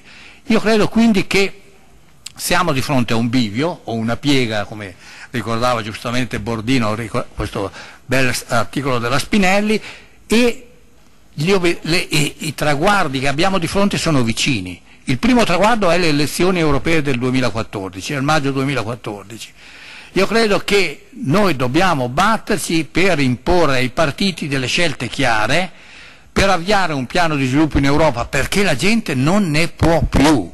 È dal 2007 che siamo in Europa in una situazione di crisi e la crisi ha aggravato le, le tensioni sociali perché c'è una piccola fascia protetta che non ha subito minimamente gli effetti della crisi e c'è una grande maggioranza della popolazione che invece ha subito fortemente i contraccolpi della crisi, perché c'è una decadenza del bene pubblico, c'è una decadenza dei beni collettivi, quindi bisogna creare un piano di sviluppo per dare una prospettiva, come diceva giustamente Bordino, bisogna avere una prospettiva per il futuro. Io devo pensare che i miei figli e i miei nipoti avranno una situazione migliore della mia. Per la prima volta nella storia di questo dopoguerra noi abbiamo una situazione in cui oggi noi stavamo, noi della mia generazione, stavamo meglio delle generazioni precedenti, ma i nostri figli stanno peggio. Non c'è prospettiva di crescita, ma non c'è prospettiva di crescita se non basta un piano, ma bisogna dare le istituzioni adeguate per far sì che le scelte fondamentali siano fatte dai cittadini. Quindi di fronte all'elezione europea io credo che il compito nostro sia quello di cercare di favorire che nella classe politica emerga la consapevolezza che c'è la possibilità di dare una svolta positiva alla crisi dell'Europa. Concludo con una parola sull'Italia. Io non voglio entrare nell'analisi della politica italiana, non è compito di un federalista dare una... però io oggi prendo atto che in Italia abbiamo il governo o le personalità nel governo che hanno una maggiore vocazione europea. Il Presidente della Repubblica, il Presidente del Consiglio il Ministro degli Esteri sono fortemente a favore di una scelta per l'Europa degli Stati Uniti Europa.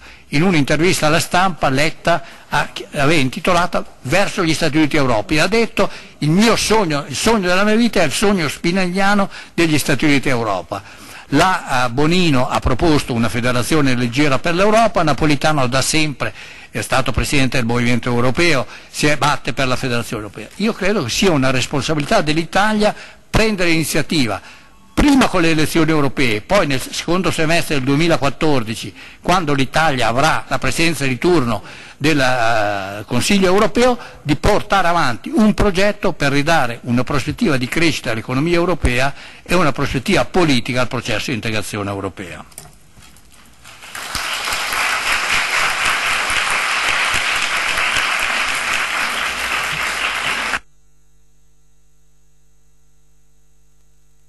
Grazie.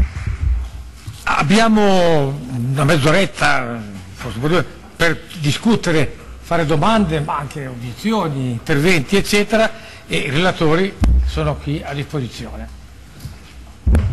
Chi vuole intervenire?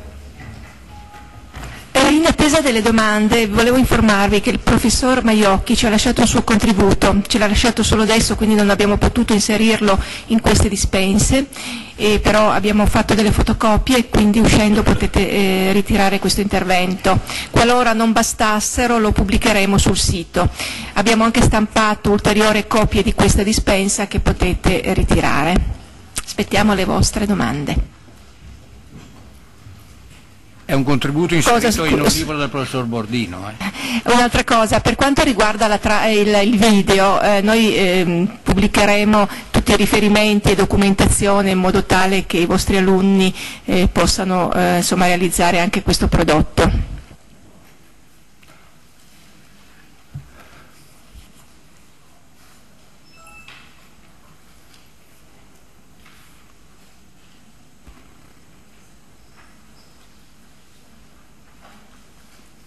Certo, c'è una...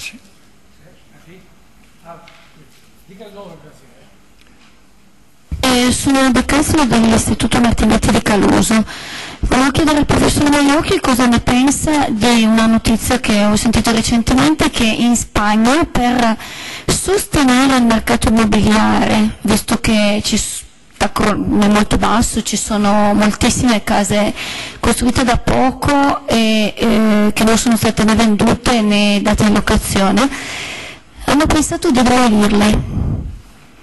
Io eh, lo ritengo un grosso spreco di, di ricchezza, la demolizione oltretutto comporta dei costi, eh, volevo sentire la sua opinione.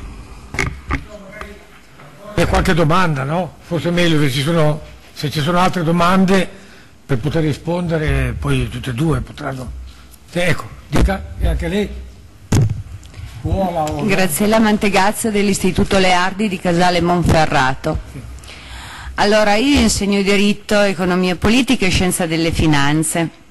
Premetto che i miei alunni dicono che io sia innamorata di Keynes, per cui tutto quello che riguarda le politiche keynesiane da parte mia ha il massimo consenso. Ho visto che la Banca Centrale Europea ha diminuito, ha, ha sorpreso ulteriormente il tasso di interesse allo 0,25%, raggiungendo il minimo storico, il nuovo minimo storico. Ehm, sono comunque abbastanza perplessa perché nonostante la Banca Centrale effettivamente sia forse l'unico organismo che si sta impegnando un pochino per attuare una politica di apertura verso gli investimenti eccetera, eh, noto che comunque c'è una scarsa volontà da parte del, delle imprese, degli industriali a seguire questa polica e per quanto riguarda il discorso che facevate del rinnovamento, dell'andare verso il federalismo, che è una cosa che io auspico con tutto il cuore, ehm, trovo che il rinnovamento degli stati, così nel modo in cui ne avete parlato voi, eh, stia un po' cozzando contro una cattiva volontà da parte del popolo, di chi dovrebbe effettivamente manifestare eh, quelle che sono le decisioni, le tendenze eccetera, cioè eh, tutti un po' distrutti dalla crisi e dai vari fatti di corruzione eccetera, eh, ci sia più una fuga che non una volontà di manifestare la voglia di cambiare.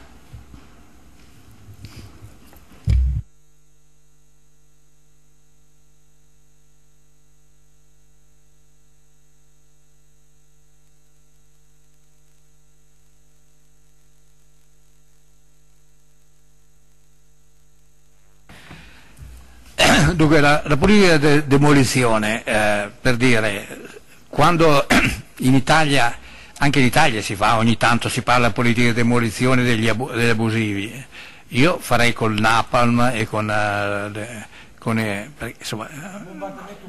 Ecco, bombardamento umanitario. Però ecco, è vero che c'è una dilapidazione di ricchezza, però per esempio il caso della Spagna, chiaramente c'era un boom immobiliare determinato da forme speculative alimentato dal credito. cioè se andiamo a vedere cosa è successo in Spagna, questo è un effetto perverso de dell'ingresso della Spagna nell'euro, perché i tassi di interesse sono diventati molto bassi, quindi era molto facile ottenere credito e il credito in Spagna è stato utilizzato soprattutto per favorire investimenti immobiliari. No? Quindi c'è stata un'esplosione immobiliare in Spagna fino a quando è durata diciamo, la domanda tutti ci hanno guadagnato, a un certo punto la domanda si è esaurita e adesso c'è il problema di chi ha prodotto questi beni messi sul mercato che non sono stati acquistati e il problema delle banche che hanno finanziato lo sviluppo immobiliare. Ora io non so se la soluzione sia la demolizione, però io ho la convinzione che nel caso delle eh, immobili valga un po' quello che avevamo detto sulla domanda di beni di consumo, cioè il suolo in Europa è un bene inestimabile, è un bene inestimabile.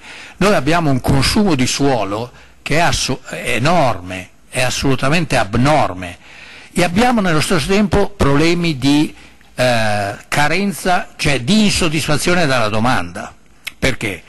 Perché il consumo di suolo viene fatto a scopi speculativi, si producono alloggi che, per cui non c'è domanda perché sono fuori dalla portata della famiglia media. No? Quindi noi abbiamo i due, eccesso di domanda, eccesso di offerta e d'altro lato un'enorme quantità di famiglie, pensiamo soprattutto alle famiglie giovani, che non hanno la possibilità di trovare casa perché i prezzi sono troppo elevati.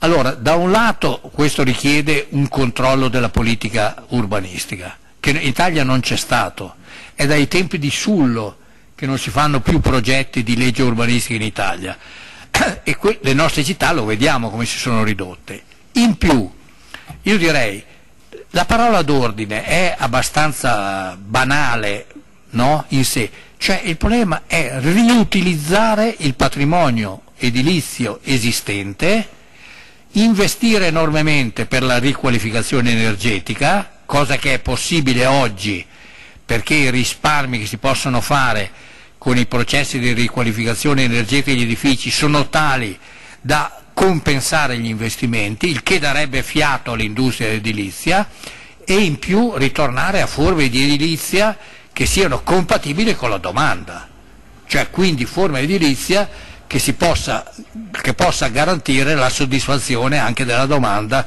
delle famiglie che sono a basso reddito. Quindi in generale io sono per un forte limitazione degli usi del suolo, cioè in linea di principio non si dovrebbe occupare un metro di suolo in più e si dovrebbe riutilizzare tutto il patrimonio esistente. E questo è un compito della politica, perché il mercato va dove ci sono possibilità di fare soldi. La politica deve indirizzare il mercato edilizia verso questi sbocchi. Eh, sono contento di sentire che lei è keynesiana e la invito a tenere duro, perché insomma il, il problema della, della, Banca Centrale Europea, eh, il problema della Banca Centrale Europea è molto, Draghi prima di tutto ha salvato molti paesi, fra cui l'Italia, perché quando ha dichiarato che faremo di tutto per salvare l'euro, diciamo l'allargamento dello spread è finito, no? è bastata questa dichiarazione. Il problema fondamentale è riducono ancora il tasso di interesse, ma Qui c'è la frase famosa che si dice se il cavallo non ha sete, il cavallo non beve. Quindi le imprese, se non c'è domanda, le imprese non fanno domanda, non fanno richiesta alle banche di prestiti perché le famiglie non possono indebitarsi ulteriormente perché hanno problemi di rimborso, in più le banche hanno tutti questi vincoli di ricapitalizzazione che derivano da Basilea 2, Basilea 3 e quindi le banche prendono i soldi e invece di darli a prestito li depositano presso la banca centrale per soddisfare i requisiti di capitale. È chiaro quindi che la politica monetaria è giunta all'estremo delle sue possibilità. Oggi l'unica possibilità è accompagnare una politica monetaria accomodante, come quella che sta facendo Draghi, con una politica fiscale espansiva, dove è possibile fare politiche fiscali espansive non è più possibile a livello nazionale, lo si può fare a livello europeo perché tra l'altro a livello europeo lo stock di debito è zero, non c'è debito. È l'unico paese del mondo, l'Europa, dove non c'è debito, perché il Trattato di Roma impediva di farlo. Ultima considerazione sul consenso. Io dico, è vero che il consenso diminuisce, il tasso di partecipazione mi lascia sempre, è, un'indicazione, eh? però teniamo presente che a New York ha votato il 24% della popolazione, no? quindi insomma fra un po' uno va là e dice io sono sindaco perché voto da solo e bello che hai risolto il problema, non è un sistema molto efficace. Però il problema del consenso esiste e, e questa partecipazione al voto è uno degli elementi. Il, la partecipazione al voto alle europee, anche qui, c'è un elemento particolare. Io vado a votare se ho per esempio, perché so che c'è in gioco una posta. Il governo sarà di destra o di sinistra, vince il centro, il centrodestra o il centrosinistra. Il mio voto serve a determinare il governo del paese e allora vado a votare. Ma in Europa questo non succede. Io vado a votare, ma il governo non lo decido io. Il governo lo decide il Consiglio europeo. Oggi i diversi partiti hanno incominciato, il PSE no? ha indicato Schulz come candidato a Presidente della Commissione e la Merkel ha detto subito non è detto che sia Schulz, lo decidiamo noi, no?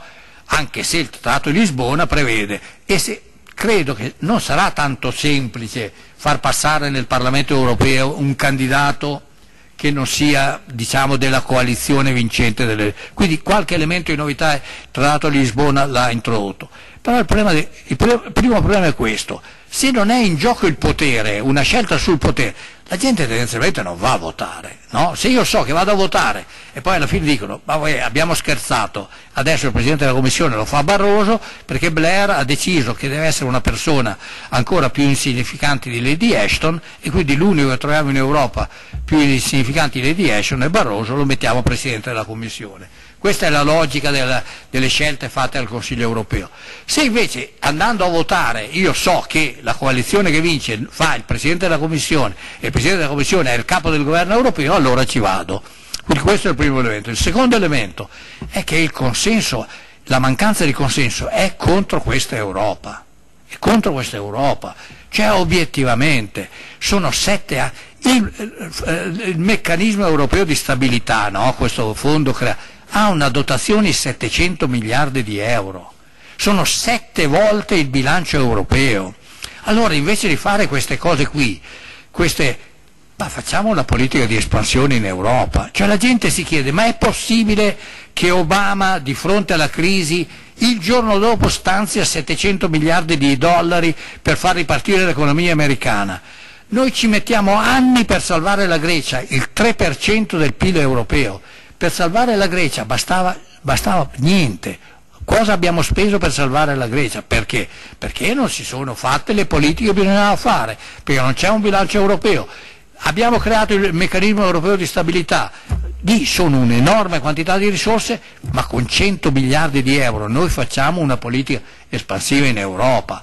Allora io mi chiedo, ma, insomma, non giustifico, ma capisco no?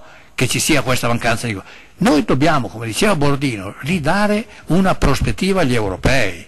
Quindi il problema è fare in modo che i partiti siano obbligati nei loro programmi elettorali e poi nelle loro scelte, una volta che sarà eletto il Parlamento europeo, indicare che l'Europa è ritornata a quella che era l'Europa per la nostra generazione c'è una via di uscita dai, dai drammi della guerra e del post, eh, post, bellici e che ridia fiducia alla gente, nel senso che c'è una politica europea. Voglio un'ultima osservazione, poi chiudo. Eh, L'Europa se va, be, va, avanti, va avanti sul terreno dell'Unione economica e monetaria e dicevo anch'io, l'unica possibilità concreta è arrivare a un governo federale dell'Eurozona. Ma io credo che prossimamente si porranno con forza i problemi della politica estera e della difesa. Bordino ricordava il problema della difesa, no? il, Centro Studi sul Federalismo di Torino, insieme alle IAI di Roma, ha fatto uno studio sul costo della mancanza di una difesa europea. Le valutazioni oscillano fra 20 e 120 miliardi di euro. Insomma, l'ordine di grandezza è quasi quello del bilancio europeo sono spese buttate via, duplicazioni, oltre a essere inefficace, la difesa europea costa molto di più perché abbiamo 27 difese nazionali che non funzionano e costano molto. Secondo elemento, quindi c'è un elemento di risparmio, no? Facendo la difesa europea si risparmia molto. Secondo elemento è che la necessità della difesa europea crescerà perché sarà sempre più difficile per gli americani garantire la protezione a tutte le aree del mondo. No? Quello che sta succedendo nelle, negli Stati Uniti, il problema del bilancio, le posizioni anche del, del Tea Party che sono contro il prelievo fiscale. Cioè, in, negli Stati Uniti non c'è stato il fiscal compact, ma il problema del ristabilimento dell'equilibrio fiscale si sta ponendo.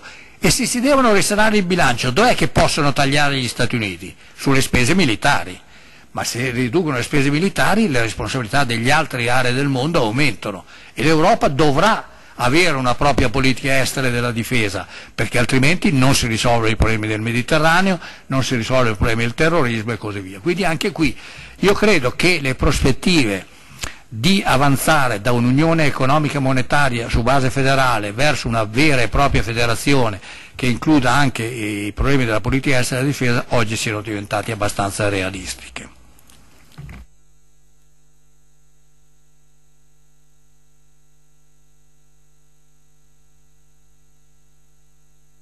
Chiudo, eh, eh, ringrazio tutti, ringrazio per eh, la partecipazione attenta e interessata.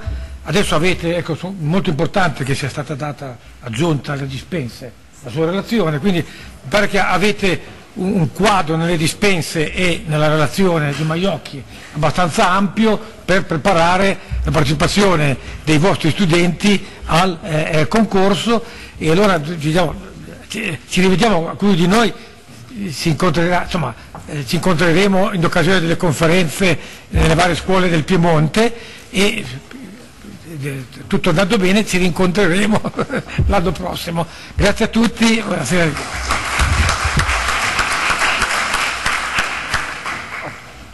Vedo male che hai portato questo, eh, testo. Eh, no, no, no. Ero dimenticato. È il libro di Bordino. Sì, lo so. Solo, solo che nelle dispense facciamo delle selezioni. Insomma.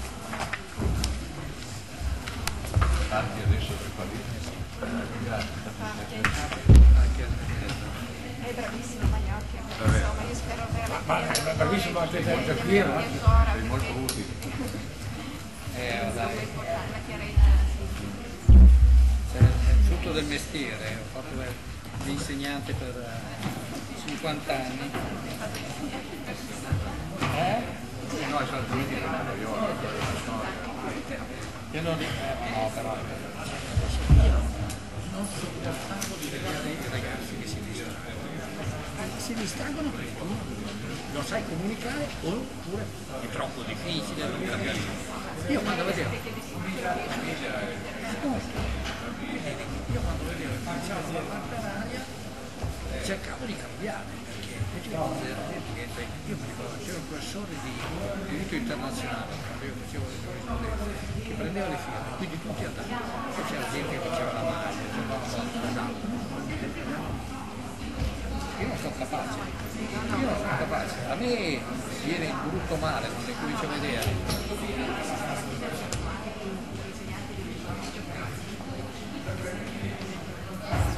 Grazie. And.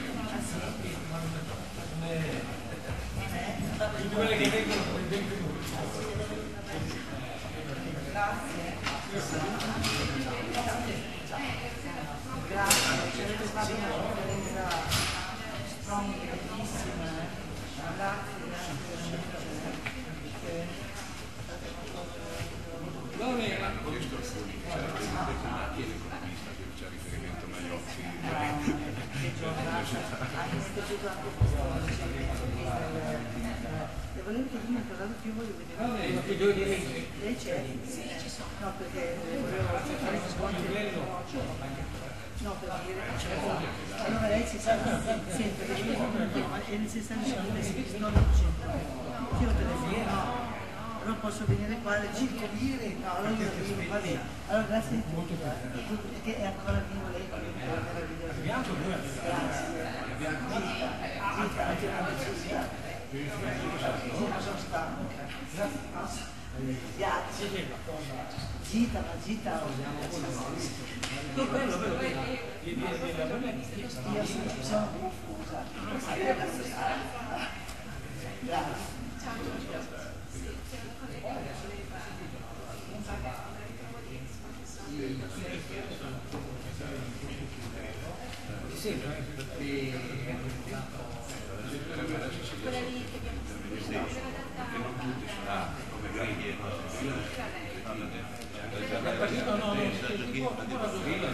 Bisogna comunque avere una strategia di, di attenzione. eh. No,